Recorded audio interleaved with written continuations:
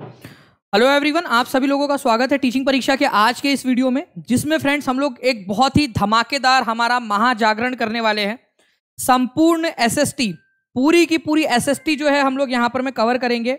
और मैं आप लोगों को बता दूँ फ्रेंड्स कि इस एसएसटी के अंदर में आप लोगों ने अगर ये पूरा सेशन पूरा देख लिया अच्छे से तो आप लोगों का जो एनसीआरटी है ना, पूरा एनसीआरटी आपसे छह से आठ तक की एनसीआरटी पूरी की पूरी कवर हो जाएँगी फ्रेंड्स यहाँ पर में। मैं आप लोगों के कान मरोड़ मरोड़ के जिस तरह से क्वेश्चन बन सकते हैं, उन तरह से क्वेश्चंस आप लोगों से यहाँ पर मैं पूछूँगा। अलग अलग एग्ज़ाम्स में जो क्वेश्चंस पूछे गए, उनको आप लोगों से पूछूँगा प्लस एक्सप्लेनेशन भी दूँगा। क्योंकि फ्रेंड्स मेनली चीज़ होती है एक्सप्लेनेशन आप लोगों को अंडरस्टैंडिंग नहीं होगी तो क्या करोगे? वहाँ रट्टा मार के होंगे एग्ज़ाम के अंदर में? ठीक है अंडरस्टैंडिंग बेस्ड क्वेश्चन भी आ रहे हैं आप लोगों के। साथ ही साथ मैं आप लोगों को बता दूँ फ्रेंड्स कि ये क्वेश्चन ये जो आपकी सीरीज़ है, ये बिहार वालों के लिए डी ट्रिपल एस बी वालों के लिए, और यहाँ पर मैं सुपर टेट वालों के लिए भी इंपॉर्टेंट है, क्योंकि आपको पूरा एनसीआरटी अच्छे से पढ़ने के लिए मिल रहा है। जितने भी लोग यहाँ पर में जुड़े हुए हैं, मैं आप लोगों से रिक्वेस्ट करूँगा कि सभी के सभी लोग लाइक एंड शेयर कर दे यहाँ पर में। सबसे पहले तो एक एक बच्चा, जितने लोग जुड़े हुए हैं एक एक बच्चा यहाँ पर मैं लाइक एंड शेयर कर दे। मैंने आप लोगों से प्रॉमिस लिया था। आप ही लोगों के प्रॉमिस पर मैंने सबको रोक के रखा है यहाँ पर मैं ऑफ़िस में। कि भाई सारे लोग रुकेंगे, तीन हज़ार बच्चे आप लोग करोगे करके। आप लोगों ने ही प्रॉमिस किया था। आप ही लोग थे जिन्होंने कमेंट्स भी किए कि जी हाँ सर, हम आएँगे और ट्रक भर भर के लोगों को भी लेकर आएँगे करके। तो सभी एक एक बच्चा अपनी गुरु दक्षिणा समझ के अपनी अपनी ज़िम्मेदारी समझ के इस सेशन को शेयर कर देगा। और जिन्होंने चैनल को सब्सक्राइब नहीं किया वो लोग चैनल को सब्सक्राइब भी ज़रूर कर लेंगे। ठीक है? चलिए तो जैसे यहाँ पर मैं, मैं देख पा रहा हूँ कि आप लोगों के एक हज़ार से ज़्यादा लाइक्स हो चुके हैं ठीक है? लेकिन लोग बहुत धीरे जुड़ रहे हैं तो एक बार दबा के जल्दी से सभी के सभी लोग शेयर कर दो यार तो मज़ा आ जाएँगी आप लोगों के। शेयर कर दो जल्दी जल्दी से आप सभी लोग। ठीक है? चलो सर, खाना खा लिया? नहीं, आप लोगों की क्लास के बाद ही खाऊँगा अब तो मैं। क्योंकि मेरी कंटिन्यूस क्लास थी, वो आठ बजे क्लास छोड़ा, उसके बाद में मेरी आप लोगों की अभी क्लास जो है आपकी यहाँ पर में हुई है, पेड के अंदर में, और अभी मैं आप लोगों के लिए ले रहा हूँ। ये एक्स्ट्रा क्लास लगाई है पेड के बाद में मैंने, ठीक है? चलो तो आपका पहला क्वेश्चन है आप लोगों का फ्रेंड्स देखिए, बहुत ही इंपॉर्टेंट वाला क्वेश्चन आप लोगों का, इस क्वेश्चन का आंसर कर दो, मान जाएँगे आप लोगों को। क्वेश्चन में क्या बोला है? एक अध्यापिका है, ठीक है? एक अध्यापिका है आप लोगों की, और वो क्या कर रही है अध्यापिका? क्या कर रही है भाई ये अध्यापिका? ठीक है? तो ये अध्यापिका जो है फ्रेंड्स ये प्रवास के विषय में पढ़ा रही है लोगों को। प्रवास मतलब एक जगह से दूसरी जगह जाना है, ठीक है? उसके माइग्रेशन के बारे में पढ़ा रही है। वो बताती है, एक उदाहरण देती है कक्षा के अंदर में कि एक सुनामी आई और यहाँ पर में गाँव तबाह हो गया। जो श्रीदेवी थी, श्रीदेवी जो मछुआरों के समुदाय से थी, वो चेन्नई में स्थानांतरित हो गई। गाँव में रहती थी और चेन्नई जैसे शहर में चली गई। तो ये क्या है? इमिग्रेशन है एमिग्रेशन है पुल फैक्टर इमिग्रे माइग्रेशन है या पुल पुश फैक्टर माइग्रेशन है। ठीक है? Immigration emigration pull factor of migration या पुश फैक्टर ऑफ़ माइग्रेशन किसके बारे में पढ़ा रही है? देखिए फ्रेंड्स माइग्रेशन का मतलब होता है एक जगह से दूसरी जगह चले जाना। आप यहाँ रहते थे पहले, अब आप यहाँ जाकर रह रहे हो। किस कारण से रह रहे हो? उसको माइग्रेशन कहा जाता है। स्थानांतरण या फिर माइग्रेशन बोलते हैं उसको माइग्रेशन माइग्रेशन अब माइग्रेशन के भी दो प्रकार होते हैं। एक तो या तो आप अपने मर्ज़ी से गए हो ठीक है, अपने मर्ज़ी से गए हो आप, अपने मर्ज़ी से चलो यार, बढ़िया से अच्छी जगह पे जाके रहेंगे। वो पुल हो गया, ठीक है। जाती, बुलाती है, मगर जाने का नहीं, लेकिन वो बुला रही है। आप पुल हो रहे हो उसकी तरफ़ में, मैं तेरे तरफ़ में खींचा चला रहा हूँ, खींचा चला रहा हूँ, खींचा चला रहा हूँ। पुल पुल फैक्टर हो गया वो, पुल। और एक होता है ज़बरदस्ती, नहीं, कोई कारण आ गया, आपको जाना ही पड़ेगा। नहीं, यहाँ रुकेंगे, मर जाओगे आपको जाना ही पड़ेगा पुश फैक्टर तो यार सुनामी आ गई तो क्या करोगे आप लोग यहाँ पर में? सुनामी आ गई, भारा के मरोगे अभी यहाँ पर में आप लोग? ये श्रीदेवी को मारना है। बिचारी पहले ही मर चुकी है, दूसरी बार भी मारोगे आप लोग इसको। ठीक है? तो यहाँ पर मैं आप लोगों को याद रखना है पुश फैक्टर है। आपका प्रवास के प्रतिकर्ष कारण है। प्रवास के प्रतिकर्ष कारण के बारे में पढ़ा रही है लड़की, यहाँ पर मैं। तो केवल 35 परसेंट लोगों ने आंसर दिया। आप समझ गया ना यहाँ पर मैं? आपका पुश फैक्टर क्या होता है? चौदह सौ, पंद्रह सौ लोग जुड़ चुके हैं। सारे के सारे पंद्रह सौ लोग एक एक जगह पे शेयर मारेंगे फ्रेंड्स तभी जाके तीन हज़ार का टारगेट कंप्लीट हो जाएगा। लाइक एंड शेयर करते रहेंगे। तो मेरे को यहाँ मज़ा आएँगे आप लोगों को पढ़ाने में और पूरा रात जब तक एनर्जी रहेगी, तब तक वैसे ही पढ़ाता रहूँगा। तो कबूतर, जा जा जा। ये क्या कर रही है? कबूतर को जाने के लिए बोल रही है ज़बरदस्ती। बेचारे, कबूतर को जाना नहीं है। उसको यही अच्छा लग रहा अपने कबूतरनी के साथ में। फिर भी ज़बरदस्ती जा जा जा कर रही है। तू जा। नहीं, तू जा। नहीं तो जाना ही पड़ेगा। तू जा तू जा तू जा। ये पुश फैक्टर हो गया आप लोगों का। तो ये गाना जब जब सुनो तो पुश फैक्टर याद कर लेना कि पुश फैक्टर है। और वो अगर बुला रहा होता कबूतर, आ आ आ तो फिर वो पुल फैक्टर हो जाता आप लोगों का। बस इतनी सी बात है ये याद रखनी थी आप लोगों ने। नाउ फ्रेंड्स अगर मैं नेक्स्ट पॉइंट की तरफ़ मैं आप लोगों को लेके चलूँ, सुल्ताना का स्वप्न, सुल्ताना का ड्रीम 1905 में बंगाली भाषा में एक प्रकाशित कहानी है। किसके द्वारा लिखी गई थी? ये यूजीसी नेट के अंदर में भी आ चुका है फ्रेंड्स सुल्ताना का ड्रीम जो है, ये याद रखना है आप लोगों ने। बेगम रुकैया शेखावत हुसैन ने लिखी थी। बेगम रुकैया शेखावत हुसैन ने इस पुस्तक को लिखी थी। कब लिखी थी उन्होंने? 1905 के अंदर में ये याद रखना है आप लोगों ने। ये जो है बेगम रुकैया शेखावत हुसैन, आप लोगों को यह याद रखना है कि इन्होंने जो है फ्रेंड्स, जो है पटना के अंदर में मुस्लिम लड़कियों के लिए स्कूल भी खोले थे। तो पटना में मुस्लिम लड़कियों के लिए स्कूल किसने खोले थे? मुस्लिम बच्चियों के लिए प्राइमरी स्कूल, क्योंकि बच्चियों को पढ़ने नहीं दिया जाता था मुस्लिम समाज में पहले में स्कूल जाकर। तो उन्होंने स्कूल खोले थे। तो आप लोगों को याद रखना है कि मुस्लिम समाज के अंदर में एजुकेशन का प्रचार प्रसार करने के लिए इन्होंने मुस्लिम बच्चियों के लिए स्कूल्स भी खोले थे। और इन्होंने एक बुक भी लिखी है, सुल्ताना का ड्रीम जिसके अंदर में इन्होंने एक ऐसी एक ऐसे एक राज्य की या देश की या दुनिया की व्यवस्था, कल्पना की है जिसमें केवल लड़कियाँ ही लड़कियाँ हो। हमारे भारत की संविधान के अंदर में कौन से प्रकार की समानता है? ये दो तीन बार आ चुका है अलग अलग शिफ्ट के अंदर में क्वेश्चन आप लोगों का। हम भारत के लोग, भारत को एक संपूर्ण प्रभुत्व संपन्न, समाजवादी, धर्मनिरपेक्ष, लोकतंत्रात्मक गणराज्य बनाने के लिए तथा उनमें समस्त समस्त नागरिकों में सामाजिक, आर्थिक और राजनीतिक न्याय, विचार अभिव्यक्ति, विश्वास धर्म और अवसर की क्षमता। विश्वास धर्म, ठीक है? विश्वास धर्म, ठीक है? आपको अवसर की क्षमता आप लोगों को प्रोवाइड की जाएगी यहाँ पर में। ठीक है? स्टेटस ऑफ़ स्टेटस और प्रतिष्ठा की क्षमता प्रतिष्ठा और अवसर की क्षमता आपको प्रोवाइड की जाएगी। तो प्रतिष्ठा, ठीक है? प्रतिष्ठा मतलब आप लोग अपनी रिस्पेक्ट को बढ़ा सको। अगर मान लो आप छोटी जाति में सो कॉल्ड वैसे जाति प्रथा वैसे कुछ होता नहीं, कुछ भी नहीं है, ठीक है? सब मनुष्य है। आप अपनी प्रतिष्ठा बढ़ा सकते हो। आपको अपॉर्चुनिटी जो दी जाएँगी, वो भी आप लोगों को बराबर बराबर दी जाएँगी। तो equality of status D is the correct answer आप लोगों का। ये याद रखना है आप लोगों ने, ठीक है? तो D is the correct answer status के अलावा कौन सी अपॉर्चुनिटी दी गई और? ठीक है, कौन सी वाला इक्वेलिटी दी गई है? अपॉर्चुनिटी की। लिखो सभी लोग अपॉर्चुनिटी की भी, अवसर की समानता भी दी गई है आप लोगों को, अवसर की। अवसर की समानता, अवसर की समानता, ये भी लिख लो जल्दी से, हो सकता है अब नेक्स्ट टाइम ये पूछ लिया जाए आप लोगों से। नेक्स्ट क्वेश्चन की तरफ़ में आगे बढ़ते हैं फ्रेंड्स आप लोगों के। लगभग दो हज़ार साल पहले, ठीक है, रेशम मार्ग पर नियंत्रित रख, नियंत्रण रखने के लिए सबसे प्रसिद्ध कौन थे? आपको पता होना चाहिए, ये हमारा, ये हमारी दुनिया है, मान लो। यहाँ पर में हमारा भारत है फॉर एग्ज़ाम्पल यहाँ है चाइना ठीक है? यहाँ पर में है चाइना और यहाँ पर में है यूरोप और ये मध्य मध्य एशिया वगैरह का पूरे देश। तो यहाँ से क्या होता था फ्रेंड्स यहाँ से एक सिल्क रूट था, जहाँ से चाइना से सिल्क का, रेशम का जो है व्यापार होता था इधर वाले मध्य एशिया के अंदर में और यूरोप के देशों में। इस रूट को, इस रास्ते को सिल्क रूट कहते थे। और सबसे बेस्ट जो माने जाते हैं, जिन्होंने इस रास्ते के ऊपर में कंट्रोल रखा है, वो है आप लोगों के कुषाण राजा, कुषाण। ठीक है? तो भारत के भारत में भी इनका शासन रहा है, मध्य एशिया से लेकर भारत तक इनका शासन फैला हुआ था कुषाण राजाओं का, ये याद रखना है आप सभी लोगों ने। इंपॉर्टेंट है एग्ज़ाम के अंदर में आप लोगों से पूछा जा सकता है, ठीक है? देखिए 1900 के करीब लोग हो चुके हैं फ्रेंड्स सारे लोग जल्दी जल्दी से शेयर कर देंगे लाइक एंड शेयर कर देंगे तो ऑटोमेटिकली ये सेशन आगे बढ़ जाएगा। तीन हज़ार जब तक होते रहेंगे आपके, जब तक तीन हज़ार रहेंगे, तब तक पढ़ाता रहूँगा मैं आपको। रात चाहे आप चार बजे तक अगर बैठ सकते हो ना, तीन हज़ार तक, तीन हज़ार बच्चे, मैं चार बजे तक पढ़ाने के लिए रेडी हूँ आपको, रात भर, और उसी एनर्जी के साथ मैं पढ़ाऊँगा आपको, चार बजे तक। तो देखिए फ्रेंड्स अगर मैं रेशम की बात करूँ आप लोगों से तो रेशम जो है स्मूथ आप लोगों का एक रिच ग्लोसी कलर का कपड़ा होता है आप लोगों का। ठीक है, इसको बनाने की प्रक्रिया बड़ी कॉम्प्लिकेटेड है। जो रेशम का कीड़ा होता है, उसको पालना होता है आप लोगों को, ठीक है? और उसके रेशे से फिर रेशम का कपड़ा बनता है। रेशम का आविष्कार कहाँ पर में हुआ था? जल्दी से कमेंट करके बताओ, रेशम का आविष्कार कहाँ पर में हुआ था? रेशम का आविष्कार हुआ था चाइना के अंदर में करीब सात हज़ार साल पहले, लिखो। चाइना के अंदर में सात हज़ार साल पहले रेशम का उत्पाद रेशम का आविष्कार हुआ था आप लोगों का। सबसे इंपॉर्टेंट वाली चीज़ है आप लोगों की, ठीक है? उसके बाद में जो है फ्रेंड्स कई सदियों तक इन्होंने जो है क्या किया? हज़ारों सालों तक उसको सीक्रेट रखा। पता उन सबको था बट छुपा के रखा था उन लोगों ने। इस तरीके से, वो थ्री इडियट्स का डायलॉग मेरे को याद आ रहा है यहाँ पर, मैं वो पता था उनको, लेकिन छुपा के रखा उन लोगों ने, ठीक है? बाद में लेकिन फिर दुनिया भर के अंदर में फैल गया ये। तो रेशम बनाने की तकनीक का आविष्कार चाइना में सात हज़ार साल पहले हुआ था, लेकिन उन्होंने हज़ारों सालों तक इसको छुपा के रखा।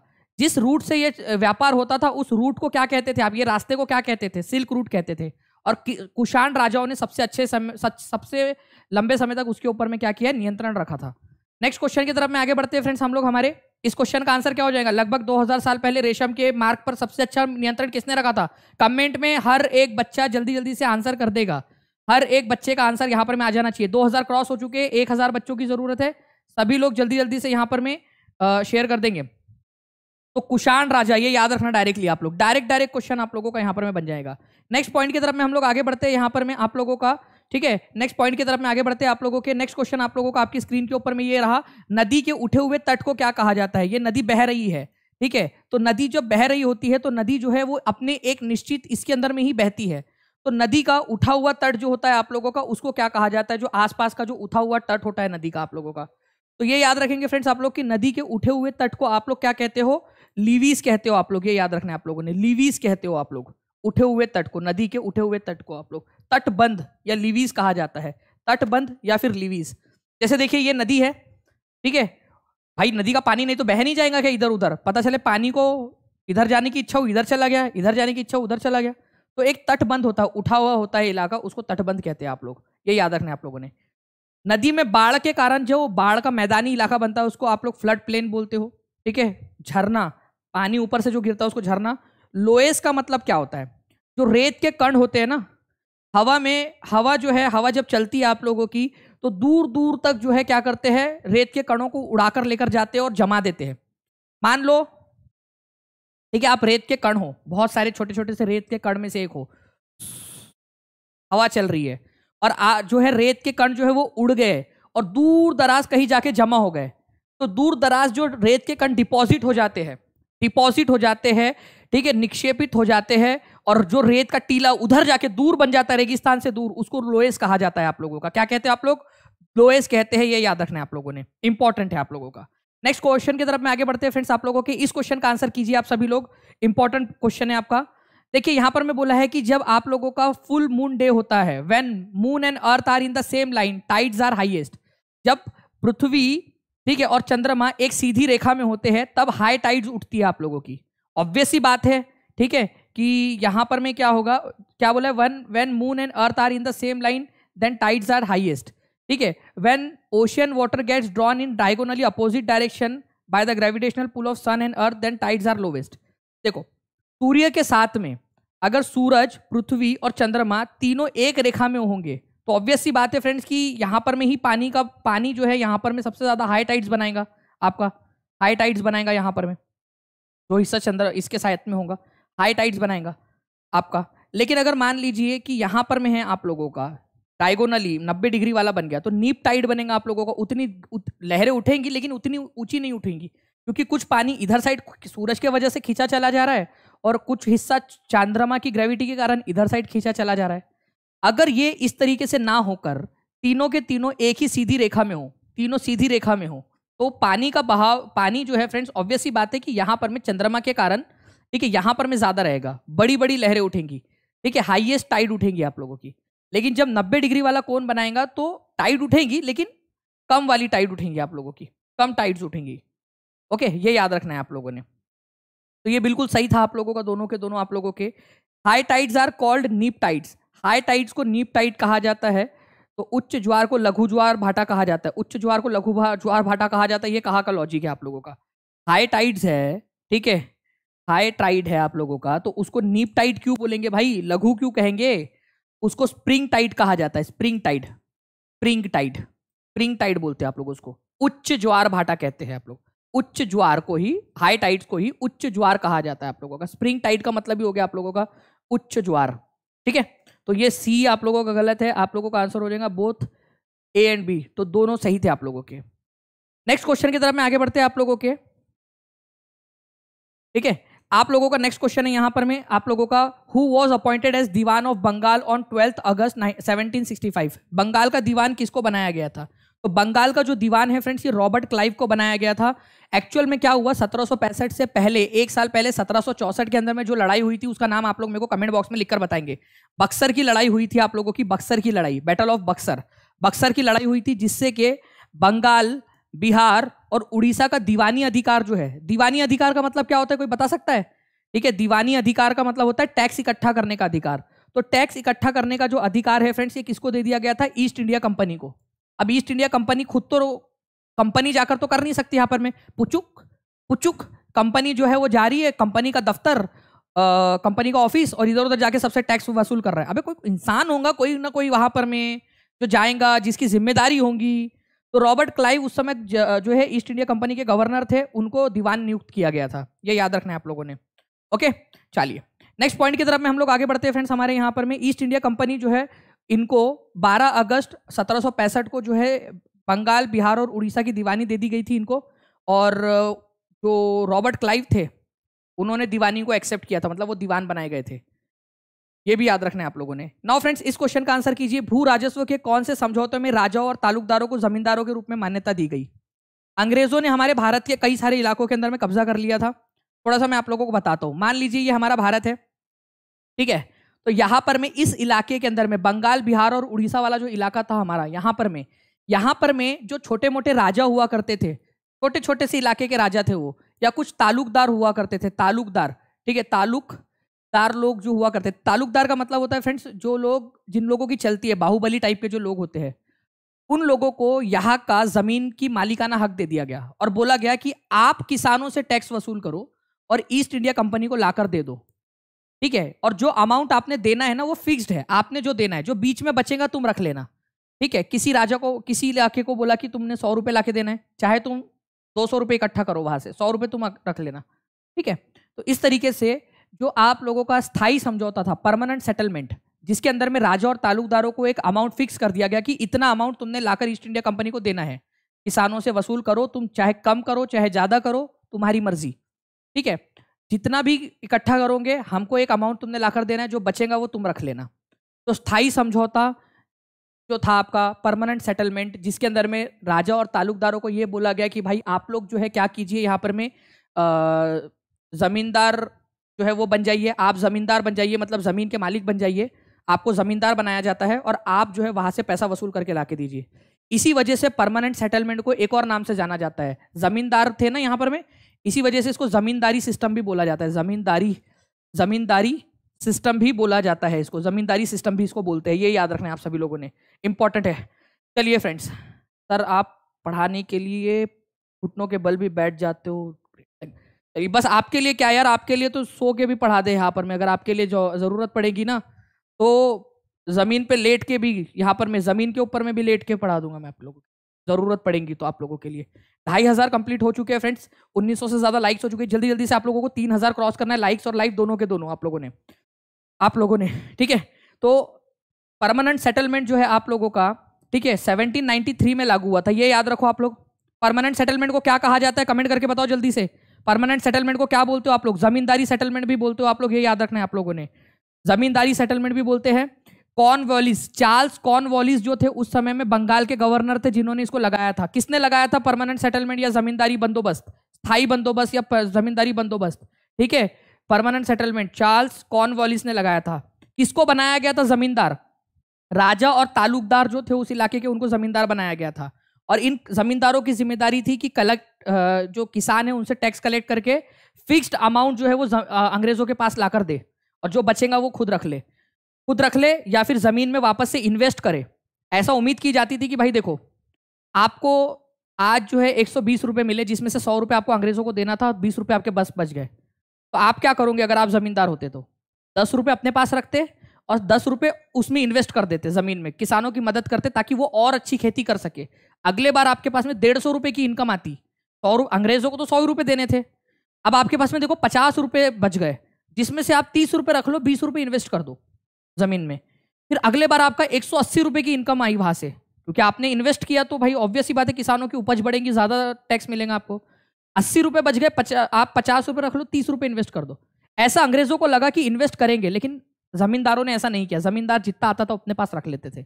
जिस वजह से ये सिस्टम ही फेल हो गया आपका, जमींदारी वाला सिस्टम तो परमानेंट सेटलमेंट बंगाल, बिहार और उड़ीसा के इलाके में लागू था। गवर्नर जनरल कौन थे, ये आप लोग आंसर करेंगे फ्रेंड्स ठीक है? जी हाँ बीपीएससी में भी ये काम आएगा आप लोगों का, बिल्कुल।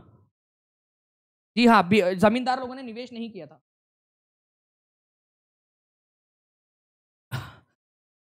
देखिए फ्रेंड्स, आप लोगों का डायरेक्टली आंसर हो गया चार्ल्स कॉर्नवालिस और आप, ईयर आप लोग बता दोगे कौन सा वाला साल था वो। ईयर आप लोग बताओगे मेरे को कमेंट करके, सारे के सारे लोग कमेंट करेंगे जल्दी जल्दी से। और चैनल को सब्सक्राइब भी करते रहना है फ्रेंड्स आप लोगों ने। देखिए कौन से वाले व्यवस्था की बात हो रही है इसमें से, ठीक है? आप लोगों को बताना है किस व्यवस्था के बारे में यहाँ पर मैं बात हो रही है। तो सिंपल सी बात है, अगर मैं आप लोगों से बात करूँ, यहाँ पर मैं इस पर्टिकुलर क्वेश्चन की आप लोगों से तो भाई हॉल्ट मैकेजी ने इसको डिराइव किया था, इसको, इस सिस्टम को बनाया था हॉल्ट मैकेजी नाम के एक अधिकारी ने, जिसमें गाँव के मुखिया को टैक्स वसूल करने की ज़िम्मेदारी दी गई थी, गाँव के मुखिया को। तो हॉल्ट मैकेजी ठीक है, और गाँव का मुखिया तो सबसे सिंपल सी बात है कि गाँव के मुखिया को टैक्स वसूल करने की ज़िम्मेदारी कब, कहाँ दी गई थी? तो आप लोगों को एक मैप मैंने जो अभी दिखाया था यहाँ पर, में आप देखिए। ये है बंगाल का इलाका, ये है दक्षिण भारत का इलाका और ये बंगाल के उत्तर पूर्व में जाओ उत्तर पश्चिम में जाओ आप। यहाँ से बंगाल से उत्तर पश्चिम वाला इलाका, नॉर्थ वेस्ट वाला इलाका, भारत का नॉर्थ वेस्ट का इलाका। यहाँ पर में जो है ना, आप लोगों का महलवारी सेटलमेंट लागू था, महलवारी। महल का मतलब ही क्या होता है? गाँव। महलवारी सेटलमेंट। महल का मतलब होता है गाँव। तो गाँव का जो मुखिया होता था ठीक है नॉर्थ वेस्ट रीजन में महलवारी सेटलमेंट था। महल मतलब गाँव। गाँव का मुखिया जो था, उसको बोल दिया जाता था कि तुम टैक्स वसूल करो अपने इलाके में से और हमको लाकर दे दो। इसको मैं बहुत ही सिंपल तरीके से समझाता हूँ फ्रेंड्स कई सारे लोगों को। मान लीजिए एक गाँव है आप लोगों का अलग अलग लोग है, ठीक है, और उस गाँव का जो मुखिया है वो है भिड़े साहब। ये भिड़े जो है, ये इन सभी लोगों से पैसे वसूल करेगा, इस गोकुल गाँव से पैसे जमा करेगा और पैसे लाकर किसको दे देगा? अंग्रेज़ों को लाकर दे देगा। ये याद रखना आप लोगों ने। अंग्रेज़ों को ले जाकर वो पैसे दे देगा। इस सिस्टम को हॉल्ट मैकेजी ने डिराइव किया था। किसने? हॉल्ट मैकेजी ने 1822 में, उत्तर पश्चिमी प्रांत के अंदर में। इसमें गाँव का जो मुखिया होता था ना, वो टैक्स वसूल करता था, ये याद रखना है आप लोगों ने। इसमें महल का मतलब क्या होता था? महल का मतलब होता था एक ऐसा गाँव या गाँव का समूह, जहाँ से रेवेन्यू इकट्ठा किया जाता हो। तो आप लोगों से ये भी पूछ सकते हैं कि महल का मतलब क्या होता है? तो ये भी आप लोग थोड़ा सा याद रख लेना आप लोग। ठीक है? गाँव का मुखिया जो होता था, उसको टैक्स वसूल करने की ज़िम्मेदारी दी गई थी।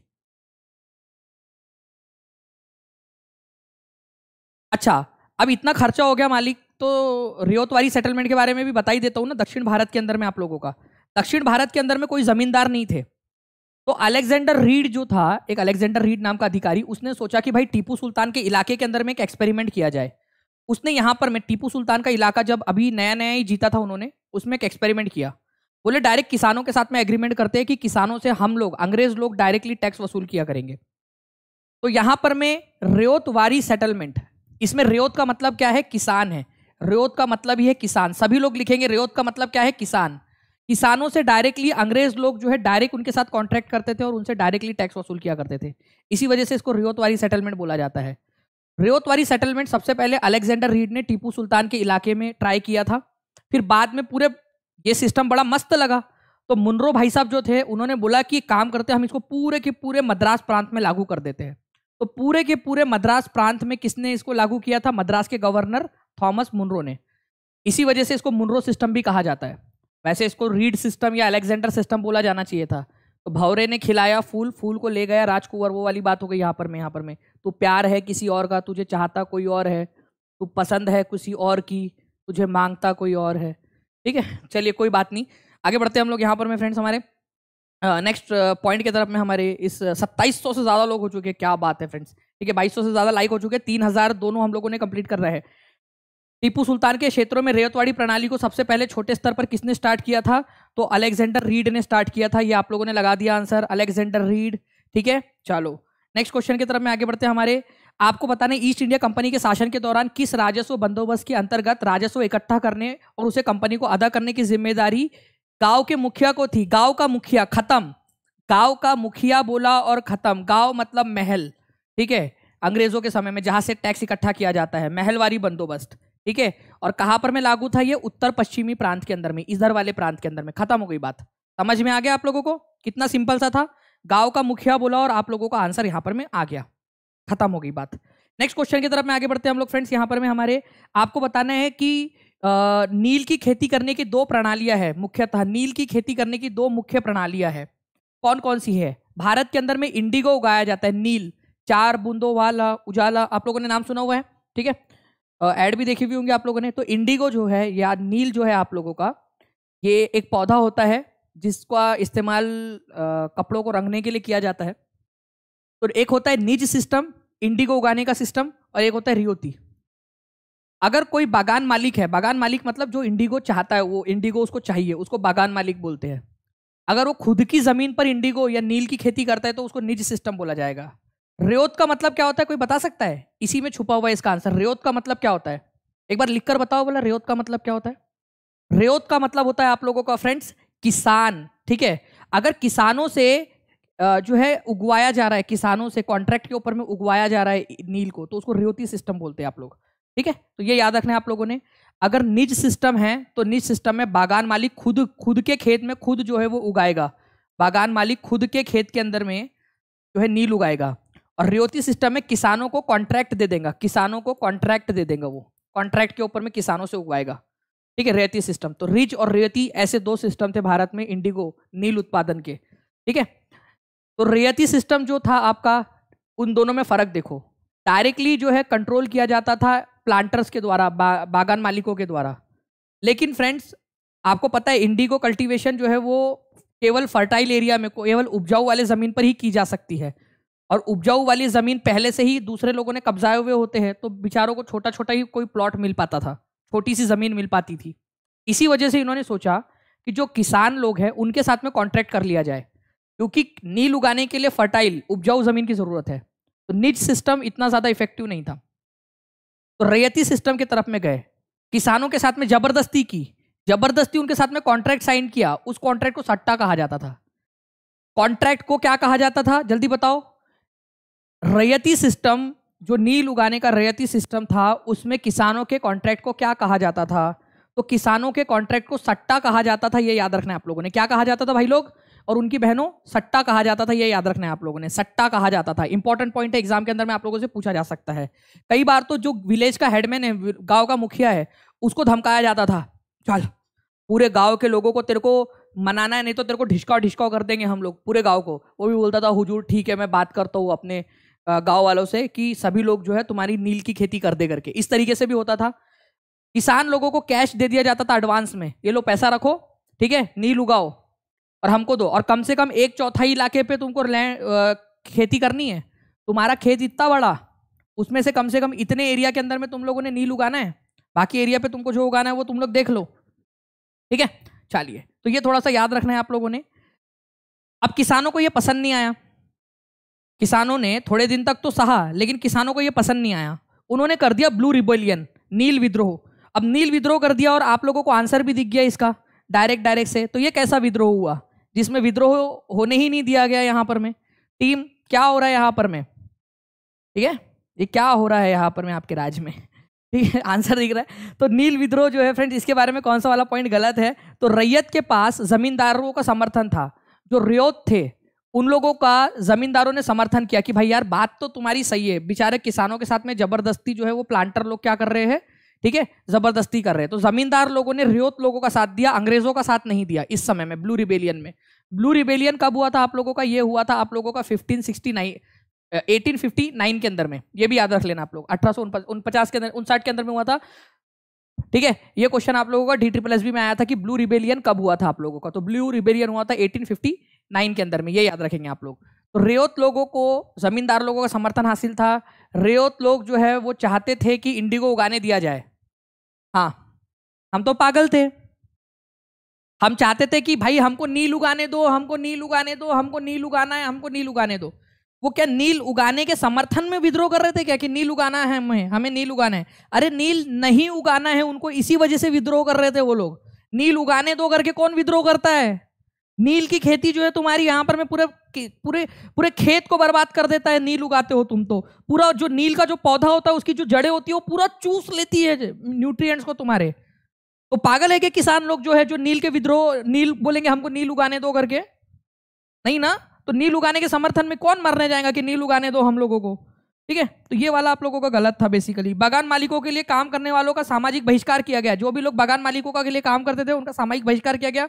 उनको शादी ब्याह बर्थडे पार्टी उटी में नहीं बुलाया जाता था, जो बागान मालिकों के लिए काम करते थे। ठीक है? इसके अलावा जो है फ्रेंड्स गोमास्ता होता था एक गोमास्ता। गोमास्ता कौन होता था? जो बागान मालिकों का एजेंट था। मान लीजिए कि यहाँ पर मैं मैं हूँ नील का, नील मतलब नील विद्रोह वाला किसान। ठीक है? और मेरे सारे आप लोग मेरे साथी लोग हो। यहाँ पर मैं एक कोई आया, वो मास्ता हमारे पास में, कि चलो, जो तुमको हमने पैसा दिया था, उसका रेंट दो या फिर उसका ब्याज दो, ठीक है? हमने उसको पकड़ा, तू इधर आ, तू इधर आ। पकड़ा उसकी और धना, धन धना, धन धनाधन धनाधन धुलाई करनी स्टार्ट कर दी। तो जब भी गुमास्ता आएगा, गुमास्ता मतलब उन बागान मालिकों का एजेंट जो पैसे कलेक्ट करने हमारे पास में आया, पैसे मांगने आया है। अब आ बेटा, तू अगले बार वापस से, पैसे मांगने के लिए तेरे को देते हैं पैसे हम लोग।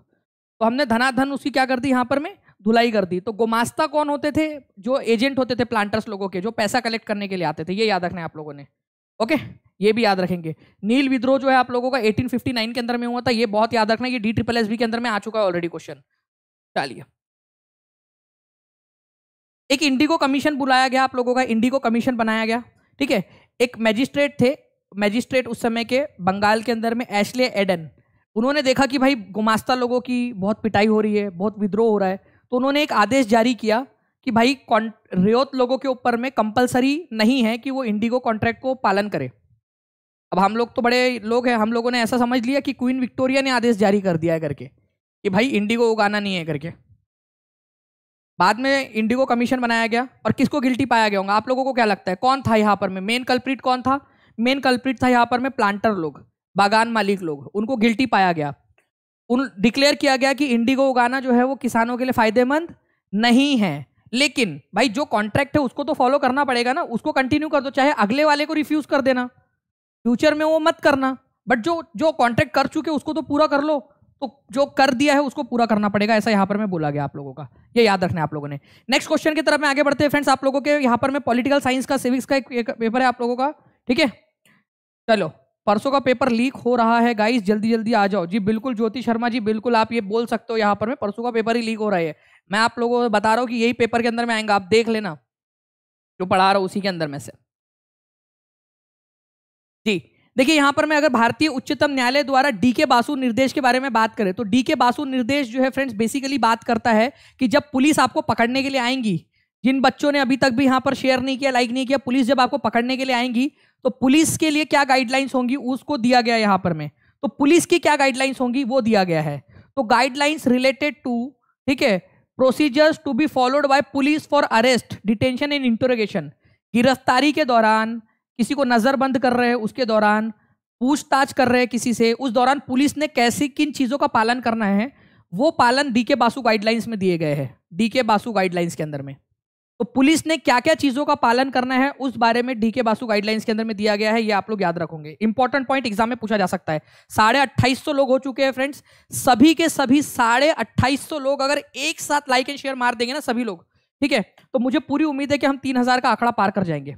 सभी के सभी लोग और आज पढ़ना है आप लोगों ने, क्योंकि जब तक तीन हज़ार आप लोगों के रहेंगे, तब तक मैं आप लोगों को पढ़ाता रहूँगा, पूरा का पूरा। नेक्स्ट क्वेश्चन की तरफ़ में आगे बढ़ते हैं फ्रेंड्स अगर मैं आप लोगों से बताऊँ कि कोई व्यक्ति जिला जज के न्यायालय द्वारा फैसले से असंतुष्ट है आपने कोर्ट केस कर दिया और जिला जिला जज जो है उसने आपके खिलाफ फैसला दिया और आप खुश नहीं हो कि भाई यार ये क्या फैसला दे दिया तुमने। तो वो कहाँ अपील कर सकता है? वो जाँच न्यायालय में, ठीक है? ट्रायल कोर्ट के अंदर में, सेशंस कोर्ट के अंदर में, सुप्रीम कोर्ट के अंदर में या हाई कोर्ट में? देखो फ्रेंड्स, तीन चीज़ें होती है। एक होता है जिला स्तर के ऊपर में आपका कोर्ट, ठीक है? जिला स्तर पे। डिस्ट्रिक्ट कोर्ट या उसी को सेशन कोर्ट भी बोला जाता है। तो ये जो है ना, इसी को आप लोग डिस्ट्रिक्ट कोर्ट बोलते हो। या फिर आप इसी को ही सेशंस कोर्ट भी बोलते हो। एक ही बात है वो। ओके? उसके बाद में जो है फ्रेंड्स आप लोगों का आता है हाई कोर्ट उस फैसले को आप लोग हाई कोर्ट में चैलेंज कर सकते हो। और हाई कोर्ट से भी अगर आप खुश नहीं हो तो फिर आप लोग जा सकते हो सुप्रीम कोर्ट के अंदर में। सुप्रीम कोर्ट के अंदर में। तो डिस्ट्रिक्ट कोर्ट से जिला जज से खुश नहीं हो तो आप लोग हाई कोर्ट जाओगे उसके बाद में। ये याद रखना आप लोग उच्च न्यायालय में। और फिर उच्च न्यायालय से भी खुश नहीं हो तो उच्चतम न्यायालय में। इसको अपीलीय व्यवस्था कहा जाता है भारत के अंदर में। अपीलीय व्यवस्था एपिलेट सिस्टम। तो आंसर आप लोगों का यहाँ पर में ऑप्शन नंबर चार हो जाएगा। ये याद हो गया आप लोगों को? कभी भी अगर मैं पूछ लूँ आधी रात में उठाकर आप लोगों से तो याद कर, बता दोगे आप लोग कि इसका मतलब क्या है? चलिए, ठीक है। उसके बाद में जो है फ्रेंड्स, अगर मैं आप लोगों से ये वाली बात पूछूँ पंडिता रमाबाई के बारे में, ठीक है? तो पंडिता रमाबाई, एग्ज़ाम में पूछा गया क्वेश्चन, भाई लोग, गरम गरम एग्ज़ाम में पूछा गया क्वेश्चन 2900 पार हो गए हैं आप सभी लोगों को कॉन्ग्रेचुलेशन जल्दी जल्दी से चैनल को सब्सक्राइब भी करते रहेंगे, ताकि ऐसे ही मज़ा आ जाए आप लोगों को पढ़ाने में। ठीक है? तो देखिए, अगर मैं बात करूँ यहाँ पर मैं पंडिता रमाबाई के बारे में तो पंडिता रमाबाई जो है फ्रेंड्स, उन्होंने क्या किया था? विधवा ग्रह खोला था विधवा विधवा आश्रम खोला था। कहा खोला था? अपने आप में एक इंपॉर्टेंट क्वेश्चन है। कहा खोला था? आप लोग बताओ मेरे को यहाँ पर, मैं कमेंट करके ये वाला क्वेश्चन सही है? ये पहला वाला पॉइंट सही है। मैं आप लोगों से कह रहा हूँ, आप लोग बताओ, क्योंकि ये अपने आप में एक नंबर का क्वेश्चन पूछेगा। पूना में खोला था, ये याद रखना है आप लोगों ने। पंडिता रमाबाई जो है, वो संस्कृत की बहुत बड़ी ज्ञाता थी। इसी वजह से उनको पंडिता कहा जाता था। ये भी एक एक क्वेश्चन आ चुका है। पंडिता रमाबाई को क्यों पंडिता कहा जाता था? क्योंकि वो संस्कृत की बहुत बड़ी ज्ञाता थी। ये आप लोगों ने याद रखना है फ्रेंड्स दूसरा भी सही है। पंडिता रमाबाई ने एक बुक लिखी है, जिसका नाम, पंडिता रमाबाई ने एक बुक लिखी है miserable life of lower caste women ठीक है? भाई, पंडिता रामाबाई ने जो है ना, जो बुक लिखी है, वो ऊँची जाति के अंदर में जो महिलाएँ हैं, उनकी जो दयनीय स्थिति, उस पर किताब लिखी है उन्होंने। ये उल्टा दिया हुआ है। पंडिता रमाबाई का मानना था कि लोअर कास्ट की जो महिलाएँ हैं उनको एटलीस्ट उनके घर में उनके परिवार के अंदर में उनके पति का उनके लोगों का साथ होता है। जो ऊपर अपर कास्ट की महिलाएँ होती है उन लोगों के साथ में ज़्यादा अन्याय होता है ऐसा इनका मानना था। ठीक है? कई जगह के ऊपर में ऐसा भी देखने के लिए मिला है कि भाई आ, मान लीजिए कि ब्राह्मण वगैरह है या ऊँची कास्ट के अंदर में है क्षत्रिय वगैरह है तो आप अगर मान लो कि जो महावारी चल रही है जो कि नॉर्मल प्रोसेस है हर महीने होती है उसमें आप किचन में नहीं जा सकते किसी को छू नहीं सकते ठीक है? इसके अलावा जो है वो घूंघट में रहना पड़ेगा, वो लोग कहीं जा आ नहीं सकते। बहुत सारी चीज़ें रेस्ट्रिक्शन उन पर लगाए जाते हैं। ऐसा पंडिता रामाबाई का कहना है। मैं नहीं कह रहा। पंडिता रामाबाई ने अपर कास्ट महिलाओं लोअर कास्ट नहीं अपर कास्ट महिलाओं के लिए जो है, उन्होंने बुक लिखी थी अपर कास्ट महिलाओं के लिए। तो ऊपरी जाति के महिलाओं के ऊपर में उन्होंने लिखा था तो ये तीसरा वाला सही, गलत है आपका। लोअर कास्ट नहीं, यहाँ क्या होना चाहिए था? आप लोग बताओ मेरे को। जल्दी आप लोग कमेंट करके बताओ क्या होना चाहिए था वहाँ पर में। तो आंसर आप लोगों का क्या हो जाएगा? ठीक है? ये तो चलो, ठीक है, ये ये यहाँ से अपन लोग इसको काट देते।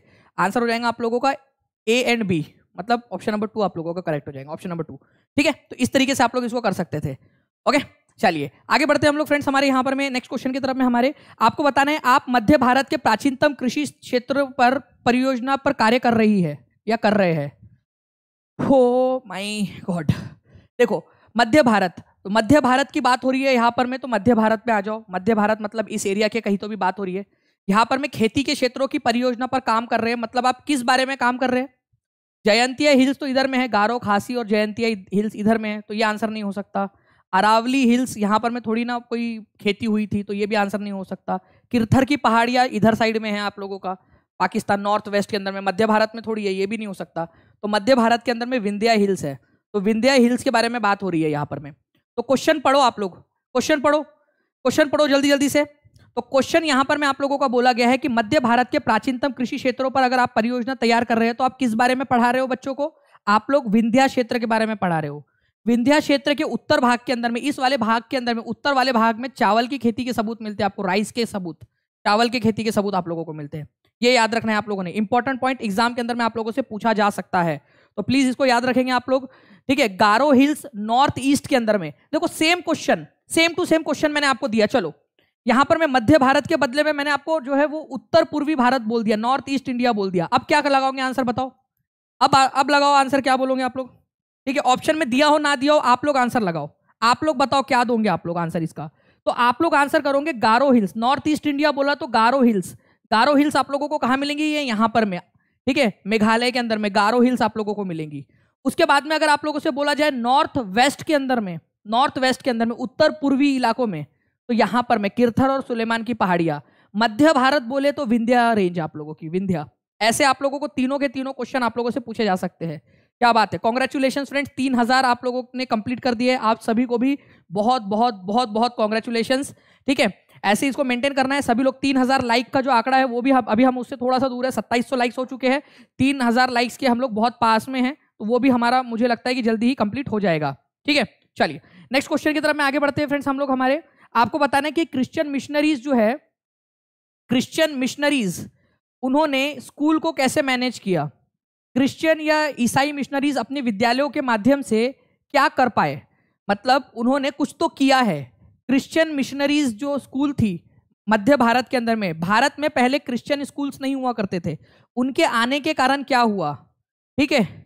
उनके आने के कारण हमारे जो ट्राइबल ग्रुप थे, जितनी भी कास्ट थी, जितनी भी कास्ट अलग अलग कास्ट सिस्टम थी, उनमें इक्वलिटी और जस्टिस की भावना आई। क्योंकि जब अंग्रेज़ आए तो वो लोग जात पात में तो मानते नहीं थे कि ये छोटी जाति का, ये बड़ी जाति का है। वो सबको इक्वली ट्रीट करते थे, वो सब लोगों को। और ईसाई स्कूल में अगर कोई बच्चा जो है छोटी कास्ट का जाता था तो उसको इक्वली ट्रीट किया जाता था। तो इन लोगों ने क्या किया? इन लोगों ने जो है ना इंट्रोड्यूस कर दिया इक्वलिटी और जस्टिस की भावना। और यही चीज़ आप लोगों को महात्मा ज्योतिराव फूले के अंदर में देखने के लिए मिलती है। आप लोगों को याद रखना है कि महात्मा ज्योतिराव फूले मिशनरी स्कूल से पढ़े थे क्रिश्चियन स्कूल से पढ़े थे। इसी वजह से उनके विचार क्रांतिकारी थे। उन्होंने गुलामगिरी नाम पुस्तक लिखी, जिसमें उन्होंने नीची जाति के जो लोग हैं, उन लोगों के ऊपर में जो अत्याचार हो रहा है, उसका उसका उन्होंने उल्लेख किया, गुलामगिरी पुस्तक के अंदर में उन्होंने। और वो पुस्तक उन्होंने समर्पित की थी अमेरिका के गुलामों को, अमेरिका के जो स्लेव्स थे उन लोगों को। वो दिखाने के लिए कि भारत में भी तो ऐसे ही हो रहा है करके। ठीक है? तो क्रिश्चियन मिशनरीज स्कूल ने भारत के अंदर में क्या किया? ट्राइबल लोगों के अंदर में इक्वलिटी और जस्टिस का आइडिया ला दिया। ये याद रखोगे कि नहीं रखोगे सभी लोग? एग्ज़ाम में आ जाए तो कर लोगे ना क्वेश्चन ये वाला? नेक्स्ट क्वेश्चन ठीक है? आपको बताना है built on stilt houses built on stilt क्यों बनाए जाते थे स्टिल्ट के ऊपर में? अब ये स्टिल्ट क्या बला है, ये भी आप लोगों को पता होना चाहिए फ्रेंड्स ठीक है? ये स्टिल्ट क्या बला है? ये स्टिल्ट स्टिल्ट क्या है? ये स्टिल स्टिल्ट ठीक है? तो देखिए फ्रेंड्स अगर मान लीजिए कि बहुत ज़्यादा बारिश आ रही है आप लोगों की। रेस्ट प्लेटफॉर्म के ऊपर में बनाया जाता है। बारिश उरिश आ रही है या बर्फबारी हो रही है तो थोड़ा ऊंचाई के ऊपर में जो घर बनाया जाता है, थोड़ा सा ना रेस्ट प्लेटफॉर्म के ऊपर में, थोड़ा ऊंचाई के ऊपर में, मान लो ये ज़मीन है तो थोड़ा ऊंचाई के ऊपर में जो घर बनाया जाता है ऐसे, ठीक है? ऐसे जो एक बंगला बने नहीं आ रहा आप थोड़ा ऊंचाई पर बनाते हो, ज़मीन से थोड़ा सा ऊंचाई के ऊपर में। तो ये बनाया जाता है फ्रेंड्स आप लोगों का ऐसे एरिया के अंदर में कि पानी घर में ना घुस जाए, ओके? एनसीआरटी में दिया हुआ है, आप लोग देख सकते हो यहाँ पर में type of houses in rural areas अगर आप हैवी रेनफॉल वाले एरिया के अंदर में रहते हो तो आप बेसिकली कैसे घर बनाओगे आप लोग? ऐसे स्लांटिंग रूफ वाले, ताकि पानी ऐसा पुटुक पुटुक पुटुक गिर जाए पानी नीचे। और पानी जमा होता रहेगा तो कितना दिक्कत वाली बात है ना? छत टूट जाएँगी आप लोगों की। इसके अलावा जो है फ्रेंड्स आप लोगों का क्या होता है? स्टिल्ट्स स्टिल्ट्स बनाए जाते हैं या रेस्ड प्लेटफॉर्म वाले एरिया में बनाए जाते हैं रेनी सीज़न वाले इलाकों के अंदर में। क्योंकि पानी नीचे में एक्यूमुलेट हो जाता है, घर में पानी घुस ना जाए, इसी वजह से आप लोग स्टिल्ट्स वाले एरिया में बनाते हो। ऊँचा प्लेटफॉर्म अथवा स्टिल्ट्स ठीक है? तो ये याद रखेंगे आप लोग इस क्वेश्चन को, देखो फिर से एक बार। डायरेक्ट क्वेश्चन आएगा same to same why are houses built on stilts direct direct question पूछेगा और कुछ नहीं पूछने वाला आपसे वो। डायरेक्ट क्वेश्चन पूछेगा। घर स्टिल्स के ऊपर में क्यों बनाए जाते थे? सिंपल सा क्वेश्चन और आप लोगों का आंसर हो जाएगा, यहाँ पर में वर्षा ऋतु में घरों में जल के जमाव को रोकने के लिए किया जाता था। निर्मल एक नीलामी में तीन बजे जाता है और घड़ी मात्रा में सब्ज़ियाँ खरीद, बड़ी मात्रा में सब्ज़ियाँ खरीदता है। टमाटर खरीदा कितना निर्मल भाई? वह फिर उन्हें आसपास के सब्ज़ी विक्रेताओं को बेच देता है। वह किस प्रकार का व्यापारी है? देखो, ये निर्मल भैया है हमारे। बड़े व्यापारी है। एक नीलामी में जाता है, बहुत सारे जो है सब्ज़ी खरीदता है। बहुत बहुत बहुत सारी सब्ज़ी खरीदता है। ठीक है? फिर दूसरे जाता है और दूसरे लोगों को, जो सब्ज़ी विक्रेता है, इनको दे देता है इसको कि भाई जा तू सब्ज़ी बेच। ठीक है? फिर दूसरे वालों को देता है, जा तू भी सब्ज़ी बेच। मतलब डायरेक्ट किसान डायरेक्ट कस्टमर को नहीं बेच रहा है, दूसरे वाले लोगों को बेच रहा है। तो ये होल सेलर है, थोक व्यापारी है ये, थोक व्यापारी। ये तो समझता ना आप लोगों को, थोक का व्यापारी मतलब बड़े स्तर के ऊपर में क्या कर रहा है, वो खरीद रहा है और छोटे वाले लोगों को दे रहा है। ये जो छोटे वाले लोग हैं, जो खरीद रहे हैं, वो लोग रिटेलर है, वो रिटेलर है। और ये जो हमारा निर्मल भाई साहब है, ये क्या है, ये थोक का व्यापारी है होल सेलर है, ये याद रखना है आप लोगों ने होल सेलर है। याद रहेगा आप लोगों को? तो आंसर आप लोगों को ऑप्शन नंबर टू हो जाएगा। तो यहाँ पर मैं आपको याद रखना है फ्रेंड्स कि होलसेलर वो पर्सन होता है जो बड़े क्वांटिटी के अंदर में जो है सामान को खरीदता है और छोटे लोगों को बेच, छोटे अमाउंट के अंदर में लोगों को बेचता है। तो निर्मल यहाँ क्या कर रहा है? होलसेलर है, जो बड़े मात्रा में वेजिटेबल्स खरीद रहा है और छोटे जो है हॉकर्स या जो शॉपकीपर्स है, उनको दे रहा है। रिटेलर वो लोग होते हैं जो छोटे बिजनेसमैन होते हैं, या पर्सन होते हैं या छोटे बिजनेसमैन होते हैं जो सामान होलसेलर से खरीदते हैं और फिर बाद में लोगों को बेचते हैं। सूरत की हुंडी के बारे में निम्नलिखित में से कौन सी वाली बात सही है? सभी लोग फ्रेंड्स लाइक एंड शेयर करते रहेंगे। जितने लोग देख रहे हैं, सभी से रिक्वेस्ट है कि जितने भी लोग देख रहे हैं, एक बार लाइक एंड शेयर करते रहेंगे और टीचिंग परीक्षा चैनल को सब्सक्राइब ज़रूर कर लेंगे ताकि मैं ऐसे ही आप लोगों को एनर्जी के साथ में पढ़ाता रहूँ। मेरी एनर्जी आप लोगों के हाथ में है सिंपल भाषा में बात करूँ तो। मेरी एनर्जी आप लोगों के हाथ में, जब तक आप लोग का साथ रहेगा, उतनी ज़्यादा मैं एनर्जी के साथ में पढ़ाता रहूँगा आप लोगों को। तो सूरत की हुंडी बहुत ही फ़ेमस है। हुंडी का मतलब होता है फ्रेंड्स बेसिकली आप लोगों का एक ऐसा रिकॉर्ड ठीक है, जिसके अंदर में आपने कितना पैसा जमा किया है, उसकी रसीद, ठीक है, एक रिकॉर्ड या एक रसीद जिसमें आपने कितना पैसा जमा किया है, वो लिखा हुआ होता है।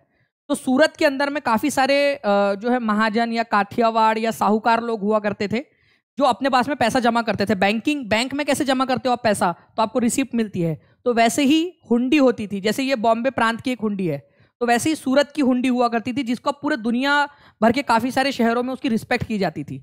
कायरो में आप चले जाओ, ये सूरत की हुंडी आप गिरवी रख दो। बोलेंगे, अरे वाह, सूरत में पैसा रखा है। मज़ा माँ, एक नंबर, पैसा सुरक्षित थे। ठीक है, तमें सामान लेके जाओ। सामान लेके जाओ तुम। ठीक है, ये गिरवी रख दो, हम रख लेंगे। सूरत में रखा है ना पैसा तो सुरक्षित बा। ठीक है, बसरा, इराक के अंदर में चले जाओ। ठीक है, आप बेल्जियम चले जाओ।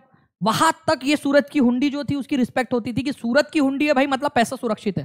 सिंपल सिंपल बात। ठीक है, ये याद रखना है आप लोगों ने। तो ये याद रखेंगे सूरत की जो हुंडी थी आप लोगों की, क्या होगा आंसर? जल्दी से पढ़ो, आप लोग खुद से देखो आंसर क्या होगा आप लोगों का यहाँ पर में। आंसर जो है फ्रेंड्स, आप लोगों का सिंपल भाषा में हो जाएगा कि it's a note recording a deposit made by a person ठीक है? एक रिकॉर्ड है जिसके अंदर में पर्सन ने कितने पैसे जमा किए वो आप लोगों को बताया गया है। ठीक है? आपको बताना है कि किस गवर्नर जनरल ने घोषणा की कि बहादुर शाह ज़फ़र आखिरी मुगल बादशाह होंगे। इंपॉर्टेंट मार्क करो इसको, बहुत ज़्यादा इंपॉर्टेंट ठीक है? देखिए फ्रेंड्स, मैं एक बात बताना चाहूँगा आप लोगों को। ठीक है? तो आ, एक बात थी आप लोगों की 1849 ए, एक बात थी आप लोगों की 1848 के अंदर में ठीक है? 1848 के अंदर में ठीक है? आप लोगों के कौन आए? यहाँ पर में डल हाउजी भाई साहब आए थे डल हाउजी डल हाउजी इसने क्या घोषणा की डल हाउजी ने? कि बहादुर शाह ज़फ़र की मृत्यु के बाद जो उनके वंशज रहेंगे उनको लाल किले से रेड फोर्ट जो है लाल किले से उनको बाहर निकाल दिया जाएगा। लाल किला है तो लाल कलर से लिखता हूँ। रेड फोर्ट से जो है उनको बाहर निकाल दिया जाएगा। रेड फोर्ट से जो उनको बाहर निकाल दिया जाएगा। इसको बहादुर शाह ज़फ़र के मरने के बाद में उनके वंशज लोगों को, उनको कहीं और रखा जाएगा। फिर बाद में तुम्हारे चचा का लड़का, ठीक है, अठारह के अंदर में आता है लॉर्ड कैनिंग लॉर्ड कैनिंग इसने क्या घोषणा कर दी? कि लॉर्ड कैनिंग ने घोषणा कर दी कि बहादुर शाह ज़फ़र जब मर जाएँगे तो उनके बाद में किसी को भी बादशाह नहीं माना जाएगा, केवल प्रिंस माना जाएगा। बादशाह नहीं माना जाएगा, और बहादुर शाह ज़फ़र जो है आखिरी बादशाह होंगे। कैनिंग ने बोला कि उनके बेटों को केवल प्रिंस बोला जाएगा। तो बहादुर शाह ज़फ़र आखिरी मुगल बादशाह होंगे, ये घोषणा की थी लॉर्ड कैनिंग ने अठारह सौ छप्पन के अंदर में। ये याद रखना है फ्रेंड्स, आप लोगों ने इंपॉर्टेंट एग्ज़ाम के अंदर में आप लोगों से पूछ सकते हैं, ठीक है? तो आंसर आप लोगों का हो गया यहाँ पर मैं ऑप्शन नंबर ए तो प्लीज़ इसको थोड़ा सा याद रखिए आप लोग 1848 के अंदर में आया आप लोगों का लॉर्ड डल उसके अगले ही साल उसने घोषणा कर दी लॉर्ड डल हाउसी ने कि बहादुर शाह ज़फ़र जब मर जाएँगे तो उनके घर वालों को लाल किले से बाहर निकाल दिया जाएगा। फिर उसके बाद में एक सफ़ेद मुहा आया ये, लॉर्ड कैनिंग। इसने बोला, बहादुर शाह ज़फ़र जब मर जाएँगे तो उनके बाद में किसी को भी राजा नहीं माना जाएगा, केवल प्रिंस माना जाएगा। और मैं तब इनकी सूरत को देख रहा हूँ। मार दो बेटा। मतलब सब इनके मरने की दुआ कर रहे हैं। कि कब मरते कब मरते कब मरते। मरने की दुआ। सारे लोग इन्हीं के मरने की। ये आया डल हाउस ही बोला, मरेंगे तो इनके परिवारों को बाहर निकाल देंगे। अरे, अभी ज़िंदा हूँ यार। अभी दो तीन शादी और कर सकता हूँ, दस बारह बच्चे और पैदा कर सकता हूँ। मरते, मरने मरने की बात कर रहे ये आया सफ़ेद मुँह, ये बोल रहे कि जब मर जाएँगे तो आखिरी। अरे भाई, तुम्हारे प्रिंस की बात कर रहे हो? चार पाँच प्रिंस और कर सकते थे उस समय में वो। ज़बरदस्ती बेचारा इंसान यार, है ना? चलिए, आगे बढ़ते हम लोग। यहाँ पर मैं फ्रेंड्स गुप्त वंश का पहला स्वतंत्र शासक कौन था? गुप्ता वंश। गुप्ता वंश को जो है फ्रेंड्स भारत का स्वर्ण युग कहा जाता है। Golden age of India golden age of India Bharat का स्वर्ण काल कहा जाता है। इसका पहला स्वतंत्र शासक कौन था ये आप लोगों को बताना है। स्वतंत्र शासक। गुप्ता वंश का संस्थापक बोला जाए ना आप लोगों से, संस्थापक। ठीक है, ये भी दिया हुआ है आप लोगों को याद रखना है। संस्थापक अगर बोला जाए गुप्ता वंश का तो वो हो जाएगा श्रीगुप्त। श्री गुप्त ठीक है, श्रीगुप्त। संस्थापक अगर बोला जाए तो श्रीगुप्त हो जाएगा। श्री गुप्त संस्थापक। लेकिन अगर स्वतंत्र शासक बोला जाए पहला, जो स्वतंत्र था, किसी और के अधीन काम नहीं करता था तो वो था आपका चंद्रगुप्त एक। तो B is the correct answer Chandragupta एक जो है, ये पहला शासक था, स्वतंत्र शासक था। अगर फाउंडर कौन था, ये बोला जाए तो आंसर होगा श्रीगुप्त फाउंडर अगर पहला स्वतंत्र शासक बोला जाए तो आंसर होगा चंद्रगुप्त वन। अच्छा एक बात और, जो बहुत ही इंपॉर्टेंट वाली बात है आप लोगों की। क्वेश्चन आप लोगों से पूछा जा रहा है कि महाराजा अधिराज की उपाधि सबसे पहले किसने धारण की थी? क्वेश्चन एग्ज़ाम में पूछा जाने वाला क्वेश्चन आपका। महाराजा अधिराज की उपाधि धारण करने वाला महाराजा, ठीक है, महाराजा अधिराज। अधि राज की उपाधि धारण करने वाला पहला कौन था? तो वो चंद्रगुप्त वन था। और उसके बाद में उसका बेटा महा, समुद्रगुप्त, उसने भी महाराजा अधिराज की धारण की थी उपाधि। तो ये भी याद रखना है आप लोगों ने। इंपॉर्टेंट पॉइंट है। ठीक है? नेक्स्ट क्वेश्चन की तरफ़ में हम लोग आगे बढ़ने से पहले फ्रेंड्स मैं फिर से बता दूँ, चंद्रगुप्त वन पहला इंडिपेंडेंट शासक था फ़र्स्ट इंडिपेंडेंट समुद्रगुप्त जो है, उसका बेटा था, इसको भारत का नेपोलियन कहा जाता है। इन दो पिता पुत्रों ने क्या किया था फ्रेंड्स इन्होंने जो है महाराजा अधिराज की उपाधि धारण की थी। क्या बात है फ्रेंड्स 3100 लाइव के करीब पहुँच गए और 3100 लाइक्स कंप्लीट हो गए। देखिए, मैं पढ़ाने, पढ़ाते पढ़ाते मैं इधर भूल ही गया कि 3000 लाइक्स भी 3000 से ज़्यादा लाइक्स आप लोगों ने कर दिए। तो बहुत बहुत शुक्रिया फ्रेंड्स आप लोगों का। नेक्स्ट क्वेश्चन की तरफ़ में हम लोग आगे बढ़ते हैं आप लोगों के। अशोक को अपने संबंधियों से मिलने के लिए मुंबई से दिल्ली जाना है। अशोक परिवहन के कौन से साधन का उपयोग कर सकता है? ठीक है? भाई, ये क्वेश्चन रिपीट हुआ है। फिर से रिपीट हुआ है। मैं आपको बता दूँ कि क्वेश्चन ये जो है ना रिपीटेड ये क्वेश्चन दो बार आया एग्ज़ाम के अंदर में। तो आपको बता, पता होना चाहिए कि भाई उसको कहाँ जाना है? मुंबई से दिल्ली जाना है। तो ऑब्वियस सी बात है, वहाँ समुद्री रास्ता, जल मार्ग तो है नहीं। तो ए को काटो ए को काटो ए को काटो आंसर आपका ऑप्शन नंबर सी हो गया। सिंपल सी बात थी, ठीक है? Oldest rock in the world are found in प्राचीनतम चट्टान। सबसे पुरानी चट्टाने कहाँ पर में मिली आप लोगों को? दुनिया की सबसे पुरानी वाली चट्टाने। तो दुनिया की सबसे पुरानी चट्टाने जो है आप लोगों को फ्रेंड्स पश्चिमी ऑस्ट्रेलिया में मिली है वेस्टर्न ऑस्ट्रेलिया में।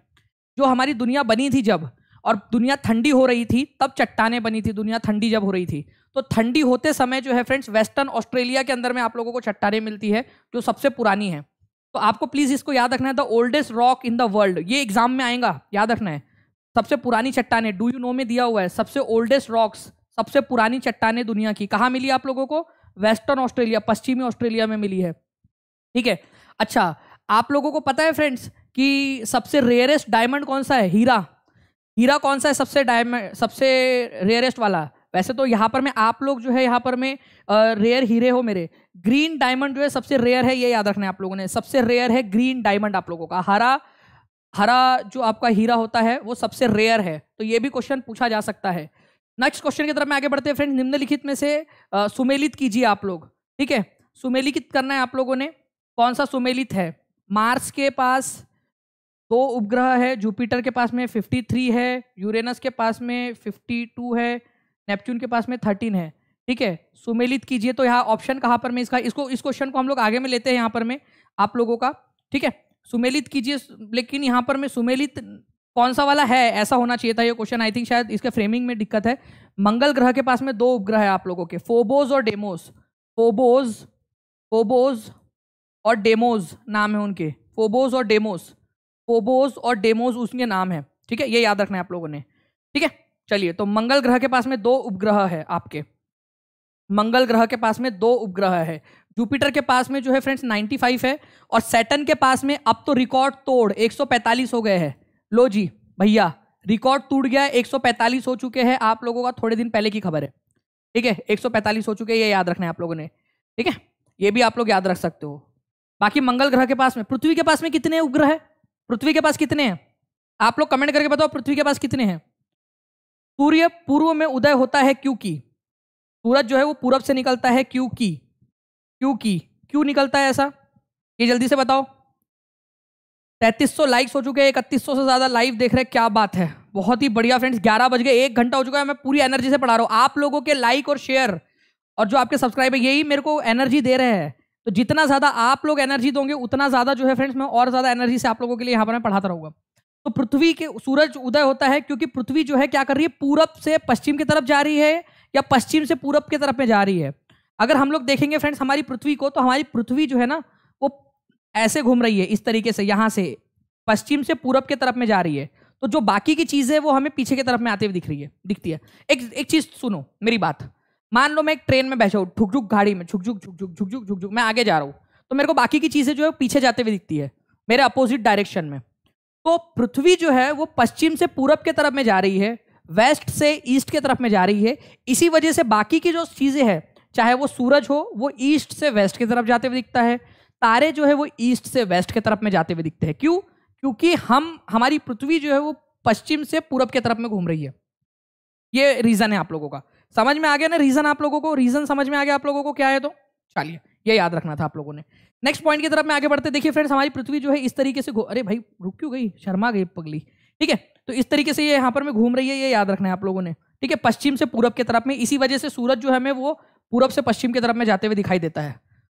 ओके? अपने अक्ष पर एक घंटे में कितने डिग्री का कितना डिग्री घूमती है पृथ्वी? हमारी पृथ्वी घूम रही है ना?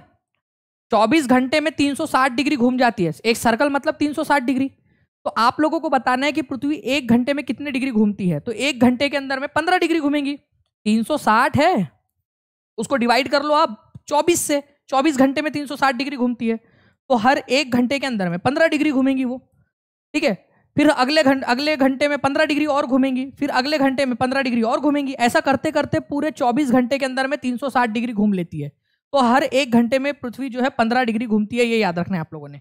पंद्रह डिग्री। हर एक घंटे में पंद्रह डिग्री पृथ्वी घूमती है। ये याद रखेंगे आप लोग।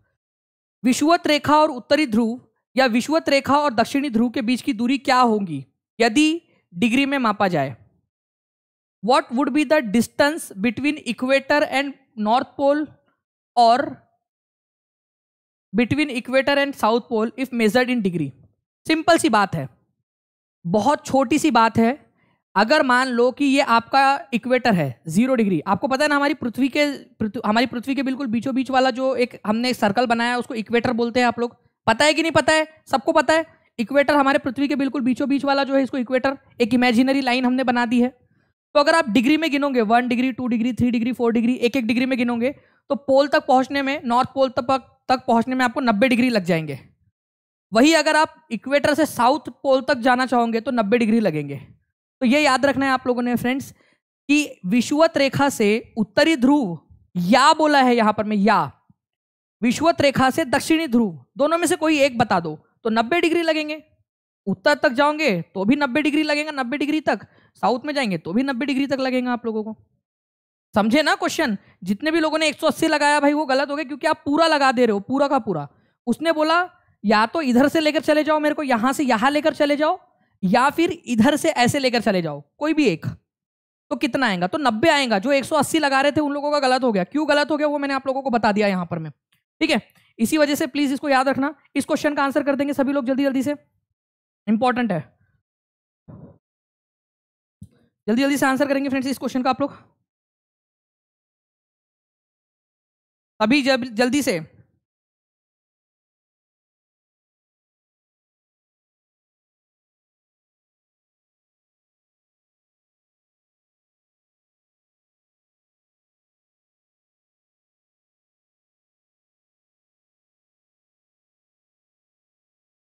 चलिए तो आंसर देखिए फ्रेंड्स, आप लोगों का यहाँ पर मेरे पास में आ गया है। अगर हम लोग बात करेंगे यहाँ हमारे इक्वेटर की तो इक्वेटर जो है वो ज़ीरो डिग्री वाली एग्ज़ाम का क्वेश्चन है ये एग्ज़ाम में पूछा गया इक्वेटर ज़ीरो डिग्री वाली लाइन है।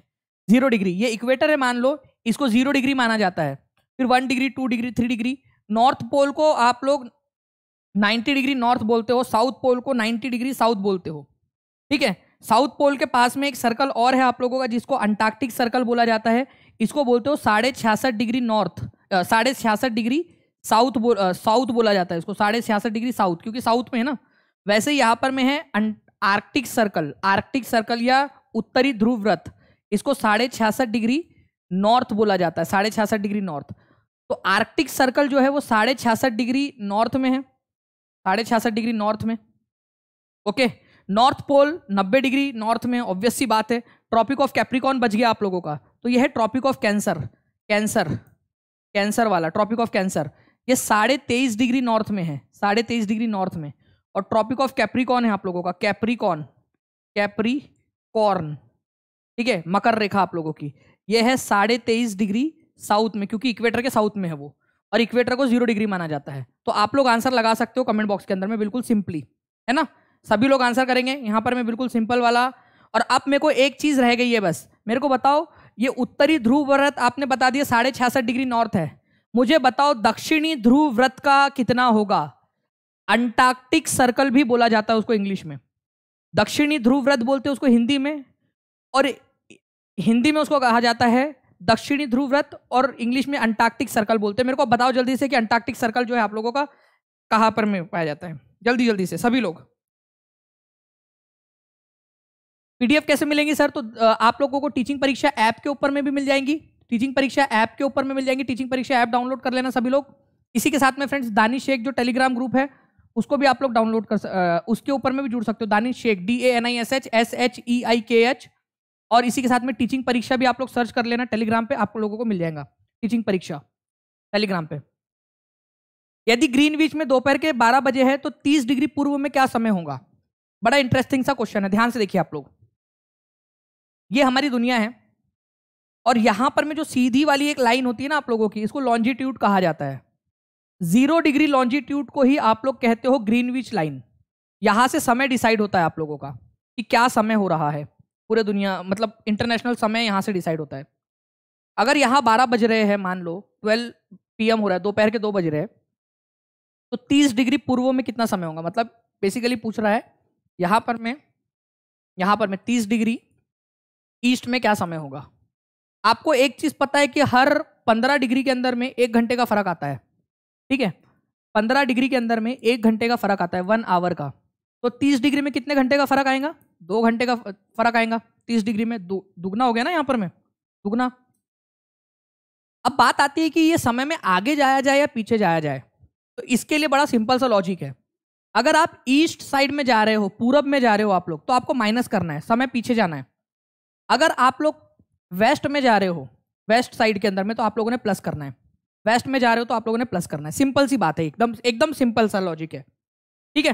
तो आंसर क्या होगा? पूरब में जा रहे हैं तो दो घंटा पीछे करो, माइनस करो, दस एम का समय हो रहा होगा वहाँ पर में। 83 परसेंट लोगों ने बिल्कुल सही आंसर दिया है, बहुत बढ़िया। ठीक है? अब तक जो मैं देख पा रहा हूँ, यहाँ पर में 83 परसेंट लोगों ने करीब करीब यहाँ पर में सही आंसर दिया है। ओके? चलिए, गुड। आगे बढ़ते हैं हम लोग यहाँ पर में। ये भी क्वेश्चन बहुत ही इंपॉर्टेंट है और एग्ज़ाम के अंदर में पूछे जाने की बहुत अधिक संभावना है। इसका आंसर कीजिए सभी लोग जल्दी जल्दी से। इसका आंसर कीजिए आप लोग।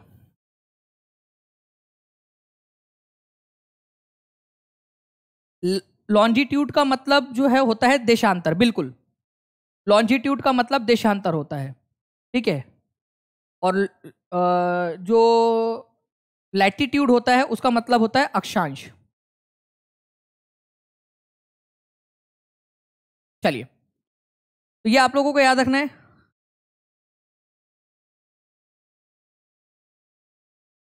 तो लॉन्जिट्यूड जो है आप लोगों का, उसको ग्रीन विश लाइन बोलते हैं ये। लॉन्जिट्यूड आपका ज़ीरो डिग्री लॉन्जिट्यूड है आप लोगों का। लॉन्जिट्यूड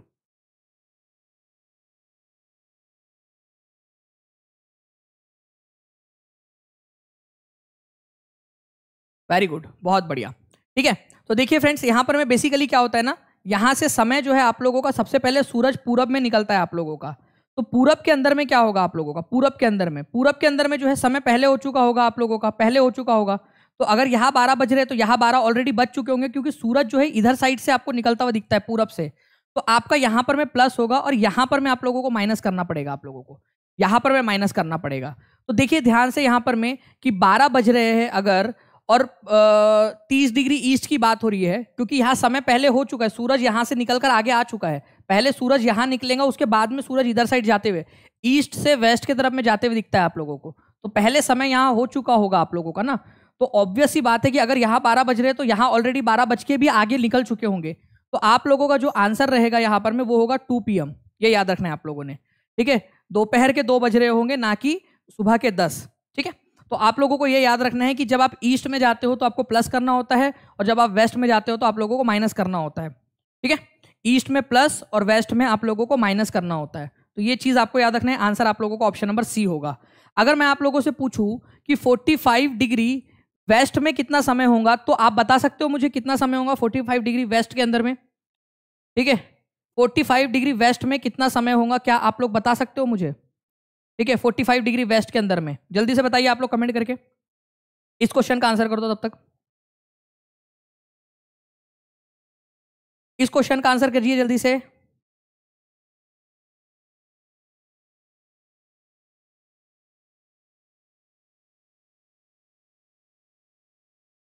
तो देखिए, अगर हम लोग यहाँ पर मैं बात करें फ्रेंड्स इस पर्टिकुलर क्वेश्चन की, जो अर्थ का जो मूवमेंट है आप लोगों का अर्थ का जो मूवमेंट है, ठीक है, पृथ्वी अपने अक्ष पर घूमना इसको क्या कहा जाता है? अर्थ का जो मूवमेंट है, अर्थ का पृथ्वी का अपने अक्ष के ऊपर में घूमना, इसको रोटेशन कहा जाता है। जैसे मैं अपने अक्ष के ऐसे, ऐसा गोल गोल घूम रहा हूँ। ये मैं हूँ पृथ्वी और अपने अक्ष पे घूम रहा हूँ। गोल गोल पानी गोल गोल रानी, इतना इतना पानी गोल गोल रानी, इतना इतना पानी। तो मैं घूम रहा हूँ, ये घूर्णन हो गया मेरा, ठीक है? पृथ्वी का अपने अक्ष पर घूमना रोटेशन कहलाता है। तो एक ही जोड़ी एक ही जोड़ी जो है तीन के साथ लगनी है आप लोगों की। एक ही जोड़ी तीन के साथ, ये सी आंसर नहीं हो सकता और ए आंसर नहीं हो सकता, ठीक है? अर्थ का अपने सूरज के चारों ओर घूमना, ठीक है, ऐसे घूमना। सूरज है, उसके अराउंड में ऐसे ऐसे पूरा पूरा घूम के आना। जैसे मैं मान लीजिए यहाँ पर मैं मैं अपने सिस्टम के चारों ओर ऐसा घूम के वापस से इधर साइड से गया और मैं इधर साइड से ऐसे जाके इधर से वापस आ गया। ओके, ऐसा घूम के वापस आ गया। तो ये क्या हो जाएगा आप लोगों का? ये हो जाएगा आप लोगों का रिवोल्यूशन ठीक है? इसको परिक्रमण कहा जाता है, परिक्रमण। तो बी की जोड़ी वन के साथ लगनी है, यहाँ दोनों जगह पे लगी हुई है बी की जोड़ी वन के साथ में। पृथ्वी के ऊपर में दिन और रात का विभाजन। यहाँ पर में हमारा सूरज है, मान लो, ठीक है, और ये हमारी पृथ्वी है। तो जो जिधर साइड सूरज के सामने होता है, वो डे होता है, और जिधर साइड सूरज के साथ में नहीं, साथ में नहीं होता है, उधर नाइट होती है। तो जो ये एक इमेजिनरी सर्कल बन गया है, जो दिन और रात को विभाजित करता है, उसको प्रदीप्ति व्रत कहा जाता है। बोलो सभी लोग जल्दी से, क्या कहा जाता है उसको? प्रदीप्ति व्रत कहा जाता है। जब आप लोगों का, आप लोग याद रखना है आप लोगों ने फ्रेंड्स कि पृथ्वी पर दिन और रात का जो विभाजन होता है, उसको क्या कहते हो आप लोग? सर्कल ऑफ़ इल्यूमिनेशन कहते हो। और जो टाइम होता है आपका, ठीक है? इक्वल डे और इक्वल नाइट वाला आप लोगों का, उसको इक्विनॉक्स कहा जाता है। इक्वल डे और इक्वल नाइट कौन से तारीख को आता है इक्विनॉक्स आपका? इक्वल डे और इक्वल नाइट आपका? इक्वल डे और इक्वल नाइट ठीक है? इक्वल डे और इक्वल नाइट इक्विनो विशु बोलते हैं उसको। कौन से दो तारीखों को आता है ये आप लोग कमेंट करके बताएँगे आप लोग। इक्विनॉक्स आपका।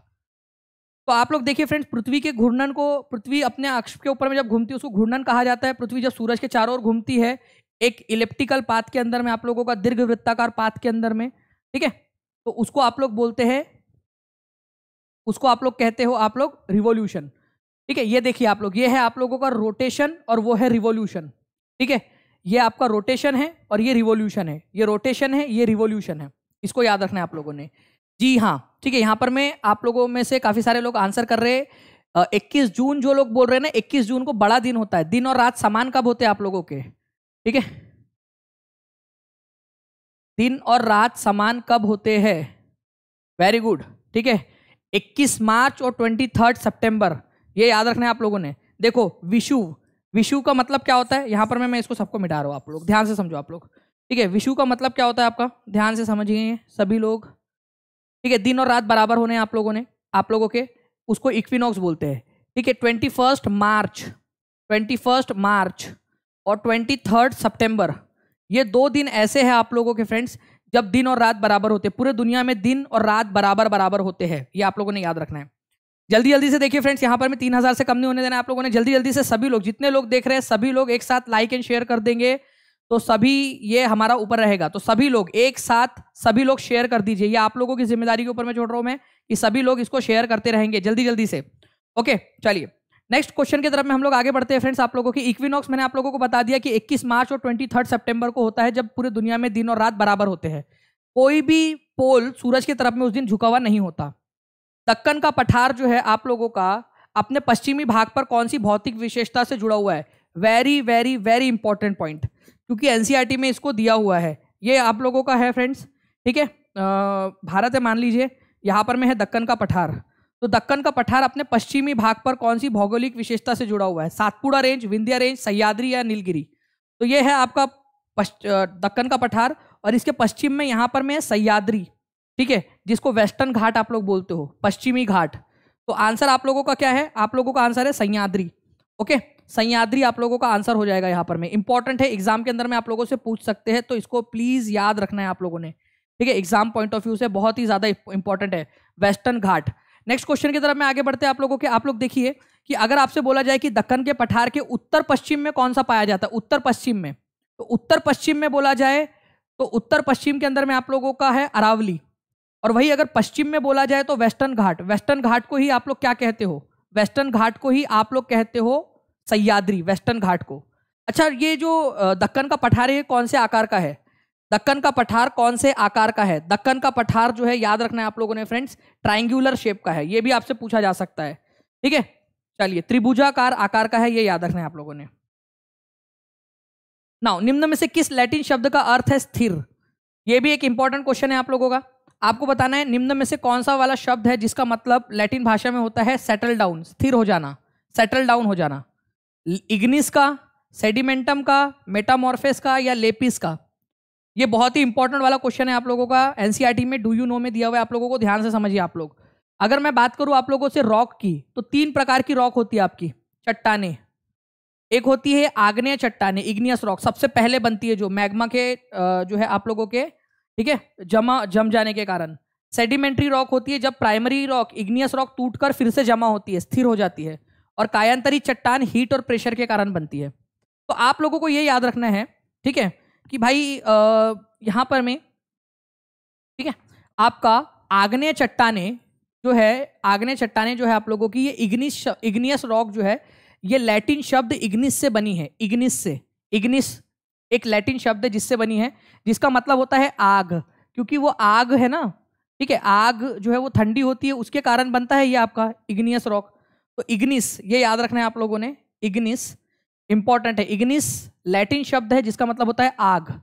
अवसादी चट्टाने या सेडिमेंट्री रॉक जो है, ये लैटिन शब्द सेडिमेंट से सेडिमेंटम सेडिमेंटम से बनी है। सेडिमेंटम का मतलब होता है सेडिमेंटम का मतलब होता है आप लोगों का फ्रेंड स्थिर हो जाना, ठीक है सेटल डाउन क्योंकि इग्नियस रॉक के जब टुकड़े टूटते हैं और सेटल डाउन हो जाते हैं, एक साथ आके एक के ऊपर एक लेयर बना लेते हैं इस प्रकार से, एक के बाद एक लेयर बना लेते हैं और स्थिर हो जाते हैं उससे जो चट्टाने बनती है, परतदार चट्टान बनती है, उसको सेडिमेंट्री रॉक कहा जाता है। तो लैटिन शब्द सेडिमेंटम से बना है, जिसका मतलब होता है स्थिर हो जाना। ठीक है? सेटल डाउन हो जाना। मेटामॉर्फिक रॉक जो है, ये ग्रीक वर्ड से बनी है मेटामॉर्फोस से। ठीक है? जिसका मतलब होता है मेटामॉर्फोस का मतलब होता है फॉर्म का चेंज हो जाना। चेंज हो जाना, क्योंकि जब हीट और प्रेशर पड़ता है किसी चट्टान के ऊपर में, वो अपना रूप और जो अपनी प्रॉपर्टीज़ है, वो बदल लेती है। मेटामॉर्फिस मेटामॉर्फ ठीक है? तो मेटामॉर्फ या कायांतरी चट्टान जो है, ये ग्रीक शब्द से बनी है। देखो, ये दोनों लैटिन शब्द है और ये ग्रीक शब्द है। इसमें भी कंफ्यूज नहीं होना है आप लोगों ने। ओके इंपॉर्टेंट पॉइंट एग्ज़ाम के अंदर में आप लोगों से पूछा जा सकता है तो प्लीज़ इसको आप सभी लोग तैयार रहिए इसके लिए आप लोग। ओके एग्ज़ाम के अंदर में पूछ सकते हैं आप लोगों से। नेक्स्ट पॉइंट की तरफ़ में आगे बढ़ते हैं आप लोगों से। इग्नियस रॉक जो है, आप लोगों की इग्नियस रॉक इग्निस नाम के शब्द से बनी है। जिसका मतलब क्या होता है? फायर फायर या अग्नि। मेरे साथ साथ में रिवाइज करते जाओ, ताकि याद हो जाए। अगर इंट्रीसिव अंतर्भेदी इग्नियस रॉक है तो उसका एग्ज़ाम्पल है ग्रेनाइट अगर एक्सट्रीसिव इग्नियस रॉक है, बहिर्भेदी तो उसका एग्ज़ाम्पल है बेसाल्ट और बेसाल्ट से ही आप लोगों का क्या बना है? दक्कन का पठार बना है।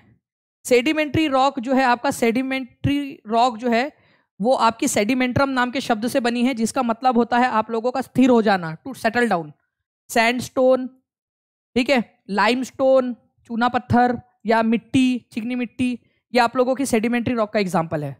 मेटामॉर्फिक रॉक का एग्ज़ाम्पल है मार्बल जब लाइम स्टोन के ऊपर में, चूना पत्थर के ऊपर में आप बहुत ज़्यादा प्रेशर डालोगे, ठीक है? जब प्रेशर डालोगे तो वो मार्बल बन जाएगा प्रेशर और हीट डालोगे आप लाइम स्टोन पे तो वो मार्बल बन जाएगा। जब क्ले के ऊपर में आप बहुत ज़्यादा हीट और प्रेशर डालोगे तो वो स्लेट बन जाएगा। बोल के बताओ मुझे, यहाँ पर मैं सभी के सभी लोग, और जो भी लोग यहाँ पर मैं बोल रहे नींद आ रही हो या नींद की ये बना रहे हैं ना तो उन लोगों को जो है, उसका फल जो है, वो ज़िंदगी के अंदर में देखने के लिए ज़रूर मिलेगा कि मैं पढ़ा रहा हूँ और बाकी लोगों को डिमोटिवेट कर रहे हैं वो लोग। वो चुपचाप जाके सो सकते थे। लेकिन वो क्या कर रहे हैं पता है क्या आप लोगों को? वो जो है ना, जितने भी लोग कुछ होते हैं जो एक आध दो नमूने, जो इधर उधर की लिखते नींद आ रही या नींद वाली इमोजी अब चुपचाप जाके सो जाओ बिस्तर पे। किसने रोक के रखा है तुमको? ठीक है? जो लोग पढ़ रहे जो पढ़ेगा वो आगे बढ़ेगा। तुम लोगों को बाद में पता चलेगा, जब बच्चा रोएगा अस्पताल ले जाने के लिए पैसे नहीं रहेंगे, यहाँ पर मैं तब बोलना उसको। कि सोया हुआ था करके उस समय में, जब दानी सर पढ़ा रहे थे, उस समय में सोया हुआ था। जब रिज़ल्ट नहीं आएगा तो अपने पप्पा को बताना जाके, अपने मम्मी को जाकर बताना वहाँ पर मैं, कि जब पढ़ा रहे थे तब मैं खुद भी सो रहा था और दूसरे लोगों को भी सुला रहा था वहाँ पर मैं जाकर। बताना वहाँ पर मैं जाकर। ठीक है? जब पत्नी के सामने ईगो हर्ट होगा ना, पैसे नहीं रहेंगे वहाँ पर मैं, तब जाकर बताना उसको कि जिस समय पढ़ा रहे थे उस समय में नींद आ रही थी, खुद भी सो रहा था, दूसरों को भी बता रहा था। और जब बच्चे बड़े होंगे हस्बैंड जब मारेगा, मारपीट होती है वहाँ पर में जब कुछ बोला जाता है और खुद के पैर पे खड़े नहीं होते, तब बताना कि उस समय में नींद आ रही थी जब पढ़ा रहे थे, तब और बाकी लोगों को भी बोल रहे थे कि नींद आ रही है करके जब दानिश सर पूरी मेहनत से पढ़ा रहे थे उस समय में। ये बोलना और ये जो जो कर, जो लोगों ने किया ना, ये दो लोगों को जिनको ब्लॉक किया मैंने, वो जाकर ज़रूर बोलना अपने परिवार वालों को। Next question igneous rock igneous sedimentary और मेटामॉर्फिक के बारे में आपको पढ़ा दिया है। निम्नलिखित में से कौन सा वाला कथन सही है आप लोगों का? ये बताना है आप लोगों ने। ठीक है? तो यहाँ पर मैं बोला है कि जो टेम्परेट टाइप के डेसिडुअस फॉरेस्ट होते हैं, पहली बात तो ये टेम्परेट होता क्या है आप लोगों का? ये समझ लो आप लोग। ये अगर हमारी पृथ्वी है, मान लीजिए आप लोग, ठीक है? ये अगर हमारी पृथ्वी है तो ये इक्वेटर है हमारा ज़ीरो डिग्री वाला। ट्रॉपिक ऑफ़ कैंसर से ट्रॉपिक ऑफ़ कैप्रिकॉन कर्क रेखा से मकर रेखा वाला ट्रॉपिकल जोन होता है आपका। ठीक है? और यहाँ से, यहाँ तक वाला जो एरिया है आप लोगों का, ये वाला एरिया ठीक है, ये वाला एरिया ये आप लोगों का टेम्परेट जोन है, ठीक है, ये हाँ पर नीचे में भी टेम्परेट जोन ठीक है टेम्परेट जोन आप लोगों का टेम्परेट जोन तो टेम्परेट टेसिडियस फॉरेस्ट जो होते हैं आप लोगों के, उनको मानसून फॉरेस्ट कहा जाता है. टेम्परेट नहीं ट्रॉपिकल जो डेसिडुअस फॉरेस्ट होते हैं ना ट्रॉपिकल वाले, उनको कहा जाता है ट्रॉपिकल जो ट्रॉपिकल जोन में जो कहा, पाए जाते हैं ना ट्रॉपिकल जोन में, इस वाले जोन में इस वाले जोन में जो पाए जाते हैं, इस वाले जोन में, उनको कहा जाता है आप लोगों का ट्रॉपिकल डेसिडुअस फॉरेस्ट ट्रॉपिकल आपके उष्ण कटिबंधीय पर्णपाती वनों को मानसूनी वन कहा जाता है, क्योंकि केवल वो मानसून के अंदर में हरे भरे रहते बाकी समय में पत्ते गिरा देते हैं। इसी वजह से उनको मानसूनी फॉरेस्ट बोलते हैं। तो ये तो गलत है। ट्रॉपिकल डेसिडुअस फॉरेस्ट जो है वो found in large parts of India obvious सी बात है, यही वाले पौधे यही वाले जो पेड़ है, वो हमारे भारत के सबसे ज़्यादा एरियाज़ के अंदर में पाए जाते हैं। ठीक है, हमारे भारत के सबसे ज़्यादा एरिया के अंदर में यही वाले पाए जाते हैं, ये याद रखना है आप लोगों ने। भारत के अधिकतर भागों में उष्ण कटिबंधीय पर्णपाती वन पाए जाते हैं। ये सही है। Hardwood trees like rosewood and ebony are found in temperate evergreen forest. Hardwood, temperate नहीं। हार्ड वाले कहाँ पाए जाते हैं? याद रखना है आप लोगों ने। हार्ड वाले टेम्परेट नहीं, ट्रॉपिकल जोन में पाए जाते जितने भी हार्ड वाले पौधे हैं, ठीक है, वो ट्रॉपिकल जोन में पाए जाते हैं। लिखो सभी लोग। Tropical forest are also cold taiga अरे, टैगा अलग है, ट्रॉपिकल फॉरेस्ट अलग है। टैगा यहाँ पर में पाया जाता है आप लोगों का, टैगा। ठीक है, टैगा। पचास से लेकर सत्तर डिग्री नॉर्थ तक का जो एरिया होता है ना, वहाँ पर में टैगा पाया जाता है। टैगा, कोनिकल फॉरेस्ट बोलते हैं उसको, टैगा को। Conical forest. ठीक है, पचास डिग्री नॉर्थ से लेकर, पचास डिग्री नॉर्थ से लेकर सत्तर डिग्री नॉर्थ तक पाया जाता है ये, टैगा। एक ही क्वेश्चन में काफ़ी सारे पॉइंट्स आप लोगों के जो है वो क्लियर हो गए आप लोगों के। ठीक है? तो मानसूनी फॉरेस्ट जो है आप लोगों के ट्रॉपिकल डेसिडुअस फॉरेस्ट को कहा जाता है, ना कि टेम्परेट डेसिडुअस फॉरेस्ट को। यहाँ पर मैं आप लोगों को जो है फ्रेंड्स, हार्डवुड मिलेंगे आप लोगों को। हार्ड वाले, ठीक है? ये याद रखना है आपने। Tropical deciduous forest, monsoon forest के नाम से जाने जाते हैं। हमारे भारत के अंदर में सबसे ज़्यादा यही वाले पौधे पाए जाते हैं। सीजनल चेंजेस एक्सपीरियंस करते हैं ये। बहुत इंपॉर्टेंट है। Seasonal change. जब गर्मी का मौसम आता है तो नंगू पुंगू हो जाते हैं, ठीक है? और जब बारिश का मौसम आता है मानसून का सीज़न आता है, फिर से हरे भरे हो जाते हैं वो। ठीक है तो सीजनल चेंजेस कौन एक्सपीरियंस करते हैं? तो सीजनल चेंज एक्सपीरियंस करते हैं ट्रॉपिकल डेसीडुअस फॉरेस्ट उष्ण कटिबंधीय पर्णपाती वन। ये सीजनल चेंजेस एक्सपीरियंस करते हैं, ये याद रखना है आप लोगों ने। इस क्वेश्चन को इस क्वेश्चन का देखिए आप लोग। आप लोगों से बोला गया है कि अलग अलग प्रकार के रिसोर्सेस होते हैं। अलग अलग प्रकार के रिसोर्सेस होते हैं आप लोगों में। ठीक है? अलग अलग प्रकार के रिसोर्सेस अलग अलग प्रकार के संसाधन होते हैं। तो ओरिजिन के आधार पर कि वो कैसा है? मतलब उसका ओरिजिन कैसा है? वो जीवित है या जीवित नहीं है, ठीक है? जैविक है या अजैविक है तो बायोटिक अबायोटिक बिल्कुल सही बात है। डिस्ट्रीब्यूशन के आधार पर, क्या वो केवल एक जगह पे पाया जाता है या हर जगह पे पाया जाता है? जैसे हवा हवा, हर जगह पे पाई जाती है, हवा। तो यू, वो क्या है? डिस्ट्रीब्यूशन के आधार पर, वितरण के आधार पर वो सर्वव्यापक हो गई। और लोहा, सोना, चांदी, ठीक है? ये आप लोगों का स्थानिक है। पेट्रोल कुछ अलग अलग स्थान पे पाए जाते हैं, हर जगह नहीं पाए जाते। तो वितरण के आधार पर उसको सर्वव्यापक और स्थानिक में बांट सकते हैं। उनके उद्गम के आधार पर जैव और अजैव में बांट सकते हैं उनको। ठीक है? तो यहाँ पर में क्या है? यहाँ पर बिल्कुल सिंपल सी तो बात है, यहाँ पर में सारा सही तो लगा हुआ है। ठीक है? भंडार के आधार पर कि भाई कितना भंडार है उनका? अगर बहुत ज़्यादा भंडार है तो नवीकरणीय बोलेंगे कि भाई बहुत ज़्यादा भंडार है, जितना खर्च करना है करो। ठीक है? और अगर उनका भंडार कम है तो अनवीकरणीय बोलेंगे कि भाई भाई संभाल के खर्च करो, नहीं तो खत्म हो जाएँगे यहाँ पर में। ओके? तो ये याद रखना है आप लोगों ने। खत्म। कंटिन्यू कीजिए सर, पूरा एसएसटी करना है तो मौसम मंगता जी मैं वही तो कह रहा हूँ कि सभी के सभी लोग एक साथ लाइक एंड शेयर करेंगे तो बिल्कुल मेरे को भी एनर्जी मिलती रहेगी। देखिए, दो घंटे के करीब करीब होता हुआ आ गया यहाँ पर में। दो घंटे दो घंटे के करीब करीब हम लोग जो यहाँ पर में दो घंटे के करीब करीब आ रहे, आने के कगार पर हम लोग, ठीक है? और मैं जो है यहाँ पर मैं कर रहा हूँ आप लोगों के लिए। एक घंटा अठारह मिनट हो गया, आप लोगों का दो घंटे भी जल्दी हो जाएँगे आपके। तो मैं चाहूँगा कि आप सभी लोग लाइक एंड शेयर करते रहे सभी लोग। ठीक है? चलिए। वितरण के आधार पर ये हो गया और विकास, वास्तविक या संभाव्य। अगर हम लोग उसका इस्तेमाल अभी कर रहे हैं, जैसे कोयला है आपका रूर वैली में, उसको हम निकाल रहे हैं, उसका इस्तेमाल भी कर रहे हैं तो वह एक्चुअल हो गया आपका। उसका डेवलपमेंट हो चुका है इतना ज़्यादा कि हम लोग उसको यूज़ कर पा रहे हैं। और इतना डेवलपमेंट हमारा नहीं हुआ है कि हम अभी उसको यूज़ ना कर पाए तो वो पोटेंशियल है। आगे जाकर यूज़ करेंगे जब हमारा डेवलपमेंट इतना हो जाएगा तो। तो बिल्कुल सही जोड़ी लगी थी यहाँ पर मैं। आंसर आपका ऑप्शन नंबर यहाँ पर में तीन हो जाएगा। एक बार इसको पढ़ो सभी के सभी लोग जल्दी जल्दी से, ठीक है? ओके सभी सभी लोग यहाँ पर मैं जल्दी जल्दी से एक बार पढ़ेंगे इस सारे के सारे पॉइंट्स को। सभी के सभी लोग, ठीक है? लेवल ऑफ़ डेवलपमेंट के आधार पर एक्चुअल और पोटेंशियल ओरिजिन के आधार पर बायोटिक अबायोटिक डिस्ट्रीब्यूशन के आधार पर यूबिक्यूटस लोकलाइज्ड और स्टॉक के आधार पर रिन्यूएबल नॉन रिन्यूएबल ठीक है? चलो नेक्स्ट क्वेश्चन की तरफ़ में आगे बढ़ते हैं फ्रेंड्स आप लोगों का।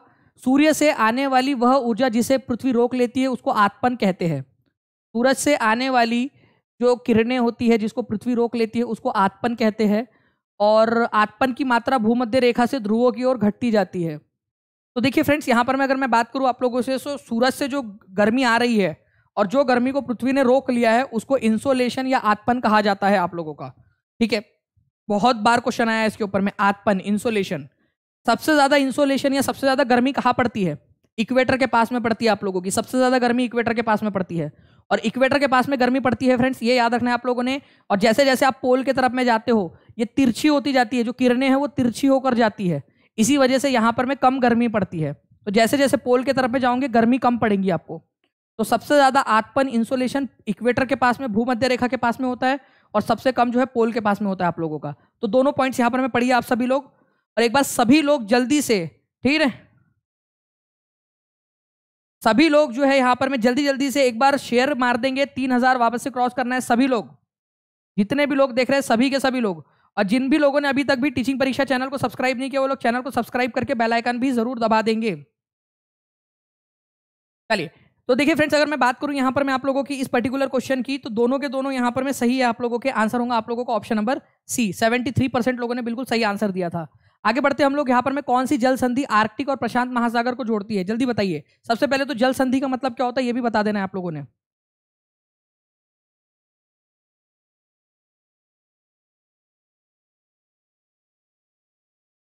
कौन सी जल संधि है? आर्कटिक और प्रशांत महासागर को जोड़ती है।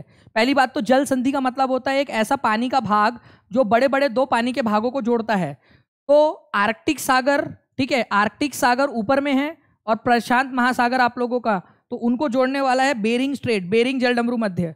तो यहाँ आर्कटिक सागर है और यहाँ पर में है प्रशांत महासागर आप लोगों का। देखिए, ये ओश, आर्कटिक ओशन और ये पैसिफिक ओशन, उनको जोड़ा रखता है यहाँ पर में बेरिंग स्ट्रेट बेरिंग जल डमरू मध्य। बेरिंग जल डमरू मध्य, ये याद रखना है आप लोगों ने बेरिंग जल डमरू मध्य, ठीक है? उसके बाद में जो है फ्रेंड्स किस क्षेत्र के बौद्ध और मुसलमान दोनों ही तिब्बत के राजकीय ग्रंथ केसर सागा के स्थानीय रूप को गाते हैं? दो क्वेश्चन यहाँ पर में क्लियर हो रहे हैं आप लोगों के, दो पॉइंट केसर सागा, कहा का है? कहा का ग्रंथ है ये? केसर सागा, कहा का राजकीय ग्रंथ है? लिखो जल्दी से अगर क्वेश्चन पढ़ा है आप लोगों ने क्वेश्चन के अंदर में देखो आप लोग क्वेश्चन में उसका आंसर छुपा है, केसर सागा कहा का ग्रंथ है? केसर सागा कहाँ का ग्रंथ है? तो केसर सागा जो है, ये तिब्बत का ग्रंथ है। और इसका एक स्थानिक वर्जन कहीं और भी पढ़ा जाता है, और वो पढ़ा जाता है लद्दाख में, जहाँ पर मैं हिंदू जहाँ पर मैं बौद्ध और मुस्लिम दोनों ही उसको पढ़ते हैं। बौद्ध और मुस्लिम दोनों ही उसको पढ़ते हैं। तो आंसर आप लोगों का हो जाएगा फ्रेंड्स, ऑप्शन नंबर ए, ठीक है? लद्दाख। तो केसर सागा जो है, यहाँ पर मैं लद्दाख के अंदर में केसर सागा का स्थानीय वर्जन पढ़ा जाता है, ये आप लोगों को याद रखना है। इंपॉर्टेंट पॉइंट एग्ज़ाम के अंदर में आप लोगों से पूछ सकते हैं, ठीक है? चलिए नेक्स्ट क्वेश्चन की तरफ़ में हम लोग, यहाँ पर में आगे बढ़ते हैं आप लोगों के फ्रेंड्स यहाँ पर मैं आप लोग देख लीजिए कि बुद्धिस्ट, बुद्धिज्म जो है, वो लद्दाख, तिब्बत कैसे पहुँचा? पहली बात तो ये वाला आप लोग देख लीजिए ध्यान से। ये भी अपने आप में एक इंपॉर्टेंट क्वेश्चन है। पूछा जा सकता है आप लोगों से, ध्यान से समझिए आप लोग यहाँ पर में। ध्यान से समझो आप लोग। ये है हमारा भारत। यह है हमारा प्यारा सा भारत, ठीक है? और यहाँ पर में है तिब्बत का एरिया जो चाइना ने कब्जा करके रखा हुआ है अभी उस पर ठीक है? तो बुद्धिज्म यहाँ पर में पला बड़ा बिहार और उत्तर प्रदेश के अंदर में। धीरे धीरे लद्दाख के थ्रू होते हुए वो तिब्बत गया। यहाँ नहीं जा सकता था क्योंकि यहाँ पर में हिमालय की बड़ी बड़ी पर्वत की चोटियाँ है। तो लद्दाख के थ्रू होते हुए वो पहुँचा है। तो याद रखना है आप लोगों ने, अगर आप लोगों से पूछा जाए कि बुद्धिज्म तिब्बत के इलाके में कैसे पहुँचा तो किसके थ्रू पहुँचा? जल्दी बताओ आप लोग जल्दी से। कैसे पहुँचा वहाँ पर में? तो वो पहुँचा तिब्बत लद्दाख के थ्रू पहुँचा। लद्दाख होते हुए पहुँचा था, ये आप लोगों को याद रखना। सभी लोग लिखेंगे, केसर सागा कहा का एक कहा का ग्रंथ है? केसर सागा कहा का ग्रंथ है, ये भी लिखिए आप सभी लोग। ये भी एग्ज़ाम के अंदर में आप लोगों से पूछा जा सकता है। ओके, चलिए, नेक्स्ट क्वेश्चन की तरफ़ में आगे बढ़ते हैं। फ्रेंड्स, हम लोग हमारे यहाँ पर में, आपको बताना है कि यदि सर्वोच्च न्यायालय अपने निर्णयों में संसद द्वारा पारित किसी कानून को मौलिक अधिकारों का उल्लंघन करने के आधार पर निरस्त कर देता है तो ये प्रक्रिया क्या कहलाएँगी?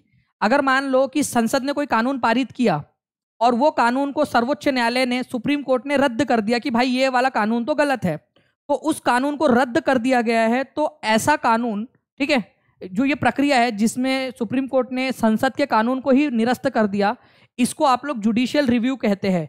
न्यायिक पुनर्निरीक्षण, ठीक है, जुडिशियल रिव्यू, ओके? न्यायिक पुनर्निरीक्षण, ये यहाँ पर में कहा जाता है। ठीक है जुडिशियल रिव्यू न्यायिक पुनर्वलोकन भी उसको कहा जा सकता है। हिंदी के अंदर में कभी जुडिशियल रिव्यू को न्यायिक पुनर्वलोकन जुडिशियल जो आपकी जुडिशरी है, जो कोर्ट है, उसका निरीक्षण कर रही है कि वो सही कानून बनाया या नहीं बनाया है। ठीक है, अगर नहीं बनाया तो उसको उड़ा देंगी। तो यहाँ पर में जुडिशियल रिव्यू कहा जाता है, संसद अगर कानून बना रही है और वो संविधान के खिलाफ जा रहा है तो उसको निरस्त भी किया जा सकता है। ओके, क्योंकि हमारे देश के अंदर में जो है friends law of rule of law है।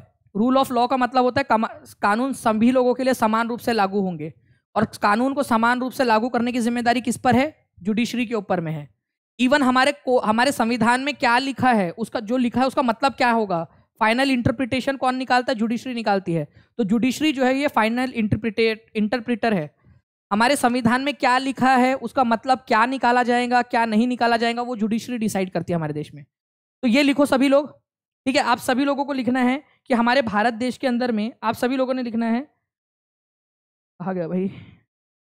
हमारे भारत देश के अंदर में आप लोगों ने लिखना है कि जुडिशियल हमारे भारत के अंदर में संविधान की व्याख्या का अधिकार मुख्य रूप से किसको दिया गया है? ये दिया गया है यहाँ पर में आप लोगों का, ठीक है, जुडिशरी को। नाउ फ्रेंड्स, पुरुष और महिला कंकाल अवशेषों के अध्ययन और उनमें विभेद करने के लिए हमें ध्यान देना चाहिए। किस चीज़ को देखना चाहिए आप लोगों ने? अगर आपको कंकाल मिले हैं, ठीक है, आप लोगों ने अपने घर के अंदर में खोदा और आपको जो है दो कंकाल मिले। अब आप लोगों को पहचानना है कि इसमें से लड़का कौन सा था, लड़की कौन सी थी।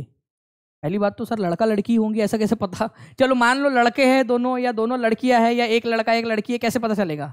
जी बिल्कुल जी, पानी जस्ट पी लेता हूँ मैं। एक बार यार सभी लोग, जितने लोग देख रहे हैं ना, सभी लोग एक साथ शेयर मार दो यार, ठीक है? सभी लोग एक साथ शेयर मार दो, ठीक है? तो यहाँ पर मैं जो है ना, जो हमारा टारगेट है, वो बिल्कुल अचीव रहेगा। मेरे को भी एनर्जी बनी रहेगी। देख रहे हो आप लोग, मैं पूरी अपनी एनर्जी लगा रहा हूँ। क्या आप लोग अपनी एनर्जी लगा रहे हो? ये आप लोगों ने डिसाइड करना है। ठीक है, क्या क्या आप लोग अपनी एनर्जी लगा रहे हो पूरी की पूरी? ठीक है, चलिए। तो ये आप लोगों का हो जाएगा फ्रेंड्स जो ज्वेलरी है, उससे पहचानेंगे। भाई नहीं ज्वेलरी तो लड़के लोग भी पहन सकते हैं। ऐसा थोड़ी ना है कि सिर्फ़ लड़कियाँ ही ज्वेलरी पहनेंगी। तो ये नहीं हो सकता आप लोगों का। Bone structure as large hip indicates a woman bone का स्ट्रक्चर देखो जो उनका कुल्हा होता है ठीक है? ये वाला जो हिस्सा होता है ना ओ, मेरा भी बड़ा है यार थोड़ा अभी देखो यहाँ पर मैं ये जो कुल्हा होता है बेसिकली मेरा पेट बड़ा है कुल्हे की बात मतलब ये वाली जो हिप्स होती है ये वाली ये वाली बात ये थोड़ा बड़ा होता है क्योंकि वहाँ पर मैं उन लोगों को बेबी रखना होता है। ठीक है? मेरा वाला मत देखना मतलब थोड़ा बड़ा होता है मेरे से बड़ा होता है ठीक है? इधर इधर इतना। ओके तो बोन स्ट्रक्चर से ही पहचान सकते हो आप लोग क्योंकि लार्ज हिप या जो कुल्हा होता है लड़कियों का वो बड़ा होता है, ठीक है? क्योंकि उनको बेबी रखना होता है ना वहाँ पर में, इस वजह से। इसी से पहचाना जा सकता है कि लड़का है कि लड़की है, ठीक है? अब लड़कों का हिप थोड़ी बड़ा होगा, लड़कों को थोड़ी रखना होता है बेबी यहाँ पर में, ठीक है? तो सिंपल सी बात है भाई लोग और उनकी बहनों ओके तो ये याद रखेंगे आप सभी लोग। ये आप लोगों का गलत है और वेपन ऐसा थोड़ी है कि हथियार दफनाया तो लड़का ही होगा करके, लड़की भी हो सकती वो, ठीक है? डेंजर वाली लड़की। तो देखो, लड़के लोग पहन सकते हैं अपने में ये लड़का है। ठीक है? ये पहन रहा है यहाँ पर, मैं इसको भाई को चूड़ी पहनने का शौक है, ये पूरा शौक है यहाँ पर मैं लड़के को। तो आप लोगों को एक चीज़ याद रखना है फ्रेंड्स, कि बोन स्ट्रक्चर ही एक तरीका है जिससे आप पहचान सकते हो, और कोई तरीका नहीं है। बोन स्ट्रक्चर बोन का स्ट्रक्चर हड्डियों का ढांचा, क्योंकि लड़कियों का जो कुल्हा होता है पेल्विक एरिया होता है हिप एरिया होता है, जो है, होता है ना, वो बड़ा होता है, क्योंकि वहाँ पर में बच्चों को रखना होता है उन लोगों ने। जैसे देखिए मेल का इतना है इतना है तो लड़कियों का देखिए, यहाँ पर मैं थोड़ा सा ये वाला है, अरे यार, ठीक है, लड़कियों का पेल्विक एरिया जो है वो थोड़ा सा बड़ा होता है, ठीक है, ये याद रखना है आप लोगों ने, क्योंकि ज्वेलरी तो लड़कों के, लड़के भी पहन सकते हैं, लड़, और बच्चा, अगर बच्चा है तो आप पहचान ही नहीं सकते फिर तो अगर बच्चे का कंकाल है तो फिर तो पहचान ही नहीं सकते, लड़का हो चाहे लड़की हो, लड़, बच्चों में तो पहचान ही नहीं सकते आप लोग, ठीक है, ये याद रखना, बच्चा अगर है तो कुल्हा रे चूल्हा नहीं, अरे कुल्हा कुल्हा है, चूल्हा नहीं है, बिल्कुल ठीक है, चूल्हा। चूल्हे से मेरे को एक याद, एक शेर याद आया अगर आप लोग इजाज़त दो तो मैं एक हल्के मूड के अंदर मैं आप लोगों के सामने अर्ज़ भी करना चाहूँगा। ठीक है? मेरे को बताना आप लोग। चूल्हे से याद आया है। आगे में, पहले हम लोग यहाँ पर क्वेश्चन की तरफ़ में आगे बढ़ते हैं। निम्नलिखित में से काश्तकार का चाबुक किसने लिखी है? काश्तकार का चाबुक नाम की ये किसने लिखी है? ये जल्दी बताइए। काश्तकार का चाबुक किसने लिखी है? जो मैं आप लोगों को सुनाने वाला था शेर वो यहाँ पर मैं वो कुछ इस तरह से है कि थोड़ा लिखा, ठीक है, और थोड़ा छोड़ दिया, थोड़ा लिखा और थोड़ा छोड़ दिया, आने जाने वालों के लिए रास्ता छोड़ दिया, थोड़ा लिखा, थोड़ा छोड़ दिया, आने जाने वालों के लिए रास्ता छोड़ दिया। लड़कियाँ इश्क में इतनी पागल होती है, लड़कियाँ आ गया ना, लड़कियाँ इश्क में इतनी पागल होती है कि फ़ोन बजा और चूल्हा जलता छोड़ दिया। ठीक है, चलिए। तो लड़कियाँ भी आ गई, चूल्हा भी आ गया और आप लोग समझ जाओ अब यहाँ पर में, ठीक है? आगे बढ़ते हम लोग यहाँ पर में फ्रेंड्स जल्दी जल्दी से, ठीक है?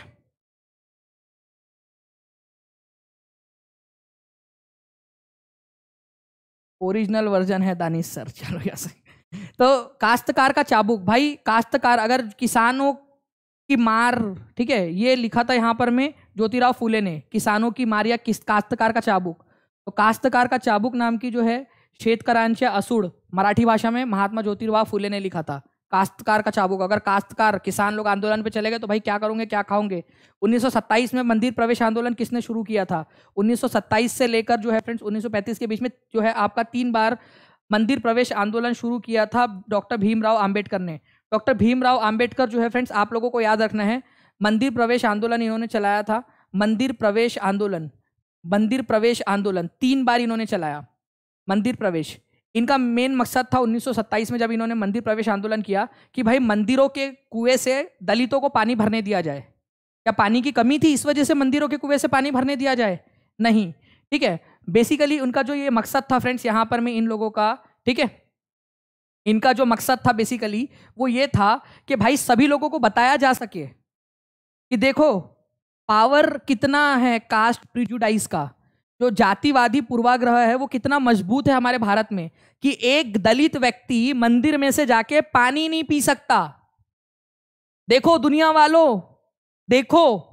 तीन बार उन्होंने ऐसा आंदोलन चलाया और उन्होंने उनको रोका गया। रोक देते थे यहाँ पर में ऐसे लोग कि नहीं आने देंगे करके, मंदिर प्रवेश आंदोलन जब वो करते थे तो। तो तीन बार इन्होंने यहाँ पर मैं किया। उनका मेन मकसद पानी लेना नहीं था। उनका मेन मकसद था दिखाना कि भाई देखो कितना पावरफुल है कास्ट प्रिजुडाइस आप लोगों का। ठीक है? ये याद रखेंगे आप लोग। बाकी बी आर आम्बेडकर के बारे में बताऊँ तो इनका जन्म जो है महार परिवार के अंदर में हुआ था। ये खुद छोटी जाति से बिलोंग करते थे और बचपन से ही इन्होंने कास्ट प्रिजुडाइज को झेला था। बचपन से ही झेला हुआ था इन्होंने इन सारी चीज़ों को। ठीक है? ये यूएसए गए पढ़ने के लिए और 1919 में वापस आ गए। ठीक है? और कास्ट पावर को तोड़ने के लिए उन्होंने जो है अपना काम चालू कर दिया। जिस तरह महासागरों में मिलने पर नदियों की अलग अलग पहचान समाप्त हो जाती है, उसी तरह जो है बुद्ध, उसी तरह जो है आप जो है अपना वर्ण, श्रेणी और परिवार सब त्याग देते हैं। ठीक है? तो ये किसने लिखा था? बेसिकली किसने बताया है? तो जिस तरह अलग अलग महा महासागरों के नदियों में मिल जाने के कारण जो उनकी पहचान समाप्त हो जाती है, वैसे ही सारे लोग जब बुद्धिस्ट, बुद्धिज्म में मिल जाते हैं तो उनकी अपनी अपनी पहचान सब खत्म हो जाती है, सब एक हो जाते हैं तो बुद्धिस्ट टेक्स्ट के अंदर में लिखा हुआ है ये आपका बेसिकली बुद्धिस्ट टेक्स्ट के अंदर में। तो आंसर आप लोगों को ऑप्शन नंबर ए हो जाएगा। तो एक बुद्धिस्ट टेक्स्ट का रेफरेंस आपको एनसीआरटी e में दिया हुआ है और एग्ज़ाम में क्वेश्चन पूछा गया था। ये एग्ज़ाम का क्वेश्चन है। एग्ज़ाम में पूछा गया क्वेश्चन आप लोगों का। इसमें कहा गया कि जिस तरह महासागर में अलग अलग नदियाँ आती है और मिल जाती है और ज्ञान से जो है वो एक हो जाती है मतलब पानी उनका एक हो जाता है, वैसे ही सारे अलग अलग जगह से आओ। कोई भी वर्ण हो, कोई श्रेणी हो, कोई भी परिवार हो, त्याग करो, आ जाओ बुद्ध की शरण में और आप जो है बुद्ध के अंदर में विलीन हो जाओगे। बुद्धिस्ट टेक्स्ट के अंदर में ये लिखा गया है, ये बात, ये याद रखना है आप लोगों ने। नेक्स्ट क्वेश्चन की तरफ़ में आगे बढ़ते हैं। निम्नलिखित में से कौन सी भाषा तिब्बती बर्मा परिवार से संबंधित है? देखिए, भाषाओं का भी अपना परिवार होता है। आपका अपना एक परिवार है, ठीक है? एक छोटा सा हंसता खेलता छोटा सा परिवार, ठीक है? जिसकी आप लोगों ने अच्छे से जो है सुरक्षा करनी है, रक्षा करनी है, उनके सपनों को पूरा करना है आप लोगों ने, मेहनत करनी है। अभी यहाँ पर में जितने भी लोग हैं, जो देख रहे हैं, वो अपने परिवार के लिए मेहनत कर रहे हैं।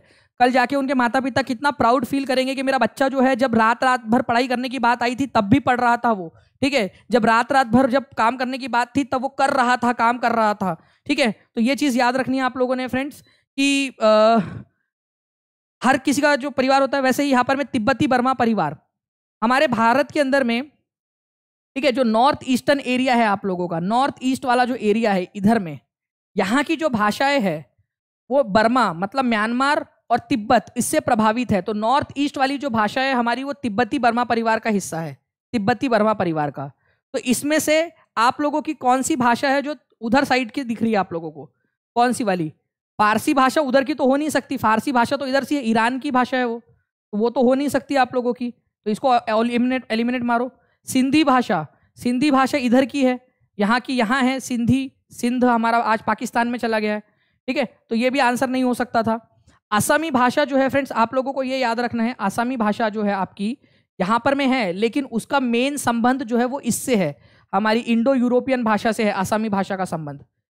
एक भाषा बच जाती बच जाती है आप लोगों की, खासी भाषा, खासी। ठीक है, खासी भाषा। इसका संबंध तिब्बत बर्मा परिवार से आपका, खासी भाषा का संबंध। ये मेघालय के अंदर में बोले जाने वाली भाषा है आप लोगों की। ठीक है? मेघालय के अंदर में बोले जाने वाली भाषा है आप लोगों की। ये याद रखना है आप सभी लोगों ने, खासी भाषा। तो आंसर आपका इसका ऑप्शन नंबर डी हो जाएगा, तिब्बती बर्मा परिवार। बाकी साउथ इंडिया में जो भाषाएँ बोली जाती है, उसको क्या बोला जाता है पता है क्या आप लोगों को? कोई बता सकता है मुझे?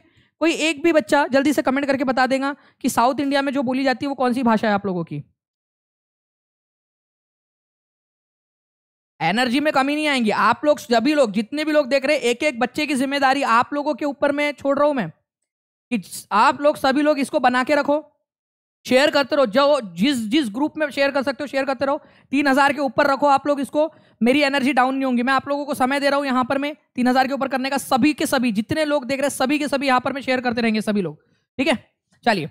इसके अलावा जो है फ्रेंड्स आप लोगों को बता दूँ, दक्षिण भारत के अंदर में जो भाषाएँ होती है, वो द्रविडियन फैमिली होती है। जैसे कि आप लोगों की तमिल भाषा, ठीक है, तमिलनाडु में, द्रविड़ भाषा परिवार है, तेलुगु भाषा कन्नड़ भाषा, मलयालम भाषा, ये सब आप लोगों की दक्षिण भारत की भाषा है। मलया, इनको द्रविडियन फैमिली बोला जाता है।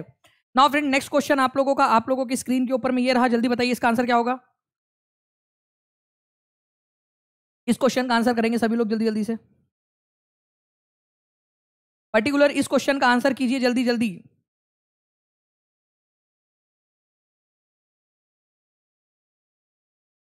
चलिए इकतालीस के करीब जो लोग हैं फ्रेंड्स इन्होंने इस सेशन को लाइक भी कर दिया है। ऐसे ही आप लोग जो है लाइक का बटन भी दबाते रहेंगे जल्दी जल्दी से सभी लोग, ताकि ज़्यादा से ज़्यादा जो है रीच मिल सके हमारे इसको सेशन को, और मुझे भी मज़ा आए और मुझे भी एनर्जी मिलती रहे आप लोगों को। ठीक है? पोल वाले सर टाइम वाइज पोल दीजिए। पोल पहले या बाद में जा रहा है टाइम के हिसाब से दीजिए। स्क्रीन पर जब क्वेश्चन आ रहा है, उसी समय में दीजिए यहाँ पर मैं।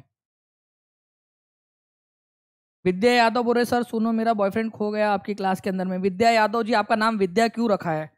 आपके घर वालों ने। ठीक है? सीआईडी रखना चाहिए था, ताकि आप ढूंढ सके उसको। देखिए, यहाँ पर में, अगर हम लोग बात करेंगे, यहाँ पर में it depicts Buddha's present through sign मतलब महायान बुद्धिज्म। जो बुद्ध धर्म है आप लोगों का, बुद्धिज्म, ये याद रखना है आप लोगों ने, बुद्धिज्म जो है आपका, उसकी दो दो मुख्य शाखाएँ हैं। ठीक है, एक है आप लोगों का हीनायान, पुराना वाला बुद्धिज्म, हीनायान। ठीक है, पुराना वाला, ओल्ड बोल सकते हो आप इसको। और एक है महायान, नया वाला, महायान महायान। ठीक है, न्यू वाला आप लोगों का, न्यू न्यू वाला। ठीक है, महायान, न्यू वाला। तो फ्रेंड्स, जो न्यू वाला बुद्धिज्म है आप लोगों का, उसके अंदर में बोधिसत्व का कंसेप्ट है कि भाई कोई एक ऐसा व्यक्ति ठीक है, जो बोधिसत्व बन गया है और वो चाहता तो वो अकेले रह सकता था अलग सलग रह सकता था, अपनी ज़िंदगी अच्छे से गुजार सकता था। लेकिन फिर भी वो समाज में रहता है, समाज की सेवा करता है, समाज के लिए जो है अपने आप को समर्पित करता है। वो अकेले नहीं रहता, वो समाज में वर्ल्ड में रहता है, बोधिसत्व। इसी वजह से उसको बोधिसत्व कहते हैं। तो बोधिसत्व आइसोलेशन में, एकांत में जाकर बैठ नहीं जाते कि भाई, चलो यार, मेरा हो गया, मैंने पढ़ा दिया ना बच्चों को, अब वो देखे उनकी ज़िंदगी, उनका परिवार, मैं तो चलो आराम से सो रहा हूँ भाई। हाँ चलो, ठीक है। हो गया। ठीक है? तो मैं बोधिसत्व नहीं कहलाऊँगा। अगर मान लीजिए मैंने ऐसे छोड़ दिया आपको तो बोधिसत्व एकांत में नहीं रहते, अलग रह सकते वो, क्योंकि उनको तो होगी चूँकि ज्ञान की प्राप्ति, उनका हो गया काम। ठीक है? फिर भी फ्रेंड्स वो क्या करते हैं? दुनिया में रहते हैं और दुनिया में रहकर लोगों की सेवा करते हैं। तो ये बी वाला तो बिल्कुल गलत है आप लोगों का। तो जहाँ जहाँ बी दिया उसको काट दो। बोधि सत्व जो है, वो समाज में ही रहते हैं वर्ल्ड में ही रहते हैं। इसी वजह से वो लोगों की मदद कर पाते हैं और लोगों को ज्ञान प्राप्त करवाते हैं। महायान के अंदर में हिनायान के अंदर में क्या होता था? बुद्ध की जो मूर्ति है, वो नहीं बनाई जाती थी। स्टैचू नहीं बनाया जाता था। स्टैचू नहीं बनाया जाता था यहाँ पर में। और यहाँ पर में जो स्टैचू है या मूर्तियाँ है, वो बनाई जाती थी। स्टैचू बनाई जाती थी। तो बुद्ध की मूर्तियाँ बनाई जाने लगी। सी होना चाहिए आंसर में। तो सी यहाँ पर मैं नहीं दिया है आप लोगों का डी में। डी वाले ऑप्शन में सी नहीं दिया है। ए और डी ही दिया है यहाँ पर मैं केवल ए और डी। तो आंसर आपको यहाँ पर मैं ऑप्शन नंबर सी हो जाएगा। ठीक है? सी और डी जो है यहाँ पर में सही है आपका। बोधिसत्व जो है, वो वर्ल्ड में रहते थे। ऑब्वियस सी बात है यार सिंपल सा क्वेश्चन था। ठीक है, खामा खा कॉम्प्लिकेटेड किया आप लोगों ने इसको। ठीक है, चलिए। नेक्स्ट जो है फ्रेंड्स आपको याद रखना है कि जो बुद्धा के प्रेजेंस को मूर्तियों में ना दिखाकर किसी ना किसी सिंबल में दिखा देना। ये मेरा माइक है, मैं इसको बुद्ध मान लूँ और मैं अपने ध्यान में मग्न हो जाऊँ यहाँ पर मैं। हाँ बुद्ध मेरे एकदम सामने हैं, एकदम मेरे पास। मैं मेडिटेशन में लीन हो गया हूँ। मूर्ति नहीं बनाऊँगा बुद्ध की। अगर मैं हिनायान वाला हूँ तो। मैं मैं मेरे माइक को मान लूँगा, मेरे चश्मे को मान लूँगा, मैं बुद्ध है मेरे पास में एकदम। और मैं बस इनको अब मानकर जो है मैं बढ़िया से ला ला ला ला, लोरी, दूध की कटोरी, दूध में बताशा, बढ़िया से मेडिटेशन करूँगा अपना। ठीक है? तो ये हो गया हिनायान वाला। मूर्ति नहीं बनाऊँगा, कुछ चिन्हों के अंदर मैं बुद्ध को दिखाऊँगा। और अगर एक्चुअल में मैंने मूर्ति बना ली, और मूर्ति पूजा करने लगा बुद्ध की तो मैं महायान वाला हो गया आप लोगों का। ठीक है? महायान वाला। और फ्रेंड्स महायान के समय में बुद्ध की मूर्तियाँ बनने लगी मथुरा और तक्षशिला। यहाँ पर मैं बहुत सारी मूर्तियाँ बनने लगी थी बुद्ध के समय में आ, महायान के समय में। ठीक है? ये याद रखेंगे आप सभी लोग। इंपॉर्टेंट है एग्ज़ाम के अंदर में आप लोगों से पूछ सकते हैं। नेक्स्ट क्वेश्चन की तरफ़ में आगे बढ़ते हैं फ्रेंड्स बोधिसत्व वाला जो कंसेप्ट है आप लोगों का central Asia China Korea Japan सब तरफ़ में फैल गया। कई सारे बोधिसत्व जो है वो सामने आए। इस क्वेश्चन का आंसर कीजिए आप लोग जल्दी जल्दी से पढ़िए, इसका आंसर कीजिए आप लोग।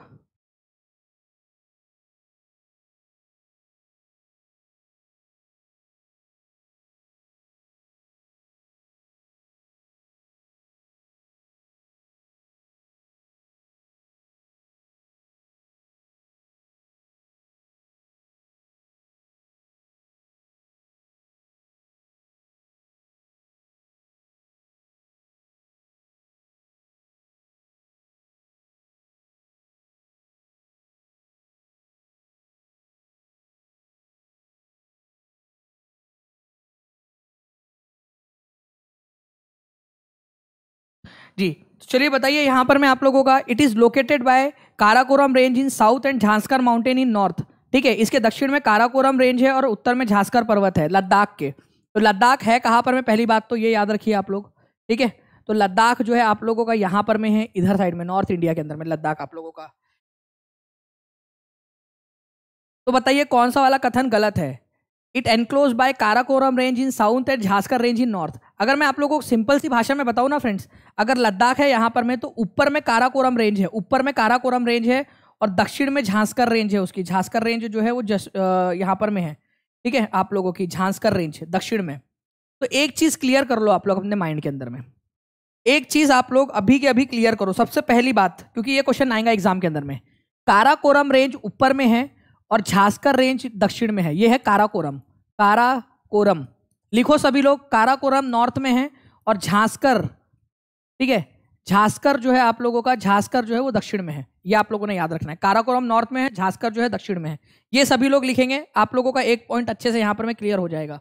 ओके? तो ये आप लोगों ने याद रखना है। तो यही पे गलत हो गया यहाँ पर में कि काराकोरम को दक्षिण में बोला है आप लोगों का।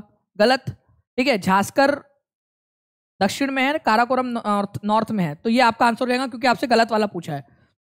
बाकी मैं आप लोगों को यहाँ पर मैं भी दिखा देता हूँ।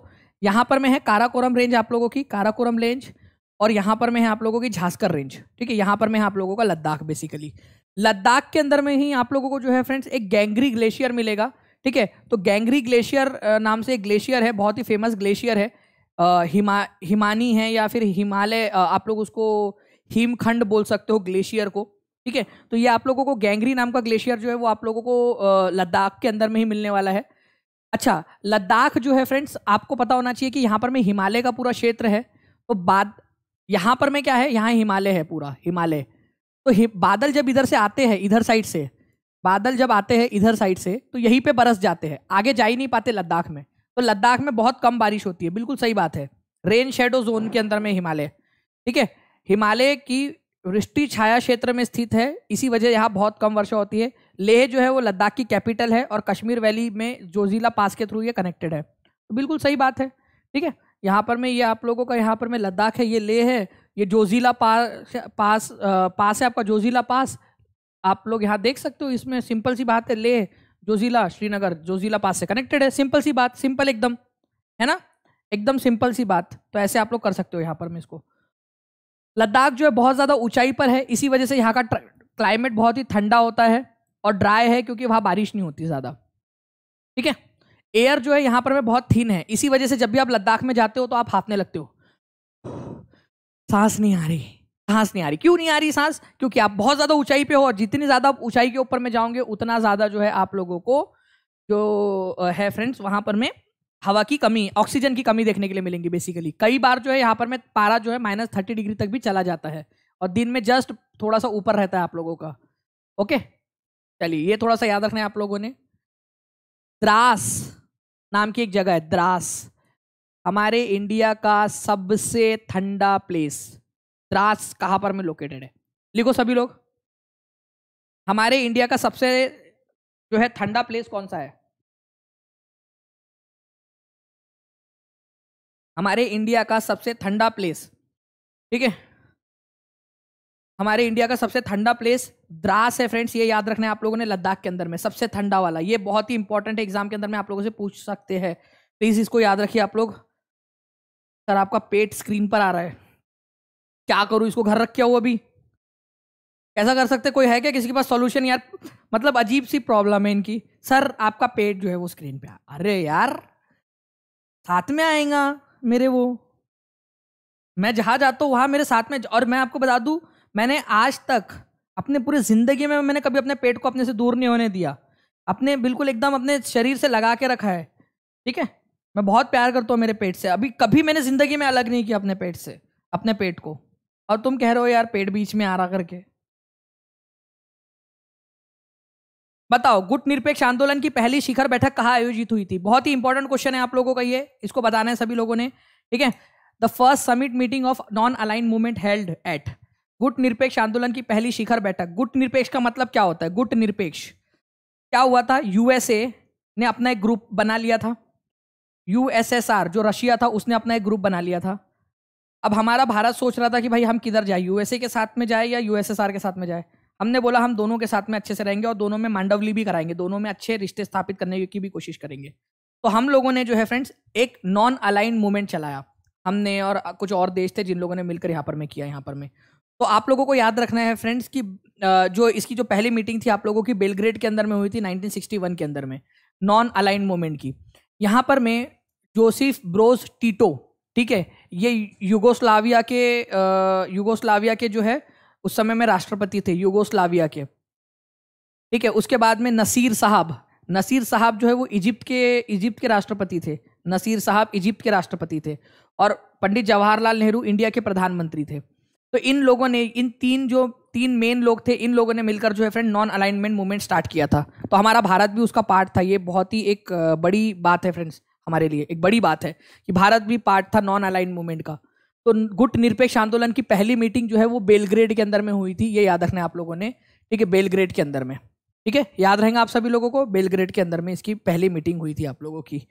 ओके, युगोस्लाविया के अंदर में ये मीट युगोस्लाविया के अंदर में हुई थी, ये भी याद रख सकते हो आप लोग। उस समय में युगोस्लाविया के जो प्रेसिडेंट थे, अब तो चलो युगोस्लाविया नाम का देश ही खत्म हो गया है।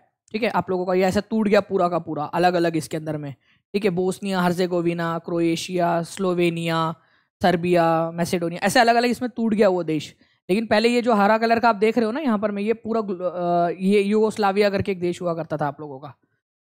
ओके, अब टूट गया बेचारा। तो युगोस्लाविया के उस समय के राष्ट्रपति टीटो, नसीर साहब इजिप्ट के और नेहरू साहब भारत के, इन तीनों ने मिलकर और भी बहुत सारे लोगों को साथ में लेकर आए और 1961 में बेलग्रेड नाम की जगह के ऊपर में उन्होंने गुट निरपेक्ष सम्मेलन की पहली बैठक आयोजित की थी। ठीक है, महाजनपद काल के दौरान कई तरह के कर वसूले जाते थे। उनमें से एक कर भाग था। वो भाग की दर क्या थी और वो किस बात के ऊपर में टैक्स लगाया जाता था?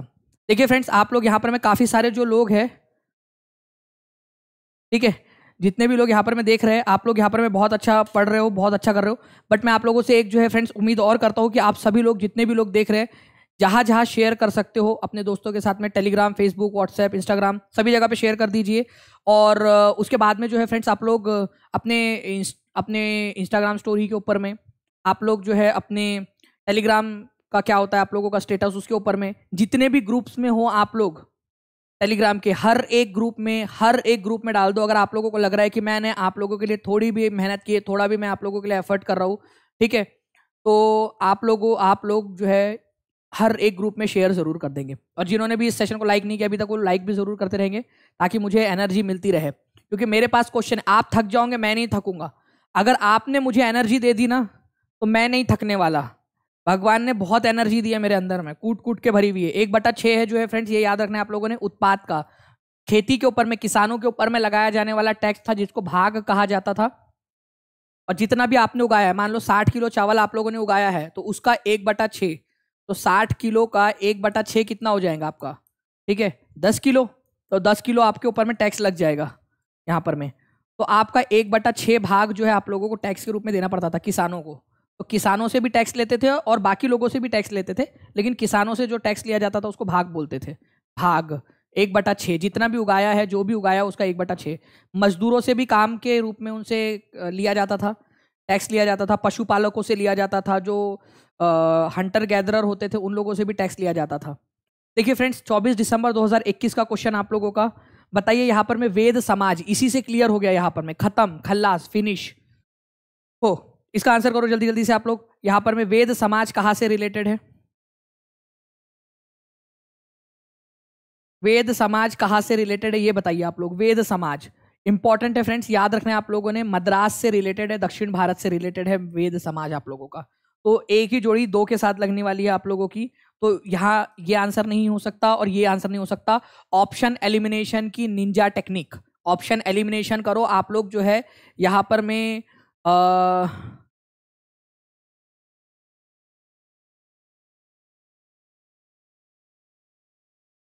ओके तो ए और डी तो आपका एलिमिनेट हो गया यहाँ पर में।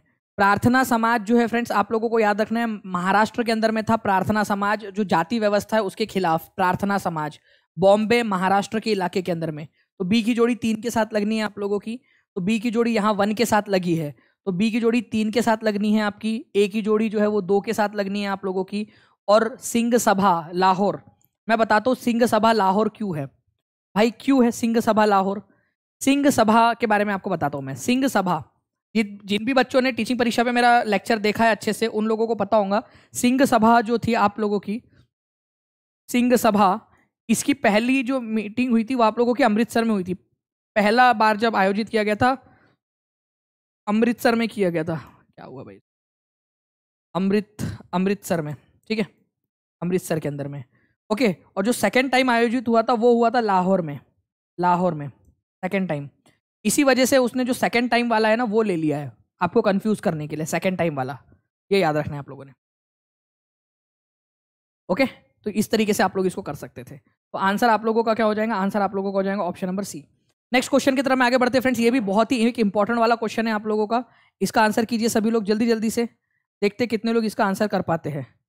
ठीक है? जल्दी जल्दी से इसका आंसर कीजिए आप सभी लोग। सभी लोग, जितने भी लोग देख रहे हैं, सभी लोग इस क्वेश्चन का आंसर करेंगे, सभी लोग।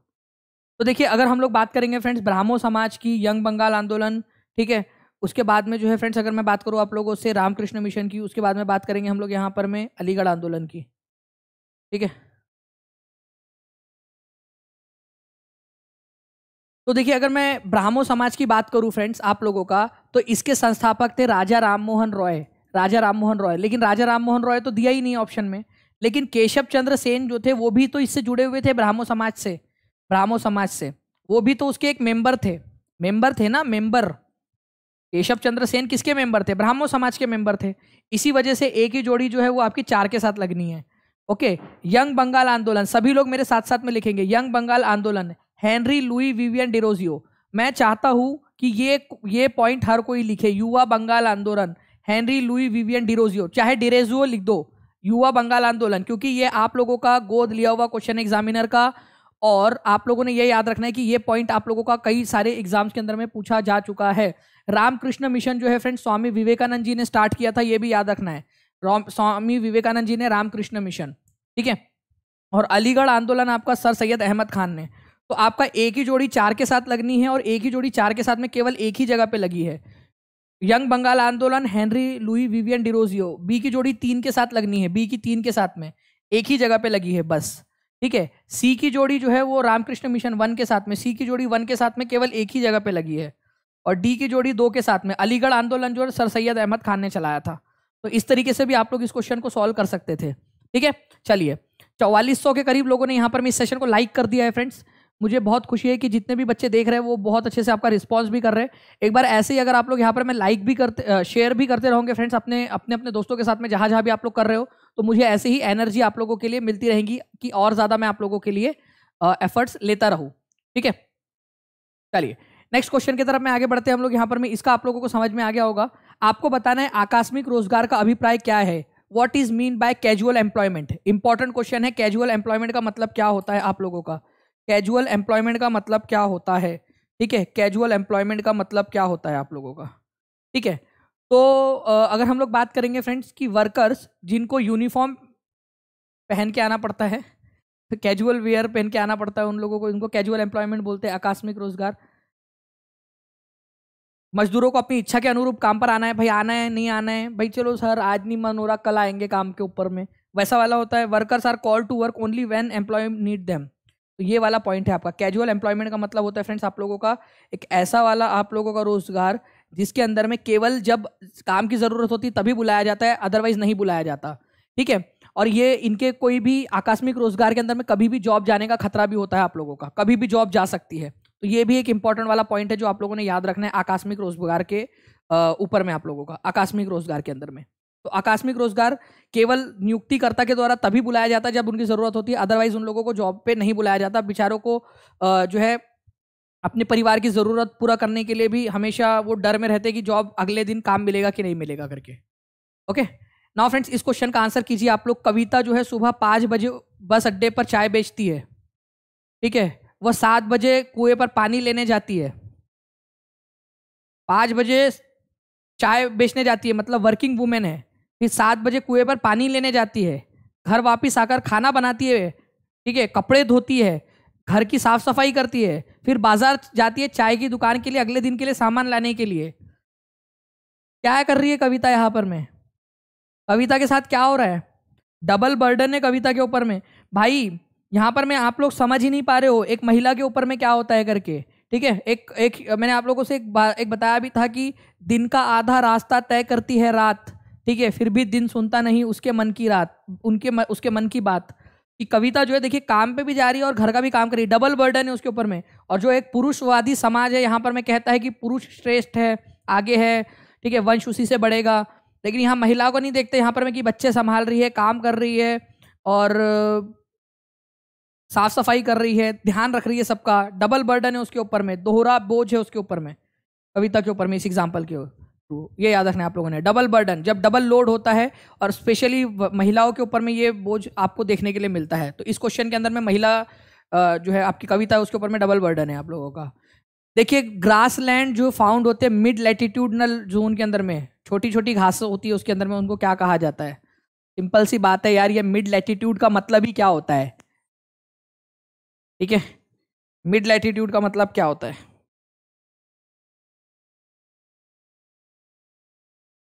मिड लेटीट्यूड का मतलब क्या होता है? ध्यान से समझना आप लोग। ये हमारी दुनिया है, ये हमारा इक्वेटर है। ठीक है? अगर मैं बात करूँ आप लोगों से, फ्रेंड्स, यहाँ पर में तो यहाँ पर मैं आप लोगों का ये है, आप लोगों का लोअर लेटीट्यूड्स ठीक है? लोअर क्योंकि ज़ीरो के पास में है ना? और सबसे ऊपर में है, यहाँ पर मैं 90 डिग्री नॉर्थ और यहाँ है 90 डिग्री साउथ। 90 degree south. तो उसके जो बीच वाला एरिया है यहाँ पर मैं आप लोगों का, ये वाला जो बीच वाला जो ये बीच वाला एरिया है आप लोगों का, ये वाला एरिया, इसको बोला जाता है मिड लैटिट्यूड जिसको आप लोग शीतोष्ण जोन भी बोलते हो टेम्परेट जोन भी बोला जाता है टेम्परेट अरे यार, ठीक है मिड लैटिट्यूड ठीक है, उसको टेम्परेट जोन समझ गए ना आप लोग बेसिकली उसको टेम्परेट जोन भी बोला जाता है टेम्परेट और हिंदी में उसको शीतोष्ण जोन बोला जाता है, शीतोष्ण, ठीक है, शीतोष्ण जोन भी, शीतोष्ण क्षेत्र बोलते हो आप लोग उसको तो टेम्परेट ग्रासलैंड जो है आप लोगों का आंसर हो जाएगा टेम्परेट, मिड लेटीट्यूड, मध्य अक्षांश की छोटी छोटी घास जो होती है, उसको शीतोष्ण घास के मैदान बोला जाता है। शीतोष्ण घास के मैदान। ओके तो सिंपल सा आंसर था, शीतोष्ण घास के मैदान, इसका आंसर हो जाएगा यहाँ पर में। ठीक है? चलिए। नेक्स्ट क्वेश्चन की तरफ़ में हम लोग आगे बढ़ते हैं, फ्रेंड्स। ये यहाँ पर मैं आप लोग देख सकते हो, ये इस इलाके के अंदर की बात हो रही है बेसिकली यहाँ पर मैं, इस इलाके के एरिया की बात हो रही है। ठीक है? अच्छा निम्नलिखित घास भूमियों में से कौन सी अमेरिकी मूल निवासियों का निवास स्थल है? कौन सी वाली घास भूमि है जो अमेरिका में, अमेरिका के मूल निवासियों का स्थान है? पहली बात तो स्टेपी जो है ये मध्य एशिया में पाई जाती है। मिड, मिडल एशिया में, ठीक है? यहाँ पर में, मिडल एशिया। मिडल एशिया के अंदर में पाया जाता है ये, स्टेपी। पंपास जो है आप लोगों का अर्जेंटीना के अंदर में, साउथ अमेरिका में पाया जाता है अर्जेंटीना के अंदर में। वेल्ड जो है आप लोगों का पाया जाता है साउथ अफ्रीका में। साउथ अफ्रीका के अंदर में, अफ्रीका के अंदर में। और जो प्रेरीज है आप लोगों का, ये पाया जाता है नॉर्थ अमेरिका में। नॉर्थ अमेरिका के अंदर में। और जो मूल निवासी थे अमेरिका के, वो नॉर्थ अमेरिका में रहते थे। ठीक है, जिनको रेड इंडियन भी बोलते थे। तो मूल मूल निवासी नेटिव अमेरिकन मूल निवासियों का घर जो है वो आप लोगों को कहाँ पर में मिलेगा? ठीक है प्रेरीज जो है आप लोगों का वहाँ पर में प्रेरीज नॉर्थ अमेरिका के अंदर में। तो आपको याद रखना है कि प्रेरीज जो है, ये आप लोगों के शीतोष्ण घास के मैदान है। नॉर्थ अमेरिका में, यहाँ पर में चिनुक नाम की हवा भी चलती है, चिनुक चिनुक चिनुक चिनुक, हवा यहाँ पर में चलती है। चिनुक जो है आप लोगों की वार्म एयर है, गर्म हवा है आप लोगों की, ये भी याद रखना है। ठीक है, और यहाँ पर में ही अमेरिका के मूल निवासी रहा करते थे। ओके, नॉर्थ अमेरिका के अंदर में। ये इसको याद रखना आप लोग, देखो ये वाला जो है ना, ये बहुत इंपॉर्टेंट है, इसको याद रखना आप लोग, ये वाला पॉइंट ठीक है ट्रॉपिकल ग्रासलैंड के एग्ज़ाम्पल ईस्ट अफ्रीका जो है आप लोगों का ईस्ट अफ्रीका वाला ये याद रखेंगे आप सभी लोग। ठीक है ईस्ट अफ्रीका, देखिए आप लोग यहाँ पर में ईस्ट अफ्रीका जो है, उसमें सवाना बोला जाता है इसको, ठीक है? ब्राज़ील जो है, इसमें कंपोज बोला जाता है, और वेनेजुएला में लानोस। बताओ ये तीनों के तीनों के नाम लिखो, और लिखो कि ये तीनों के तीनों जो है, क्या है आप लोगों के? ट्रॉपिकल ग्रासलैंड है। उष्ण कटिबंधीय घास के मैदान है जो आप लोगों के ट्रॉपिकल जोन के पास में पाए जाते हैं। वही अर्जेंटीना का पंपास, नॉर्थ अमेरिका का प्रेरी, साउथ अफ्रीका का veld, Central Asia, Middle Asia का स्टेपी और ऑस्ट्रेलिया का डाउन, ये सब आपके शीतोष्ण घास के मैदान है। और अभी मैंने आप लोगों को बताया कि शीतोष्ण घास के मैदान को क्या कहा जाता है? Mid latitude mid latitude mid latitude, grassland भी बोलते हैं। तो मिड लैटिट्यूड बोला जाए भाई लोग तो आप लोगों को समझ जाना है कि किसके बारे में बात हो रही है। मिड लैटिट्यूड बोला जाए तो आप लोगों को समझ जाना है कि यहाँ पर मैं बात बेसिकली आप लोगों की टेम्परेट ग्रासलैंड की हो रही है, यहाँ पर मैं शीतोष्ण घास तल की बात हो रही है। ठीक है? इस तरीके से भी आप लोग इसको याद रख सकते थे। नेक्स्ट क्वेश्चन की तरफ़ में हम लोग आगे बढ़ते हैं आप लोगों के। आपको बताना है वायु दाब के संबंध में निम्नलिखित में से कौन सा कथन सही है? वायु दाब एयर प्रेशर तो एयर प्रेशर के बारे में अगर मैं बात करूँ आप लोगों से तो एयर प्रेशर जो है फ्रेंड्स हमारा समुद्र स्तर के ऊपर में एयर प्रेशर सबसे ज़्यादा होता है। हवा यहाँ सबसे ज़्यादा होती है। मतलब ज़मीन के ऊपर में, ज़मीन पर। एयर प्रेशर एयर सबसे ज़्यादा होती है तो एयर प्रेशर भी सबसे ज़्यादा होगा। जैसे जैसे आप ऊंचाई पर जाते हो ठीक है, जैसे जैसे आप ऊंचाई पर जाते हो, वैसे वैसे एयर जो है आपका एयर प्रेशर एयर प्रेशर क्या होता है? वो डाउन डाउन होता जाता है। एयर प्रेशर डाउन होता जाता है। हवा का दबाव। तो air pressure is lowest at sea level गलत है। Air pressure decreases with height ये सही है आपका कि एयर प्रेशर डिक्रीज होता है। In areas having high temperature the air is cold किसने बनाया है क्वेश्चन एयर प्रेशर जहाँ हाई टेम्परेचर होगा, वहाँ ठंडी हवा होंगी क्या? और कौन है ये बच्चा जिसने सी आंसर तीन आंसर लगाया? कोई है क्या? चार प्रतिशत लोग हैं जिन्होंने तीन आंसर लगाया भी है। वाह, मेरे शेरों, वाह। ठीक है? चार प्रतिशत लोगों ने तीन आंसर लगाया। जहाँ हाई टेम्परेचर होगा वहाँ कोल्ड हवा कैसे हो सकती है तुम्हारी? ठीक है? तो सिंपल सी बात है, ये गलत है। In areas having lower temperature air gets heated और ये कितने लोग हैं? ये छः अच्छा ये तो उससे भी ज़्यादा लिंक लें। ये दस प्रतिशत लोगों को, छः और चार प्रतिशत, ये दस प्रतिशत लोगों को जो है ना यहाँ पर में इक्कीस तोपों की सलामी। ऑप्शन दो ही थे आप लोगों के बस। ये तो ये तो लॉजिकल क्वेश्चन था बिल्कुल एकदम सिंपल सा। ठीक है?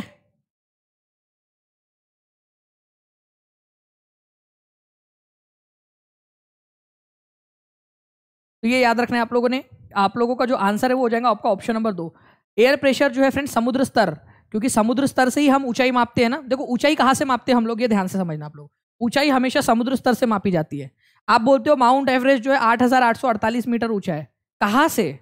तो समुद्र स्तर से, समुद्र स्तर को ज़ीरो माना जाता है। ये याद रखना है, समुद्र के स्तर को ज़ीरो मानते हैं और जैसे जैसे समुद्र स्तर से जितनी जितनी ऊंचाई बढ़ती है, उतना ऊँचा माना जाता है। क्योंकि लगभग ऐसा माना जाता है कि समुद्र स्तर जो है पूरी दुनिया में समान है। तो समुद्र स्तर से जितना जितना ज़्यादा आप ऊपर जाओगे, ठीक है?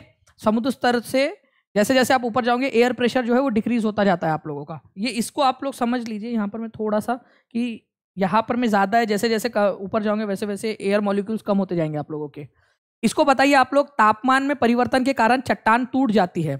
सड़ने लगती है, इस प्रक्रिया को क्या कहा जाता है? तापमान में परिवर्तन के कारण, मौसम में परिवर्तन के कारण जो है, क्या होता है? चट्टाने टूटती है। इसको आप लोग वेदरिंग कहते हो। ये क्या क्या कहते हो उसको? वेदरिंग कहते हो आप लोग। वेदरिंग जिससे चट्टाने जो है वो टूटने लगती है आप लोगों की इस तरीके से। बारिश की मार, तापमान में परिवर्तन, इन सारी चीज़ों के कारण चट्टाने टूटती है। अपक्षय कहा जाता है हिंदी में उसको। ठीक है वेदरिंग एक बार शेयर कर दो यार सभी लोग जल्दी जल्दी से और 4500 से ज़्यादा लाइक्स हो चुके हैं तो अगर 5000 लाइक्स भी यहाँ पर में हो गए तो कम से कम लगेगा कि चलो यार, कुछ तो सार्थक यहाँ पर में आप लोग बच्चे लोग जो है वो रिस्पॉन्स यहाँ पर में दे रहे हैं। जल्दी जल्दी से लाइक भी करते रहेंगे और जिन लोगों ने टीचिंग परीक्षा चैनल को सब्सक्राइब नहीं किया वो चैनल को सब्सक्राइब कर लेंगे। टीचिंग परीक्षा ऐप भी डाउनलोड कर लेना आप लोग, ताकि आप लोगों को और ज़्यादा जो है वहाँ पर में भी कॉन्टेंट मिल सके। ठीक है, चलिए नेक्स्ट यहाँ पर मैं आप लोगों का अपक्ष आप लोग समझ गए ना, यहाँ पर मैं तापमान में परिवर्तन, तुषार क्रिया मतलब कि जो आप लोगों का जो है फॉग वगैरह होता है एनिमल प्लांट्स और इन सारी चीज़ों के कारण टूटने जो लगती है चट्टाने, उसको अपक्षय कहा जाता है वेदरिंग कहते हैं हम लोग इसको। नाउ फ्रेंड्स अब देखिए which one of the following pairs are correctly match regarding Indian states and their founder Mughal लोग जो थे भारत के अंदर में, मुगल्स जो थे, जो मुगल्स थे भारत के अंदर में, ठीक है, वो जब कमज़ोर हुए तो दक्षिण भारत के अंदर में यहाँ पर मैं हैदराबाद, यहाँ पर मैं बंगाल, और यहाँ पर मैं अवध राज्य की स्थापना की थी। तो कौन सा वाला पॉइंट्स यहाँ पर मैं करेक्टली मैच्ड है? क्योंकि ये क्वेश्चन बहुत इंपॉर्टेंट है।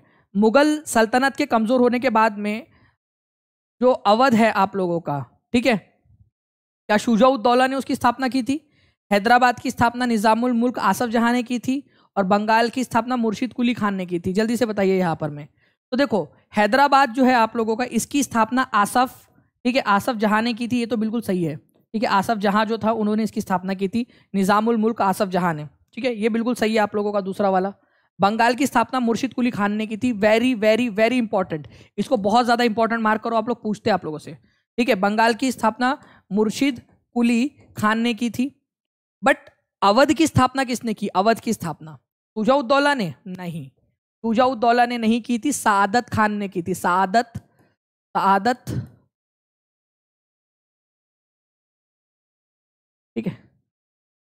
सादत खान ने की थी, सादत खान ने। ये याद रखना आप लोगों ने सआदत खान ने की थी। तो आप लोगों का यहाँ पर पहला वाला गलत है। दूसरा, तीसरा सही है तो two and three B is the answer तो प्लीज़ इसको थोड़ा सा याद रखना आप लोगों ने। अवध की स्थापना सादत खान ने की थी, ठीक है? बंगाल की स्थापना मुर्शिद कुली खान ने की थी, अलग राज्य बना लिया था, हैदराबाद की स्थापना आसफ जहाँ ने की थी। इन तीनों में कॉमन क्या है? ये तीनों ही जो है वो मुगल मुगल सल्तनत के लिए काम करते थे पहले। मुगल सल्तनत के लिए काम करते थे और मुगलों से अलग होकर ही इन्होंने जो है क्या किया था? ये इन राज्यों की स्थापना की थी, ये याद रखना आप लोगों ने। तो मुगल सल्तनत के लिए काम करते थे, तीनों के तीनों हाई मनसबदार थे, देख सकते हो, इनकी जात रैंक बड़ी बड़ी थी इन लोगों की। जैसे सादत खान छः हज़ार जात रैंक का अधिकारी था, ठीक है, मनसबदार था। मुर्शिद कुली खान सात हज़ार जात का मनसबदार था। आसफ जहाँ सात हज़ार जात का मनसबदार था। ये जात रैंक का मतलब होता है जितनी ज़्यादा रैंक, जितना ज़्यादा नंबर, उतनी बड़ी आपकी रैंक, उतनी बड़ी आपकी पोजीशन। तो तीनों के तीनों बड़े बड़े पोजीशन पे थे, आप देख सकते हो यहाँ पर में। हज़ारों में इनके मनसब हुआ करते थे। तो जैसे ही मुगल सल्तनत कमज़ोर हुआ, इन्होंने क्या किया फ्रेंड्स अलग अलग राज्यों की अपनी स्थापना यहाँ पर में कर ली थी, ये याद रखना है। एक बार जल्दी जल्दी से शेयर भी मार दो यार, सभी लोग जितने लोग देख रहे हैं, ताकि ऐसे ही हम लोग जो है और भी बहुत सारे सेशंस यहाँ पर मैं कंडक्ट कर सके और मैं आप लोगों को एनर्जी के साथ पढ़ा सकूँ। देखिए, यहाँ पर मैं बताना है आप लोगों ने, कौन से वाले वनस्पति के बारे में बात हो रही है, ठीक है? कौन से वाले वनस्पति के बारे में बात हो रही है, ये भी बता दीजिए यहाँ पर मैं।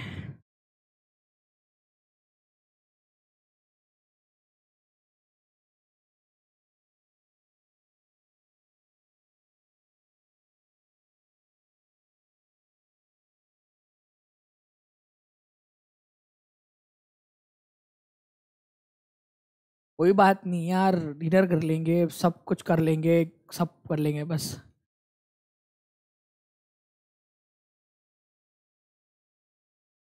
बट आप पढ़ लो अच्छे से, आप लोगों के काम की चीज़ है, ठीक है, कर लो। मैं, मेरी आवाज़ से लग रहा हूँ थक लेकिन मैं अपने पूरी एनर्जी को पूरा जितनी अंदर से अंदरूनी एनर्जी है ना, पूरी निकाल सकता हूँ मैं, अभी भी। तो यह वनस्पति उत्तरी गोलार्ध के पचास डिग्री से सत्तर डिग्री अक्षांश के बीच में पाई जाती है। बनाते हैं यहाँ पर मैं। ठीक है, यहाँ पर मैं देखो आप लोग ज़ीरो डिग्री आप लोगों का। पचास डिग्री से सत्तर डिग्री के बीच में यहाँ पर में पाई जाती है। पचास से सत्तर डिग्री के बीच में पाई जाती है। वो भी उत्तर में केवल। इसे टैगा के नाम से भी जाना जाता है। तो शंकुधारी वन की बात हो रही है। ठीक है, वहाँ पर में ठंडा इलाका होता है तो इस प्रकार के शंकुधारी वन वहाँ पर में पाए जाते हैं बेसिकली आपके, शंकुधारी वन। तो केवल पचास से सत्तर डिग्री नॉर्थ लैटिट्यूड और टैगा के नाम से भी जाना जाता है। तो इसको थोड़ा सा देख लो आप लोग यहाँ पर में, ठीक है? पचास से सत्तर डिग्री नॉर्थ के इलाके के अंदर में ये पाया जाता है आपका। पचास से सत्तर डिग्री नॉर्थ लैटिट्यूड के अंदर में। केवल उत्तरी गोलार्ध में ही पाया जाता है, दक्षिण में नहीं। इसको टैगा भी बोलते हैं। टैगा का मतलब होता है अनटच देखो, छूना ना छूना ना मुझे, छूना ना छूना ना मुझे, वो गाना है ना? तो वैसे ये टैगा बोल रहा है अनटच जिसको छुआ ना गया हो। और यहाँ पर मैं टैगा के जो फॉरेस्ट है आप लोगों के, वो ऐसे कोनिकल शेप के दिखते हैं। कौन, jingle bell jingle bell, jingling वो आगे में गा ले रहे आप लोग, ठीक है? तो जिंगल बेल वाला जो है आप लोगों का कोनिकल फॉरेस्ट इस तरीके के दिखते हैं आप लोगों के। और यहाँ के जो फॉरेस्ट होते हैं ना, वो सॉफ्ट वुड होते हैं सॉफ्ट होते हैं सॉफ्ट एवरग्रीन ट्रीज यहाँ पर में पाए जाते हैं सॉफ्ट वाले। सॉफ्ट एवरग्रीन ट्रीज कहाँ पाए जाते हैं? तो कोनी कोनीफेरस फॉरेस्ट है आप लोगों का याद रखना है। हिमालय में तो ऐसे वाले बहुत पौधे देखने के लिए मिलेंगे आपको। तो टैगा और कोनीफेरस फॉरेस्ट एक ही बात है। टैगा और कोनीफेरस, पचास से सत्तर डिग्री नॉर्थ में पाए जाते हैं आप लोगों के, हायर लेटीट्यूड के अंदर में। ठीक है, ऑस्ट्रेलिया में समशीतोष्ण घास के मैदानों को किस रूप में जाना जाता है? Australia, the temperate grass land known as, Australia में। तो ऑस्ट्रेलिया जो है फ्रेंड्स, आप लोगों को पता है कि डाउन साइड के अंदर में है है ना? तो ऑस्ट्रेलिया में इसको हम डाउन कहते हैं, डाउन कहते हैं। वैसे तो मैं आपको पूरे के पूरे ही बता सकता हूँ यहाँ पर मैं पंपास जो है ये अर्जेंटीना के अंदर में कहा जाता है। याद रखो आप सभी लोग, अर्जेंटीना के अंदर में कहा जाता है, वेल्ड कहा जाता है साउथ अफ्रीका के अंदर में, साउथ अफ्रीका के अंदर में वेल्ड कहा जाता है इसको, ठीक है, डाउन कहा जाता है इसको ऑस्ट्रेलिया के अंदर में, ऑस्ट्रेलिया के अंदर में। तो आप लोग ऐसे याद रख सकते थे, आंसर इसका ऑप्शन नंबर तीन हो जाएगा। ये क्वेश्चन इस तरीके से आएगा आप लोगों के एग्ज़ाम के अंदर में क्वेश्चन ये याद रखना है आप सभी लोगों ने, ठीक है? चलिए। निम्नलिखित में से मृदा संरक्षण की विधि कौन सी है? ठीक है, मृदा संरक्षण सॉइल को कंजर्व करने की, ठीक है, मिट्टी को बचा के रखने की मल्च मल्चिंग पलवार शैल बाँध रॉक डैम कंटोर बैरियर तो आंसर क्या हो जाएगा फ्रेंड्स आप लोगों का यहाँ पर में? तो डी आंसर है, देखिए मल्चिंग का मतलब क्या होता है आप लोगों का? मल्चिंग का मतलब होता है इस तरीके से सूखी घास को डाल देना, ठीक है ऑर्गेनिक मैटर जो होता है स्ट्रॉ वगैरह, उसको डाल देना ऐसा ऊपर में, ताकि जो है रेन के कारण जो है मिट्टी का, मिट्टी बह ना जाए, प्लस मिट्टी के अंदर में जो पानी है, वो जमा रहे। ऐसा धूप पड़ने के कारण पानी इवेपोरेट ना हो जाए सॉइल का मॉइस्चर उड़ ना जाए। तो सॉइल मॉइस्चर को बचाने के लिए और मिट्टी पानी के साथ बह ना जाए, उसको बचाने के लिए मल्चिंग की जाती है। मतलब कि उसके ऊपर में सूखी घास फूस डाल देना मल्च बनाना। ठीक है? पलवार भी इसको बोलते हो आप लोग। ओके? तो पलवार बोला जाता है मल्चिंग मिट्टी को बचाने। कंटोर फ़ार्मिंग का मतलब होता है, इस तरीके से आप लोग देख रहे हो ना, कंटोर फ़ार्मिंग। एक ढाल के ऊपर में रेखा के अंदर में जुताई की जाती है, ठीक है? ताकि जो जल है, वो आप लोगों का जल के लिए अवरोधक बन सके। ऐसा ऐसा ना हो कि पूरा पानी जो है ऐसा गिर, ऐसा जाए। पानी ऐसा धीरे धीरे ऐसा ऐसा ऐसा ऐसा ऐसा ऐसा ऐसा घूम फिर के जाए पानी आराम से, ठीक है? घूम फिर के जाए आप लोगों का। तो एक सीधी ढलान रहेगी ना तो पानी बहुत तेज़ी से जाएगा, फटाक से बहा के लेकर जाएगा। लेकिन अगर मान लीजिए आप लोगों ने इस तरीके से उसके लिए पानी को जाने के लिए ऐसा घुमा फिरा के भेजा पानी को तो वो आराम आराम से जो है वो जाएगा, आपकी मिट्टी को बहा के नहीं ले जाएगा। तो सॉइल कंजर्वेशन का ये एक तरीका है। रॉक डैम बनाना, पत्थर को रख दो ताकि पानी की स्पीड थोड़ी कम हो जाए। टेरेस फ़ार्मिंग इस तरीके से जो है कट कट कट कट बना के। नहीं तो अगर ऐसी ढलान होंगी तो पानी तो पूरा का पूरा मिट्टी बहा के लेके चला जाएगा। टेरेस फ़ार्मिंग एक तरीका है आप लोगों का मिट्टी को बचाने का।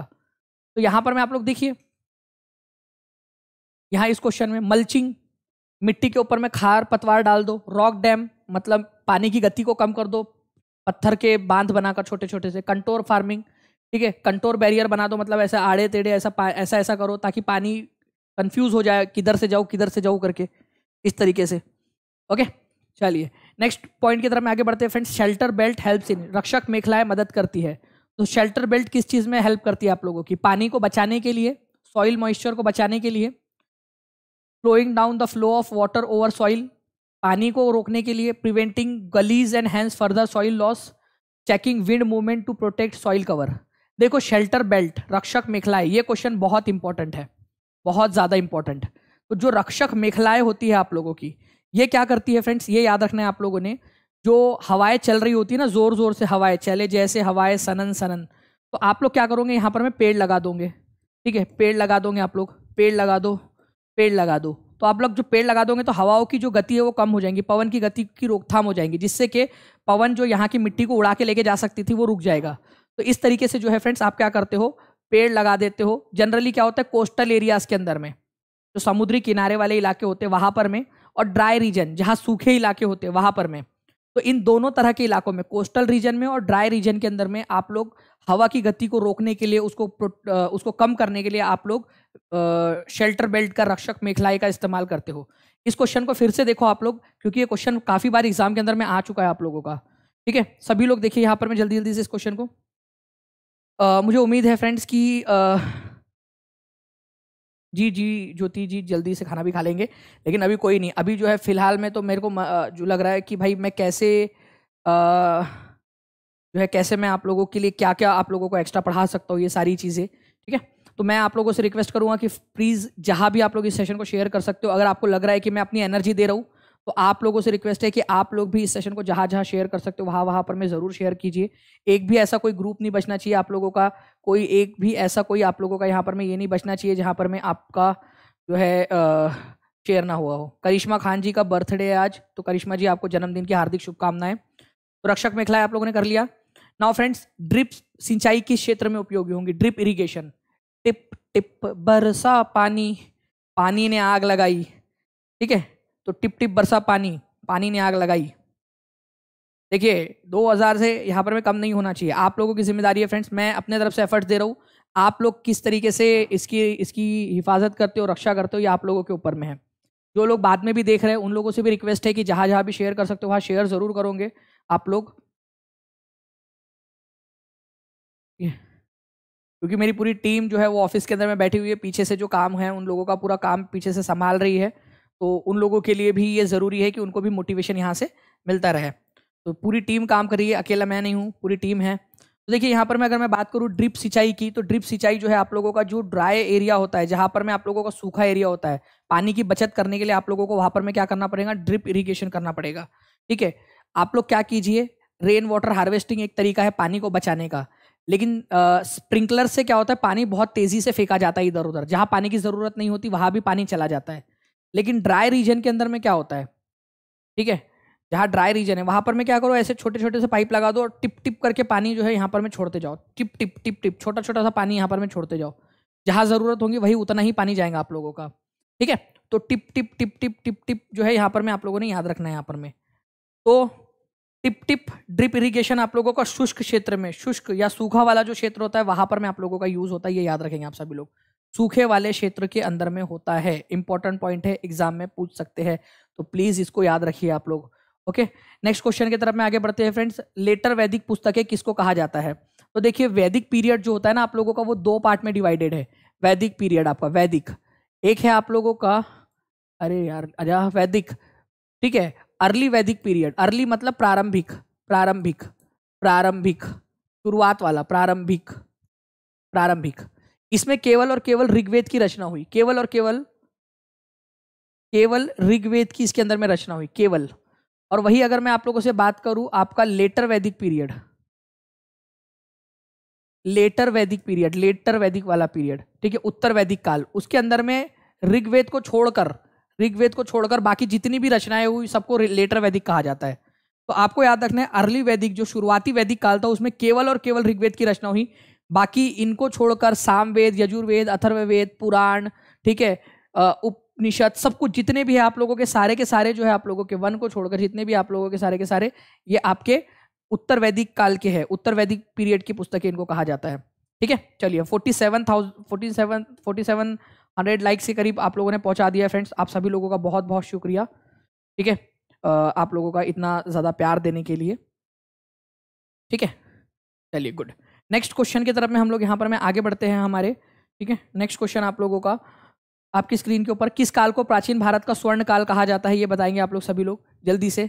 और कमेंट के अंदर में आंसर्स करते रहेंगे सभी के सभी। सभी लोगों का कमेंट में आंसर चाहिए मुझे कि आप लोगों को लेक्चर कैसा लगा और क्या आप लोग जो है ऐसे ही और भी लेक्चर्स चाहते हो, सभी के सभी जो है आंसर्स करते रहेंगे। तभी मुझे पता चलेगा कि जी हाँ जो मेरी मेहनत है वो रंग ला रही है। ठीक है? बताइए जल्दी जल्दी से।